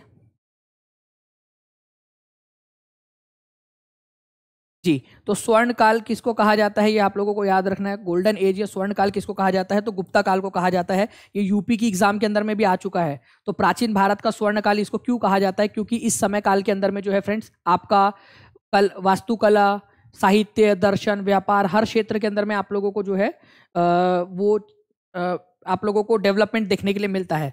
तो सारी चीज़ों में डेवलपमेंट हुआ। तो ऐसे क्षेत्र में जिसमें जब आपका इतना सारा डेवलपमेंट हो रहा है तो ऑब्वियस सी बात है फ्रेंड्स कि जब इतना डेवलपमेंट हो रहा है, इतना डेवलपमेंट हो रहा है तो उसको स्वर्ण युग क्यों ना कहा जाए? अच्छा इसको शास्त्रीय युग क्या क्लासिकल एज भी बोल सकते हैं? एनसीईआरटी में दिया हुआ है। अगर आप लोगों का गोल्डन एज के बदले में शास्त्रीय युग बोल दिया जाए तो क्या आप कंफ्यूज हो जाओगे? गोल्डन एज या क्लासिकल एज भी बोला जा सकता है, इसको याद रखना है आप लोगों ने। सभी लोग लिख दीजिए एक बार कमेंट बॉक्स में ताकि आप लोगों को याद हो जाए, सारे के सारे लोगों को। ठीक है? चलिए जल्दी जल्दी से नेक्स्ट क्वेश्चन की तरफ़ मैं आगे बढ़ता हूँ। फ्रेंड्स आप लोगों को बताना है देखिए ये क्वेश्चन मैंने करवाया हुआ है आप लोगों को लेकिन ये अपने आप में एक एक नंबर के लिए बहुत ही आ, एक क्वेश्चन है आप लोगों का जो पूछा जा सकता है आप लोगों ने ठीक है? तो यहाँ पर मैं आप लोगों को याद रखना है वेल्लन वगाई ब्रह्मदेव शाल शाला भोग या देवदान। तो शाला भोग से आप लोग ध्यान से समझ लीजिए शाला भोग जो है ये स्कूल के लिए था ठीक है? वैसा एलिमिनेट आप लोग कर सकते थे। देवदान मंदिर के लिए था। लेकिन मैं आप लोगों के लिए चाहता हूँ, ये दो चीज़, वेल्लन वगाई और ब्रह्मदेव। वेल्लन वगाई जो है, ये सबसे ज़्यादा इंपॉर्टेंट है। मैं ऑप्शन एलिमिनेट नहीं करना चाहता इस बार। इस क्वेश्चन के अंदर में मैं चाहता हूँ कि आप लोग जो है, वो विल्लन वगाई का लगा के बताए मुझे। तो वेल्लन वगाई जो है फ्रेंड्स यहाँ पर मैं आप लोगों ने याद रखना है। ठीक है, वेल्लन वगाई जो है, आप लोगों का ये एक ऐसा था जो गैर ब्राह्मण लोगों को दिया जाता था। नॉन ब्राह्मण जो लोग थे, उन लोगों को दिया जाता था ज़मीन दान में, वेल्लन वगाई। तो वेल्लन वगाई ये याद रखोगे आप लोग, नॉन ब्राह्मण लोगों को दिया जाता था, ठीक है? तो नॉन ब्राह्मण लोगों को दान में दी जाने वाली भूमि को वेल्लन वगाई कहते थे आप लोग ब्रह्मदेव जो है ये ब्राह्मण लोगों को दान में दी जाती थी भूमि। तो सभी लोग वेल्लन वगाई, सभी लोग लिखेंगे, हर एक बच्चा लिखेगा एक एक बच्चा लाइव देख रहा ऑफलाइन देख रहा, सभी बच्चा विल्लन वगाई गैर ब्राह्मण किसानों को नॉन ब्राह्मण पीजेंट्स को दिया जाता था। ये कमेंट में हर किसी का चाहिए मुझे। जी हाँ यूपी टेट में आया था और ये विल्लन वगई वाला क्वेश्चन एच टेट के अंदर में भी आ चुका है, विल्लन वगई वाला। और ये जो क्वेश्चन है, ये आपका पर्टिकुलरली सी टेट के अंदर में तीन एक दो के एग्ज़ाम में आया हुआ है। तो आप लोग यहाँ से आंसर लगा सकते हो, अपनी मर्ज़ी से। जल्दी से आप लोग कराइए यहाँ पर में। जल्दी से आप लोग देखिए और आप आंसर बताइए क्या होगा, ताकि आपको याद हो जाए यहाँ पर में। ठीक है? बहुत बहुत धन्यवाद। अच्छा सेशन है, पूरी टीचिंग परीक्षा को बहुत बहुत धन्यवाद। इतनी हेल्प करने के लिए thank you much teaching Pariksha staff चलो जी थैंक यू वेरी मच आपका यार रिकोगनाइज करने के लिए, ठीक है? चलिए तो ये आप लोगों को याद रखना है, यह किसने लिखा कि रजिया अपने भाइयों से अधिक योग्य थी तथा सक्षम थी? ठीक है तो किसने लिखा कि रजिया अपने भाइयों से अधिक योग्य और सक्षम थी? तो तो अपने भाइयों से ज़्यादा सक्षम थी रजिया रजिया जो है वो इलतुतमिश की बेटी थी, ये याद रखना है आप लोगों ने। सुल्तान इलतुत इलतुत मिश, जो सुल्तान इलतुतमिश था, उसकी बेटी थी रजिया। ये याद रखना है आप लोगों ने, रजिया सुल्तान इलतुतमिश की बेटी थी और इलतुतमिश के और बेटे भी थे, लेकिन वो इतने काबिल नहीं थे। तो किसने कहा कि रजिया अपने जो है बाकी भाइयों की तुलना में ज़्यादा काबिल थी? तो ये मिनहाज सिराज ने कहा है। मिनहाज सिराज ने एक बुक लिखी है, फ्रेंड, जिसका नाम है तबाकत ए नासिरी। तबाकत तबाकत ए, नासिरी। ये याद रखना है आप लोगों ने, तबाकत नासिरी नाम की बुक लिखी है इन्होंने, तबाकत नासिरी। इसमें इन्होंने पहली बार हिंदुस्तान शब्द का इस्तेमाल किया है, हिंदुस्तान। हिंदुस्तान शब्द का, तेरहवीं शताब्दी में उन्होंने हिंदुस्तान शब्द का इस्तेमाल किया, उन्होंने हिंदुस्तान शब्द का इस्तेमाल किया था फ्रेंड्स इधर वाले इलाकों के लिए, ठीक है? पंजाब, हरियाणा और गंगा यमुना का दुआब। गंगा यमुना का दुआब पंजाब, हरियाणा और गंगा यमुना का दुआब जो इलाका है आप लोगों का, उसके लिए इन्होंने जो है वो हिंदुस्तान शब्द का इस्तेमाल किया था। ये याद रखेंगे आप सभी लोग। ओके, मिनहाज सिराज, तबाकत नासिरी। बिहार वाले जितने भी बच्चे, उनको बता दूँ कि बिहार शब्द का इस्तेमाल भी सबसे पहले इन्होंने ही किया था। इन्होंने ही बताया था कि बिहार के अंदर में जो बख्तियार खिलजी है, उसने नालंदा विश्वविद्यालय और विक्रमशिला विश्वविद्यालय के अंदर में आग लगा दी थी। तो तबाकत नासिरी के अंदर में ही मिनहाज सिराज ने ये जानकारी दी है। ओके मिनहाज सिराज ने कहा कि रजिया जो है अपने सारे भाइयों से ज़्यादा काबिल है। लेकिन नेक्स्ट लाइन में ही उन्होंने लिखा, लेकिन एक स्त्री का शासन, एक महिला का शासन ऐसे समाज में जिसमें भगवान ने पुरुषों को ऊपर रखा है, महिलाओं को नीचे रखा है, उसके खिलाफ जाता है। ठीक है? तो तबाकत नासिरी के अंदर में ही आपको समझ में आ जाता है कि उस समय के जो लेखक थे, वो लोग लिंग भेद में विश्वास रखते थे। लिंग भेद। उनका मानना था कि भाई पुरुष प्रधान है ये। समाज पूरा का पूरा। ये तबाकत नासिरी से समझ में आता है आप लोगों को। कई सारे लोग थे जो इनसे सहमत नहीं थे, लेकिन फिर भी उस समय की सोच समझ में आती है आप लोगों को।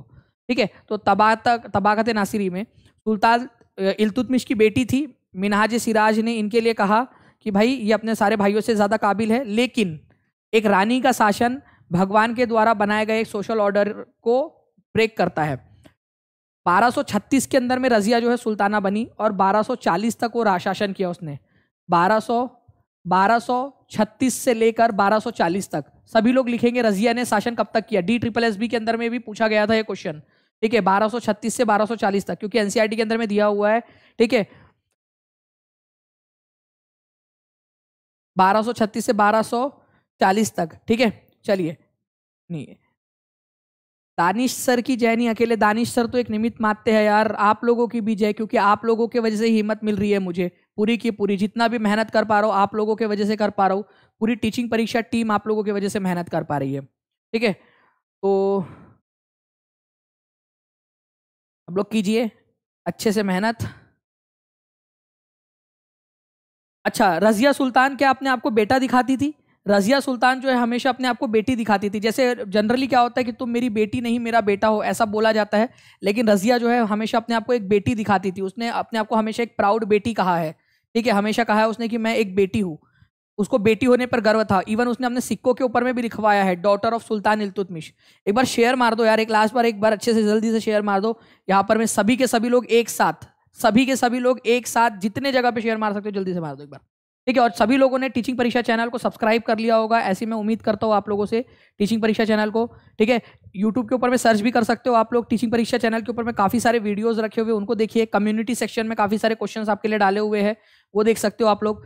दानिश शेख जो Telegram group D A N I S H S H E I K H H इसके ऊपर में मैं आप लोगों को पीडीएफ भी प्रोवाइड करूँगा। तो जितने भी लोग हैं, वो सारे के सारे टीचिंग परीक्षा दानिश एक टेलीग्राम ग्रुप पे और टीचिंग परीक्षा टेलीग्राम ग्रुप, जो कि आपको डिस्क्रिप्शन में दिया हुआ होगा, उसके ऊपर में आप लोग जुड़ सकते हो। टीचिंग परीक्षा टेलीग्राम ग्रुप और दानिश एक टेलीग्राम ग्रुप दोनों के ऊपर में आप लोग जुड़ जाइए, वहाँ पर मैं पीडीएफ डाल दूँगा आप लोगों के लिए। ठीक है? तो डॉटर ऑफ़ सुल्तान इल्तुतमिश इसने बोला अपने आप को, लेकिन रानी रुद्रमा देवी जो थी उन्होंने अपने आप को क्या किया है? काकटिया वंश की रानी थी रुद्रमा देवी वारंगल की का, काकटिया वंश की रानी थी उन्होंने अपने आप को पुरुष की तरह दिखाया है। देखो फ़र्क क्या है? रजिया ने अपने आप को महिला दिखाया कि मैं एक महिला हूँ और रुद्रमा देवी ने अपने आप को पुरुष की तरह दिखाया। तो रजिया ने अपने आप को पुरुष की तरह दिखाया क्या? नहीं। ये याद रखना आप लोगों ने उसने अपने आप को पुरुष की तरह नहीं दिखाया। ये थोड़ा सा आप लोगों का एक इंपॉर्टेंट पॉइंट है जो आप लोग याद रखोगे ऐसी मैं उम्मीद करता हूँ यहाँ पर मैं। ठीक है? एक और थी, देखो ध्यान से समझना आप लोग। एक और क्वीन थी जिसका नाम था दिद्दा। ये एग्ज़ाम के अंदर में आ सकता है आप लोगों का, ध्यान से समझिए आप लोग इंपॉर्टेंट है। सभी लोग एकदम ध्यान से देखेंगे यहाँ पर मैं। पूरा पूरा फोकस यहाँ पर मैं करो, जल्दी जल्दी से आप सभी लोग, ठीक है? तो देखिए यहाँ पर मैं दिद्दा जो है फ्रेंड्स ये कश्मीर की रानी थी। कहा की रानी थी? दिद्दा, पूछा जा सकता है आप लोगों से। दिद्दा का मतलब होता है बड़ी सिस्टर दिद्दा, दीदी, दिद्दा, उसी से बना है, बड़ी बहन। तो प्यार से जो उसकी प्रजा थी, उनको दिद्दा कहती थी। तो इतना प्यार करती थी प्रजा उनसे। जैसे आप लोग करते हो ना अपने दानिश सर से प्यार वैसे ही ये लोग जो है अपने रानी से, अपने जो है क्वीन से प्यार करते थे लोग, दिद्दा बोलते थे उनको। ठीक है? ये याद रखना है आप लोगों ने। दिद्दा, कश्मीर की रानी थी, ये भी याद रखना है आप लोगों ने। नाउ फ्रेंड्स नेक्स्ट क्वेश्चन आप लोगों का, देखिए यहाँ पर मैं कौन सा वाला मेल नहीं खाता? एक दो दो हज़ार तेईस का मतलब कि आप लोगों का एक हज़ार तेईस को पूछा था आप लोग का? ठीक है? जल्दी से बताइए आप लोग, इसका आंसर क्या होगा आपका? निम्नलिखित में से कौन मेल नहीं खा रहा है? खजुराहो जो है, वो चंदेला राजवंश ने बनवाया था, खजुराहो के टेम्पल्स एहोल के जो टेम्पल्स है एहोल खजुराहो मध्य प्रदेश में है। चलो मैं बताता भी चलता हूँ साथ साथ में आपको। एहोल कर्नाटक में है, कर्नाटका के अंदर में। चालुक्य लोगों ने बनाया था। कांचीपुरम तमिलनाडु के अंदर में है आप लोगों का। ठीक है, पल्लव लोगों ने बनाया था। महाबलीपुरम जो है आप लोगों का, ये तमिलनाडु के अंदर में ही है आप लोगों का, और ये बोल रहा है चोला लोगों ने बनाया था। तो महाबलीपुरम ठीक है, महाबलीपुरम। कांचीपुरम तो पल्लव लोगों की राजधानी थी, लेकिन जो महाबलीपुरम जो है ना फ्रेंड्स ये भी पल्लव लोगों ने ही बनाया था। ठीक है, पल्लव पल्लव लोगों ने ही बनाया था, पल्लव लोगों ने, ये याद रखना है आप लोगों ने, पल्लव लोगों ने। ठीक है, ना कि चोलाज ने। तो आंसर इसका आपका ऑप्शन नंबर डी हो जाएगा, और यहाँ पर मैं आप लोगों से बोला है कि कौन सा वाला मेल नहीं खा रहा है। तो आप लोग याद रखेंगे कि खजुराहो के जो मंदिर है वो चंदेला लोगों ने बनाए हैं। चंदेला लोगों ने जो है फ्रेंड्स एक और चीज़ आप लोगों को बताना चाहूँगा यहाँ पर मैं, ठीक है? आप लोगों का जो चंदेला वंश के जो राजा थे, उन्होंने जो है, यहाँ पर मैं आप लोगों के मध्य प्रदेश छतरपुर के अंदर में, छतरपुर खजुराहो के अंदर में आप लोगों का कंदारिया महादेव टेंपल बनाया है। कंदारिया कंदारिया महादेव टेंपल महादेव, कंदारिया महादेव टेंपल किसने बनाया है? तो कंदारिया महादेव टेंपल चंदेला राजवंश के राजा धंगदेव ने बनवाया था। ठीक है ट्रिपल नाइन के अंदर में, नौ नौ नौ एडी के अंदर में। ओके तो ये भी याद रखना है आप लोगों ने इंपॉर्टेंट है एग्ज़ाम के अंदर में आप लोगों से पूछा जा सकता है। ठीक है नेक्स्ट पॉइंट की तरफ़ में आगे बढ़ते हैं फ्रेंड्स आप लोगों के। यहाँ पर मैं आप लोग देख सकते हो, पूरा का पूरा आप लोगों को दिया हुआ है किस क्षेत्र में भूस्वामियों को विल्लालर कहा जाता था, विल्लालर। विल्लालर का मतलब होता है फ्रेंड्स की तीन राजाओं, ठीक है विल्लालर भूस्वामियों को कहा जाता था। महाराष्ट्र रीजन में, तमिल रीजन में पंजाब रीजन में या बंगाल रीजन में। वेल्लालर मतलब होता था फ्रेंड्स आप लोगों का एक उपाधि। एक उपाधि थी, वेल्लालर उपाधि थी, जिसका मतलब होता था भूस्वामी या फिर बॉस टाइप का। तो जो गाँव में टैक्स इकट्ठा करने वाले बड़े बड़े किसान थे ना, जो उस गाँव से टैक्स इकट्ठा करके फिर राजा तक पहुंचाते थे, ठीक है बड़े बड़े किसान, तमिल रीजन के अंदर में, चोला काल के समय में, उसको वेल्लालर कहा जाता था। तो विल्लालर जो है बड़े बड़े लैंड ओनर्स हुआ करते थे large large land owners Vellalar. जो ऑर्डिनरी प्लफमैन थे जो साधारण हलवाहक थे उनको उझावर कहा जाता था। और जो बेचारे गरीब लोग थे जिनके पास में ज़मीन नहीं थी दूसरों के खेत में का, काम करते थे दक्षिण भारत में उनको कड़ई सियार या अधिमाई कहते थे। अधिमाई तमिल क्षेत्र के अंदर में। नीचे की बात कर रहा हूँ मैं आप लोगों से। ठीक है? तो large land owner Tamil region में साउथ इंडिया में बड़े बड़े किसानों को विल्लालर कहते थे ऑर्डिनरी लोगों को उझावर कहते थे ऑर्डिनरी प्लफमैन जो साधारण किसान छोटे खेत वाले किसानों को। और जो दूसरों के खेत में काम करते थे, मजदूर लोग, उनको कड़ाई सियार या अधिमाई कहा जाता था। इंपॉर्टेंट वाले पॉइंट है जो आप लोगों से एग्ज़ाम के अंदर में कभी भी पूछे जा सकते हैं तो इसके लिए आप लोगों ने रेडी रहना है फ्रेंड्स ठीक है? चलिए तो ये आप लोगों का एक पॉइंट था, आप लोगों का निम्नलिखित में से कौन सी रचना सूरदास द्वारा संकलित नहीं है? देखिए, सूरदास जी जो है फ्रेंड्स आप लोगों को याद रखना है। ठीक है? सूरदास जी, ठीक है, ये कृष्ण भक्त थे। कृष्णा की भक्ति इन्होंने की है और कृष्ण भक्ति के अंदर में इन्होंने काफ़ी सारे जो है जो ग्रंथ है, उनकी उन्होंने रचना की है। तो सूरदास जी की अगर मैं रचनाओं की बात करूँ तो कृष्ण भक्त थे, उन्होंने सूर सागर लिखा है, सूर सागर। सूर सरावली उन्होंने लिखा है, साहित्य लहरी इन्होंने लिखा है, ठीक है? लेकिन फ्रेंड्स, इन्होंने यहाँ पर में साहित्य रत्न नाम की कोई पुस्तक उन्होंने सच नहीं लिखी है। सूर सागर, सूर सरावली और साहित्य लहरी, ये। अच्छा सूरदास जी जो है, ये ब्लाइंड भी थे, ये भी याद रखना आप लोगों ने, ये देख नहीं पाते थे। इन्होंने कृष्ण जी को जो है, वो इमेजिन किया था, ठीक है? तो ये याद रखेंगे सूरदास जी सूर सागर सूर सरावली और साहित्य लहरी। तो साहित्य लहरी, ये भी याद रखना है आप लोगों ने, साहित्य लहरी, सूरदास जी की रचना है, कृष्ण भक्त थे ये। निम्नलिखित में से किस भाषा में केसरी अखबार छपता था? तो केसरी अखबार जो है वो आप लोगों को आंसर दिख दिख गया है, जहाँ तक मुझे लग रहा है आप लोगों को आंसर दिख गया है। तो केसरी अखबार जो है फ्रेंड्स, आप लोगों का ये छपता था मराठी भाषा के अंदर में, और किसने छापा था ये अखबार? तो आपको याद रखना है बाल गंगाधर तिलक, बाल गंगाधर तिलक ने इसको छापा था। ये आपका डी ट्रिपल एस बी के अंदर में आया था कि केसरी अखबार जो है वो किसने, कौन इसके संपादक थे? तो बाल गंगाधर तिलक उसका आंसर था, केसरी भाषा के। ये भी आप लोग याद रख सकते थे। ठीक है, चलिए। तो सूरदास जी की रचनाएँ आप लोग कमेंट में लिख दीजिए। सूर सागर, सूर सरावली सूर सरावली और साहित्य लहरी। देखो एग्ज़ाम में एलिमिनेट करने में क्या काम आएगा आप लोगों का? ठीक है तो मराठी भाषा के अंदर में था इनका, ये आपका उर्दू नहीं है। हाँ मराठी मराठी, वो ऊपर चला गया। मराठी भाषा के अंदर में था, ये याद रखना है आप सभी लोगों ने। Answer is option number C ठीक है? तो केसरी और मराठा, ये दो अखबार निकाले थे। केसरी नाम का अखबार जो था, वो मराठी भाषा के अंदर में था, ठीक है? ये भी याद रख सकते हो आप लोग। उसके बाद में जो है फ्रेंड्स आपको बताना कि आंध्र प्रदेश के क्षेत्र में वंदे मातरम आंदोलन को किस नाम से जाना जाता था? ठीक है? मतलब बेसिकली आंध्र क्षेत्र में वंदे मातरम आंदोलन था, ठीक है? वो किस आंदोलन को को बोल रहे हैं यहाँ पर में? वंदे मातरम आंदोलन। तो वंदे मातरम आंध्र क्षेत्र में बोलते थे, किस आंदोलन को? स्वदेशी आंदोलन को। आपको पता होना चाहिए फ्रेंड्स, यहाँ पर में, कि 1905 में बंगाल का विभाजन हो गया। बंगाल विभाजन, बंगाल का जो है वो विभाजन हुआ। उसके विरोध में हम लोगों ने कौन सा आंदोलन चलाया था? इसके विरोध में, इसके इसके विरोध में जो है फ्रेंड्स, आप लोगों ने याद रखना है, हम लोगों ने चलाया था स्वदेशी आंदोलन स्वदेशी आंदोलन। स्वदेशी आंदोलन चलाया था हम लोगों ने। इस आंदोलन को अलग अलग इलाकों में अलग अलग नाम से जाना जाता था। आंध्रा का जो डेल्टाइक वाला इलाका है, ये वाला इलाका, ये याद रखना है आप लोगों ने, इस वाले इलाके में इसको वंदे मातरम आंदोलन बोलते थे। वंदे मातरम आंदोलन बोला जाता था, वंदे मातरम आंदोलन बोलते थे इसको, वंदे मातरम आंदोलन। वही वाली बात है यहाँ पर में कि डेल्टाइक आंध्रा के इलाके में इसको वंदे मातरम आंदोलन के नाम से जाना जाता था। आप लोगों को बताना है कि निम्नलिखित में से किस एक्ट से भारतीय संविधान द्वारा काफ़ी संख्या में प्रावधान लिए गए हैं? हमारे भारत का संविधान जो है फ्रेंड्स सीटेड 2022 के अंदर में आया था क्वेश्चन हमारे भारत का संविधान जो है, आप लोगों ने याद रखना है कि उन्नीस सौ छियालीस, ठीक है दिसंबर 1946 से लेकर, ठीक है 1949 नवंबर तक बनता रहा, ठीक है करीब करीब जो है तीन साल का समय लगा इसको, ठीक है, दो साल, ग्यारह महीने, अठारह दिन. तो उसमें ज़्यादातर जो प्रावधान है वो आप लोगों के गवर्नमेंट ऑफ़ इंडिया एक्ट 1935 जो अंग्रेज़ों ने कानून बनाया था ना, उसी में से लिए गए हैं. ठीक है? ये याद रखना है। तो गवर्नमेंट ऑफ़ इंडिया एक्ट 1935 में से ज़्यादातर प्रावधान लिए गए हैं। ये डायरेक्ट क्वेश्चन बनेगा आप लोगों का एग्ज़ाम के अंदर में।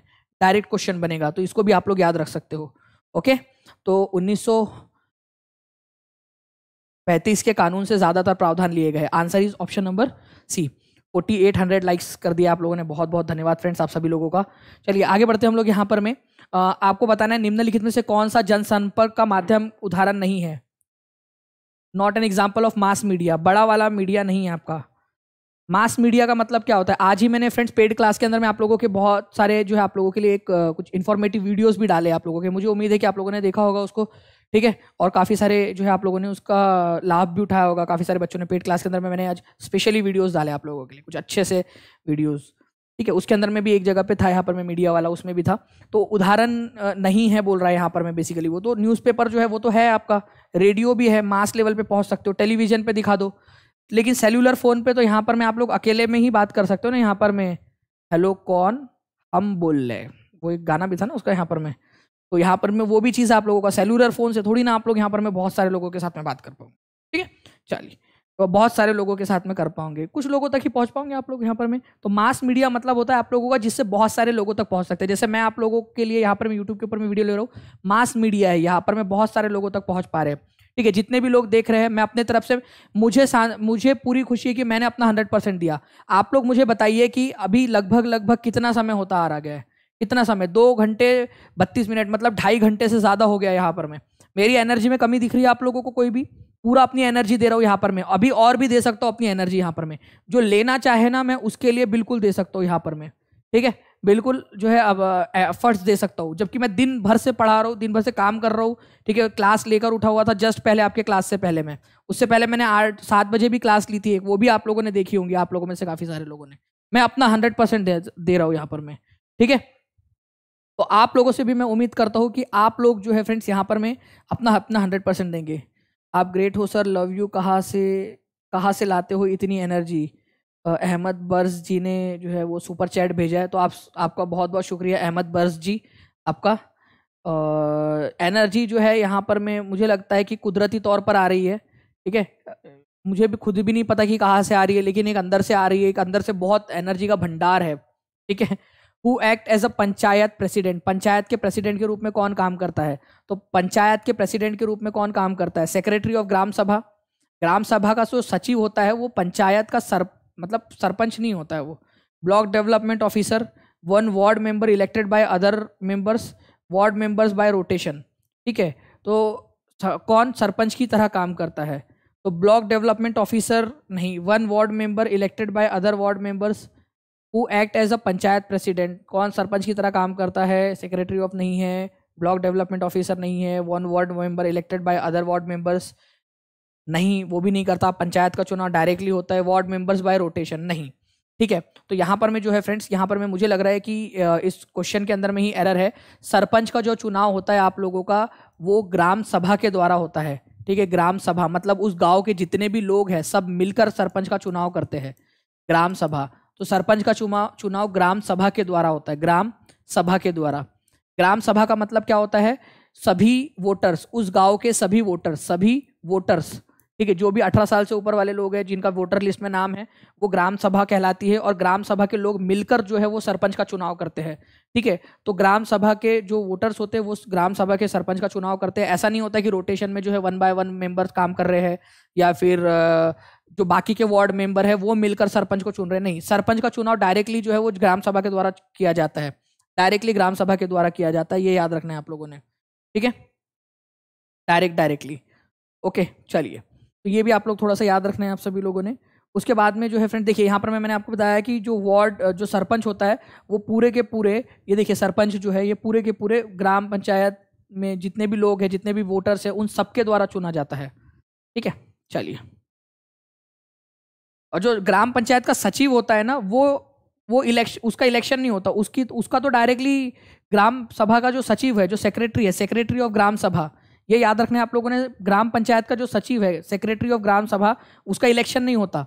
इसका इलेक्शन नहीं होता। आप लोगों ने अगर मान लो जी, वो पिच, वो मूवी देखी है कि कितने कितने लोगों ने देखी है यहाँ पर में? ठीक है? पंचायत करके एक वेब सीरीज़ आई थी। उसमें ग्राम सभा का सचिव दिखाया गया उसमें। वो सरकारी अधिकारी होता है, सरकारी जॉब निकलती है, वो फॉर्म भरना पड़ता है और उससे आप करते हो। और फ्रेंड्स, आप लोगों को बता दूँ कि टीचिंग परीक्षा ने आप लोगों के लिए पीईटी का कोर्स भी निकाला है, जिससे आप लोग ग्राम सभा के सचिव बन सकते हो, बीडीओ बन सकते हो, आप लोग पीईटी एग्ज़ाम क्लियर करके। ठीक है तो इंडिपेंडेंस सेल जो चल रही है ना, इंडिपेंडेंस वीक वाली जो सेल चल रही है आप लोगों की, उसके अंदर में आप लोग इसका फ़ायदा उठा सकते हो आप लोग पीईटी, यूपी पीईटी का और सारे अदर स्टेट्स के लोग भी एलिजिबल है उसके अंदर में। तो यूपी पीईटी आप टीचिंग परीक्षा ऐप पर जाकर देखोगे, आप लोगों को मिल जाएगा। ठीक है? तो वो देना ज़रूरी होता है, उसके बाद में ही आप कोई और एग्ज़ाम दे सकते हो। तो यूपी पीईटी देने के बाद में जितने भी बच्चे उन लोगों को ग्राम पंचायत के सचिव बीडीओ एसआई इन सारी चीज़ों की भी तैयारी करवाई जाएँगी, ताकि सारे के सारे बच्चों को जॉब यहाँ पर में दिलवाई जा सके आप लोगों को। ओके और जैसे मेहनत कर रहे हैं, वैसे बिल्कुल मेहनत करते रहेंगे। तो ग्राम पंचायत का जो सचिव होता है, या ग्राम सभा का जो सचिव होता है, उसका इलेक्शन नहीं होता। उसकी अपॉइंटमेंट होती है। कौन करता है अपॉइंटमेंट जल्दी से कमेंट करके बताओ आप लोग यहाँ पर में। ठीक है? ओके तो जल्दी से बताओ यहाँ पर मैं ग्राम सभा के सचिव की नियुक्ति कौन करता है? तो ग्राम सभा के सचिव की जो नियुक्ति है फ्रेंड्स, ये याद रखना है आप लोगों ने, गवर्नमेंट के द्वारा की जाती है, सरकार के द्वारा की जाती है। ठीक है? ये याद रखना है आप लोगों ने इंपॉर्टेंट पॉइंट है आप लोगों का। पटवारियों के कार्यों की देखभाल निम्नलिखित में से कौन करता है? तो पटवारी कौन होते हैं? तो पटवारी जो है फ्रेंड्स, आप लोगों को याद रखना है, इनका काम होता है भूमि मापन करना, भूमि को नापना। तो भूमि मापन का काम इनका होता है, भूमि मापन का काम इनका होता है, मापन का, भूमि मापन का काम इनका होता है, ये याद रखेंगे आप लोग, भूमि मापन का काम होता है। उसका लेखा जोखा भी रखना होता है लेखा जोखा ठीक है लेखा जोखा जो है उसका संभाल के रखना होता है उनको। तो भूमि मापन और उसका लेखा जोखा रखने का काम पटवारी का है। पटवारी के ऊपर में देखरेख कौन करता है? तो तहसील, उस तहसील, जिस भी तहसील में वो पटवारी काम कर रहा है, उस तहसील का तहसीलदार अब देखो क्या होता है ना, जो हमारा डिस्ट्रिक्ट है, जो ज़िला है, उसको छोटे छोटे तहसील में बांटा जाता है। और हर तहसील का एक तहसीलदार होता है। पूरे के पूरे ज़िले का ज़िला अधिकारी होता है और हर छोटे छोटे तहसील का तहसीलदार होता है। तो तहसील जो होती है आप लोगों की, उसका तहसीलदार जो है, वो पटवारियों पर नज़र रखता है। ये बहुत ही फ़ेमस क्वेश्चन है फ्रेंड्स एग्ज़ाम में पूछा जाता है। पटवारी का काम क्या है? मेन काम। पटवारी का काम है भूमि मापन और लेखा जोखा रखना उसका। इसके अलावा मैं अगर आप लोगों से बात करूँ इस पर्टिकुलर क्वेश्चन की तो इस पर्टिकुलर पॉइंट के अंदर में आप लोगों ने ये याद रखना है कि जो आ, आप लोगों का पटवारी है उसको लेखपाल या फिर कनुंगो भी कहा जाता है। कनुंगो ठीक है? कनुंगो कनुंगो भी कहते हैं इसको कई इलाकों के अंदर में। तो लेखपाल पटवारी कनुंगो ये एक ही बात है आप लोगों की। ये थोड़ा सा इसको ध्यान रखना है आप लोगों ने। ठीक है अलग अलग नाम से इसको जाना जाता है, कर्मचारी भी बोलते हैं इसको। इस क्वेश्चन का आंसर कीजिए which one of the following is not a fundamental right कौन सा वाला फंडामेंटल राइट नहीं है? तो फंडामेंटल राइट नहीं है, कौन सा वाला ये आप लोगों ने बताना है। ठीक है, एक बार लाइक एंड शेयर कर दो यार, जल्दी से साढ़े अड़तालीस सौ लाइक्स हो चुके हैं, पाँच हज़ार लाइक्स के बहुत पास में हैं हम लोग तो मुझे उम्मीद है कि वो भी आप लोग यहाँ पर मैं इसको कर दोगे। ठीक है जल्दी जल्दी से बताइए इसका आंसर क्या होगा आप लोगों का। तो अगर मैं यहाँ पर मैं बात करूँ, निम्नलिखित में से कौन सा मौलिक अधिकार नहीं है? Right to freedom of religion धार्मिक स्वतंत्रता का अधिकार राइट टू कॉन्स्टिट्यूशनल रेमेडी संवैधानिक उपचार का अधिकार, संपत्ति का अधिकार या प्रारंभिक शिक्षा ग्रहण करना। तो देखिए friends right to freedom of religion आपका आर्टिकल नंबर 25 से लेकर 28 तक दिया गया है और ये फंडामेंटल राइट right है आपका। राइट टू कॉन्स्टिट्यूशनल रेमेडी आपका आर्टिकल नंबर 32 में दिया है कोर्ट जाने का अधिकार, ये भी फंडामेंटल राइट right है। Elementary education article number 21 A आपका, ये फंडामेंटल राइट right है, जो बाद में अभी बना दिया गया आपका। राइट टू प्रॉपर्टी पहले फंडामेंटल राइट था अब ये आपका लीगल राइट है 300 ए में डाल दिया गया आप लोगों का अब उसको। पहले था, अब हटा दिया गया है, चौवालीसवें संविधान संशोधन के ज़रिए। पहले था, अब नहीं है ये फंडामेंटल राइट आप लोगों का। ये याद रखना है आप लोगों ने, ठीक है? तो आर्टिकल नंबर चौदह से लेकर अठारह तक आपके समानता का अधिकार है। मान लीजिए कि आपके साथ में जो है वो छुआछूत हो रही है, ठीक है? आप लोगों को, आप आप छोटी जाति से हो, ये बोलकर आपको मंदिर में नहीं आने दिया जा रहा है या आपको मूवी देखने के लिए थिएटर में नहीं जाने दिया जा रहा, वगैरह वगैरह। तो आर्टिकल नंबर सत्रह जो है, ये आप लोगों का अनटचेबिलिटी को अनटचेबिलिटी जो है, उसको एबॉलिश करता है। तो अगर अनटचेबिलिटी हो रही है आपके साथ में तो आपका कौन से वाले अधिकार का हनन हो रहा है? जल्दी बताओ, ये यूपीएससी में भी आया हुआ था क्वेश्चन और सीटेट में भी आ चुका है, ठीक है? तो समानता का अधिकार का हनन हो रहा है, क्योंकि समानता का अधिकार चौदह से लेकर अठारह तक के समानता के अधिकार है आप लोगों के, ठीक है? ये याद रखना है आप लोगों ने। इसके अलावा जो है, अगर मैं बात करूँ आप लोगों से फ्रेंड्स कि आपका कोई एक राज्य है मान लीजिए कि आप जो है वो भी, आप मान लो फॉर एग्ज़ाम्पल एग्ज़ाम्पल क्या आपको पता है कि आप बिहार से हो या बिहार से हो और महाराष्ट्र में जाकर आप काम करना चाहते हो। यहाँ के राजनेता जो है वो आपको भगा रहे आपको आने नहीं दे रहे, बोलते कि जाओ अपने राज्य में जाओ। तो कौन से अधिकार का हनन हो रहा है आपका? आपका जो है स्वतंत्रता के अधिकार का हनन हो रहा है। क्योंकि आर्टिकल नंबर 19 जो है आप लोगों का, ये क्या कहता है? आर्टिकल नंबर 19 कहता है कि आप भारत के किसी भी कोने में जाकर बस सकते हो, वहाँ पर में व्यापार कर सकते हो, कामकाज अपना शुरू कर सकते हो। तो भारत के किसी भी क्षेत्र में बसने का, वहाँ रहने का अधिकार आपको है। तो अगर कोई राजनेता आपके साथ में ऐसा करता है, अपने राज्य के अंदर में आपको नहीं आने देता है तो ऐसे केस के अंदर में आपका स्वतंत्रता के अधिकार का हनन हो रहा है। ठीक है? स्वतंत्रता के अधिकार का हनन हो रहा है। अब एक और क्वेश्चन एक और ऑप्शन एक और लेता हूँ मैं यहाँ पर। मैं ये दो चीज़ समझ में आ गई ना आप लोगों को? नहीं समझ आई होंगी तो वापस से देखना इसको, ठीक है? ये वापस से देखना, ये बहुत इंपॉर्टेंट चीज़ बता रहा हूँ। आपको तीन दो क्वेश्चन हो गए यहाँ पर मैं। मान लीजिए कि आप जो है फॉर एग्ज़ाम्पल मान लीजिए कि आप कलकत्ता में जाकर आप बंगाल में जाकर पंजाबी भाषा की स्कूल खोलना चाहते हो। पंजाबी भाषा की स्कूल खोलना चाहते हो, बंगाल में जाकर, बंगाल में जाकर। तो आपको पंजाबी भाषा की स्कूल नहीं खोलने दिया जा रहा है। तो आपके कौन से अधिकार का हनन हो रहा है? देखो, बंगाल में पंजाबी भाषा माइनॉरिटी है, अल्पसंख्यक है, ठीक है? उसकी संख्या कम है। तो पंजाबी भाषा अल्पसंख्यक होने के कारण यहाँ अधिकार है आप लोगों को कि भाई यहाँ पर में इस एरिया के अंदर में आप अपनी संस्कृति को बचाने के लिए स्कूल खोल लो। एजुकेशनल इंस्टीट्यूशन खोलिए वहाँ पर में आप लोग। ये पूरा का पूरा अधिकार आप लोगों को यहाँ पर में मिला हुआ है। तो अगर वहाँ पर में आपको रोका जाता है तो आपके सांस्कृतिक और शैक्षिक शिक्षा के अधिकार शैक्षणिक अधिकार, शिक्षा नहीं है, ये शैक्षणिक अधिकार होना चाहिए था आपका educational right cultural and educational right इसका आनंद हो रहा है।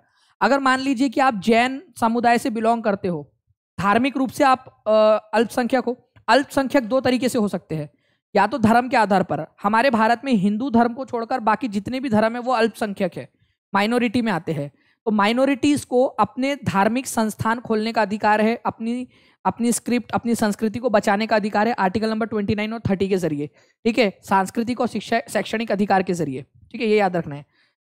दूसरी तरह की माइनॉरिटी होती है भाषा के आधार पर। अगर कोई तमिल वाला पर्सन उत्तर प्रदेश में जाकर स्कूल खोलने की अनुमति माँगता है और उसको वो अनुमति मिल जाती है तो उसको कौन सा अधिकार दिया आपने? सांस्कृतिक और शैक्षणिक अधिकार दिया है, क्योंकि माइनॉरिटीज को अपनी भाषा को प्रोटेक्ट करने के लिए या अपने कल्चर को प्रोटेक्ट करने के लिए शैक्षणिक संस्थान खोलने का अधिकार है, केवल माइनॉरिटीज को। और माइनॉरिटी कितने प्रकार की होती है? जल्दी से लिखो आप लोग। ठीक है माइनॉरिटीज दो प्रकार की होती है। सभी लोग लिखेंगे, यहाँ पर मैं माइनॉरिटीज आप लोगों की दो प्रकार की होती है। लिखो, सभी लोग लिखो माइनॉरिटीज जो है आप लोगों की दो प्रकार की होती है। एक होती है रिलीजन के आधार पर रिलीजन के आधार पर, और दूसरी माइनॉरिटीज आप लोगों की होती है, दूसरी वाली माइनॉरिटी होती है आप लोगों की भाषा के आधार पर, भाषा के आधार पर, ठीक है? नींद में पढ़ने का पढ़ने का कोई फ़ायदा नहीं तो रीना श्योरान जी, आपसे किसने कहा पढ़ने के लिए? ठीक है? किसने कहा आपको? मतलब आपको बाकी लोगों को डिमोटिवेट करके क्या मिलेगा? ऑब्वियस सी बात है कि आप जाके सोच सकते हो। आप जाइए, कुछ कीजिए यहाँ पर में। ओके चलिए तो ये दो चीज़ें जो थी आपको याद रखना है। अगर ये कोई भी फंडामेंटल राइट का हनन होता है आप लोगों का तो आर्टिकल नंबर 32 के ज़रिए आर्टिकल नंबर 32 के ज़रिए जो है आप लोग क्या कर सकते हो? आप लोग जो है कोर्ट जा सकते हो। ये भी अधिकार आप लोगों को मिला हुआ है। ठीक है? तो इस तरह से जो है फ्रेंड्स आप लोगों की ये सारे के सारे फंडामेंटल राइट्स वाली जो बात थी, वो हम लोगों ने यहाँ पर में की। मैं देखिए, मैंने यहाँ पर, मैं अभी तक कितना समय हमारा हो चुका है, बहुत सारा समय हो गया, मेरे पास में बहुत क्वेश्चन है। मैं आप लोग आप लोग थक जाओगे पढ़ते पढ़ते मैं नहीं थकने वाला, इतने क्वेश्चंस हम लोग हैं यहाँ पर में और इतने क्वेश्चंस हम लोग यहाँ पर में कर सकते हैं। मैं और मेरी टीम पूरी लगी हुई है, मैं सबसे पहले तो यहाँ पर मैं हमारी पूरी जो टीम है बैकेंड की टीम है, उनका बहुत बहुत धन्यवाद करना चाहूँगा कि उन्होंने जो है यहाँ पर में इतना ज़्यादा सपोर्ट किया और टीचिंग परीक्षा की जो टीम है, वो डेडिकेटेड टीम है, बहुत ज़्यादा डेडिकेटेड टीम है टीचिंग परीक्षा की और एक एक बंदा जो होता है ना, वो बिल्कुल अपना हंड्रेड परसेंट यहाँ पर में देता है। एक एक बंदा यहाँ पर में, ठीक है? टीचिंग परीक्षा का। तो ये एक बहुत अच्छी बात है यहाँ की, ठीक है? और, बेबी मोहन जी का एक, सुपर एक सुपर स्टिकर आया है। Thank you baby Maham ji, आपका सुपर स्टिकर के लिए बहुत बहुत शुक्रिया आपका, ठीक है? ये टीचिंग परीक्षा का पहला सुपर स्टिकर है। अच्छा चलिए। Thank you baby Maham ji. तो आप लोगों यहाँ पर मैं देख सकते हो कि हमने सारी मेहनत की है, पूरा का पूरा। मैंने आप लोगों से कहा था कि जब तक आप पढ़ सकते हो, तब तक मैं आपको पढ़ा सकता हूँ। तो काफ़ी सारे लोग हैं, यहाँ पर मैं जो चाहते कि कल पढ़ाया जाए तो मैं ठीक है, कोई इशू नहीं है, कल पढ़ा लेंगे इसको। बाकी टीचिंग परीक्षा चैनल जो है आप लोगों का उसको जो इसको सब्सक्राइब ज़रूर कर लेना। दानिश शेख टेलीग्राम ग्रुप है, उस पर जुड़ जाइए D A N I S H S H E I K H search करेंगे टेलीग्राम पे आपको मिल जाएगा। या फिर टीचिंग परीक्षा टेलीग्राम ग्रुप है उसको ज्वाइन कर लीजिए। टीचिंग परीक्षा ऐप को डाउनलोड कर लो। यहाँ पर मैं भी पीडीएफ आपको मिल जाएगी पढ़ने के लिए ऐप पे। और हो सकेगा तो मैं इसकी टेस्ट भी आप लोगों के लिए बनवा के डाल दूँगा। वो टीचिंग परीक्षा ऐप पर मिलेंगी। तो वो आप लोग कर सकते हो। सभी लोग जितने लोग देख रहे हैं टीचिंग परीक्षा चैनल को सब्सक्राइब ज़रूर कर देंगे। टीचिंग परीक्षा चैनल को सब्सक्राइब ज़रूर कर दीजिए। अपने दोस्तों के साथ में इस सेशन को शेयर कीजिए। कमेंट करके बताइए कि आप लोगों को सेशन कैसा लगा। मेरे पास में हिम्मत है, मैं आप लोगों को और भी पढ़ा सकता हूँ। बहुत सारी चीज़ें मेरे पास में। कितना, जितना आप पढ़ सकते हो, उतना मैं आप लोगों को पढ़ा सकता हूँ। आप लोगों ने देख लिया, अभी भी एनर्जी है, पूरी एनर्जी है, पूरा पढ़ाया जा सकता है। बट बच्चे लोग थक गए हैं, ठीक है? तो आप इसको कीजिए। मैं कल आप लोगों को पैडागोजी करवाने वाला हूँ, ठीक है? पैडागोजी अगर आप लोगों ने पढ़नी है तो मेरे को कमेंट करके ज़रूर बताना कि जी हाँ सर पैडागोजी पढ़ा दीजिए। और टीचिंग परीक्षा चैनल के ऊपर में जाकर पैडागोजी का सेशन भी ज़रूर देख लेना है आप लोगों ने कल। तो टीचिंग परीक्षा चैनल को सब्सक्राइब कर लो सबसे पहले तो और अंदर में आकर आप लोगों ने पैडागोजी का सेशन भी देख लेना है। पूरी की पूरी पैडागोजी भी आप लोगों को करवा दूँगा अच्छे से, ठीक है? ताकि आप लोगों का अच्छा पूरा का पूरा आपका कवर हो जाए। ओके चलिए, बाकी मिलते हैं हम लोग हमारे नेक्स्ट लेक्चर के अंदर में फ्रेंड्स ठीक है? जो बचा हुआ है वो भी कोशिश करूँगा कि आप लोगों को करा दूँ. मैं मैं करवा सकता हूँ, मैं सुबह पाँच बजे तक भी पढ़ा सकता हूँ आपको. बस पढ़ने वाले बच्चे चाहिए होते हैं मेरे को. ओके और आपको बता दूँ फ्रेंड्स कि आपके पेपर वाले दिन, ठीक है? पेपर वाले दिन सबसे फास्ट सबसे सटीक, सबसे पहले जो आप लोगों का आंसर की मिलेंगी आप लोगों को और जो एनालिसिस मिलेगा वो टीचिंग परीक्षा पे मिलेगा. तो जैसे ही सेंटर से बाहर आते हो और आप लोग जानना चाहते हो कि आपने कौन सा क्वेश्चन सही किया, कौन सा गलत किया, क्या है आपका तो आप लोग जो है टीचिंग परीक्षा चैनल के ऊपर में आइए। टीचिंग परीक्षा चैनल के ऊपर में सबसे सटीक आंसर की आप लोगों को यहाँ पर में मिल जाएँगी सबसे फास्ट ओके चलिए, बिल्कुल। मिलते हम लोग हमारे यहाँ पर में नेक्स्ट लेक्चर के अंदर में। जी, बिल्कुल, मोहम्मद नदीम जी, बिल्कुल पास हो जाएँगे आप, आराम से। टीचिंग परीक्षा के ऊपर में जितने भी लेक्चर मेरे रखे हुए टीचिंग परीक्षा चैनल के अंदर में जाइए और टीचिंग परीक्षा पे देख सकते हो आप पूरा। Danish sir and teaching Pariksha team को हमारी तरफ़ से thank you thank you Sarita ji. Thank you very much चलिए, मिलते हैं हम लोग हमारे नेक्स्ट लेक्चर में। बहुत सारे लोग दिख रहे हैं। Danish sir thank you Danish sir thank you Danish sir thank you तो मैं भी आप लोगों से कहना चाहूँगा, बच्चों, आप सभी का भी बहुत बहुत धन्यवाद। मिलते हैं हमारे नेक्स्ट लेक्चर में। तब तक के लिए thank you very much friends take care and bye God bless you all वो टेलीग्राम ग्रुप दानिश शेख और टीचिंग परीक्षा ज्वाइन कर लेना। टीचिंग परीक्षा ऐप डाउनलोड कर लो गूगल प्ले स्टोर से। ठीक है? आप लोगों को मिल जाएगी सारी चीज़ें। चलो thank you very much take care and bye God bless you all thank you friends bye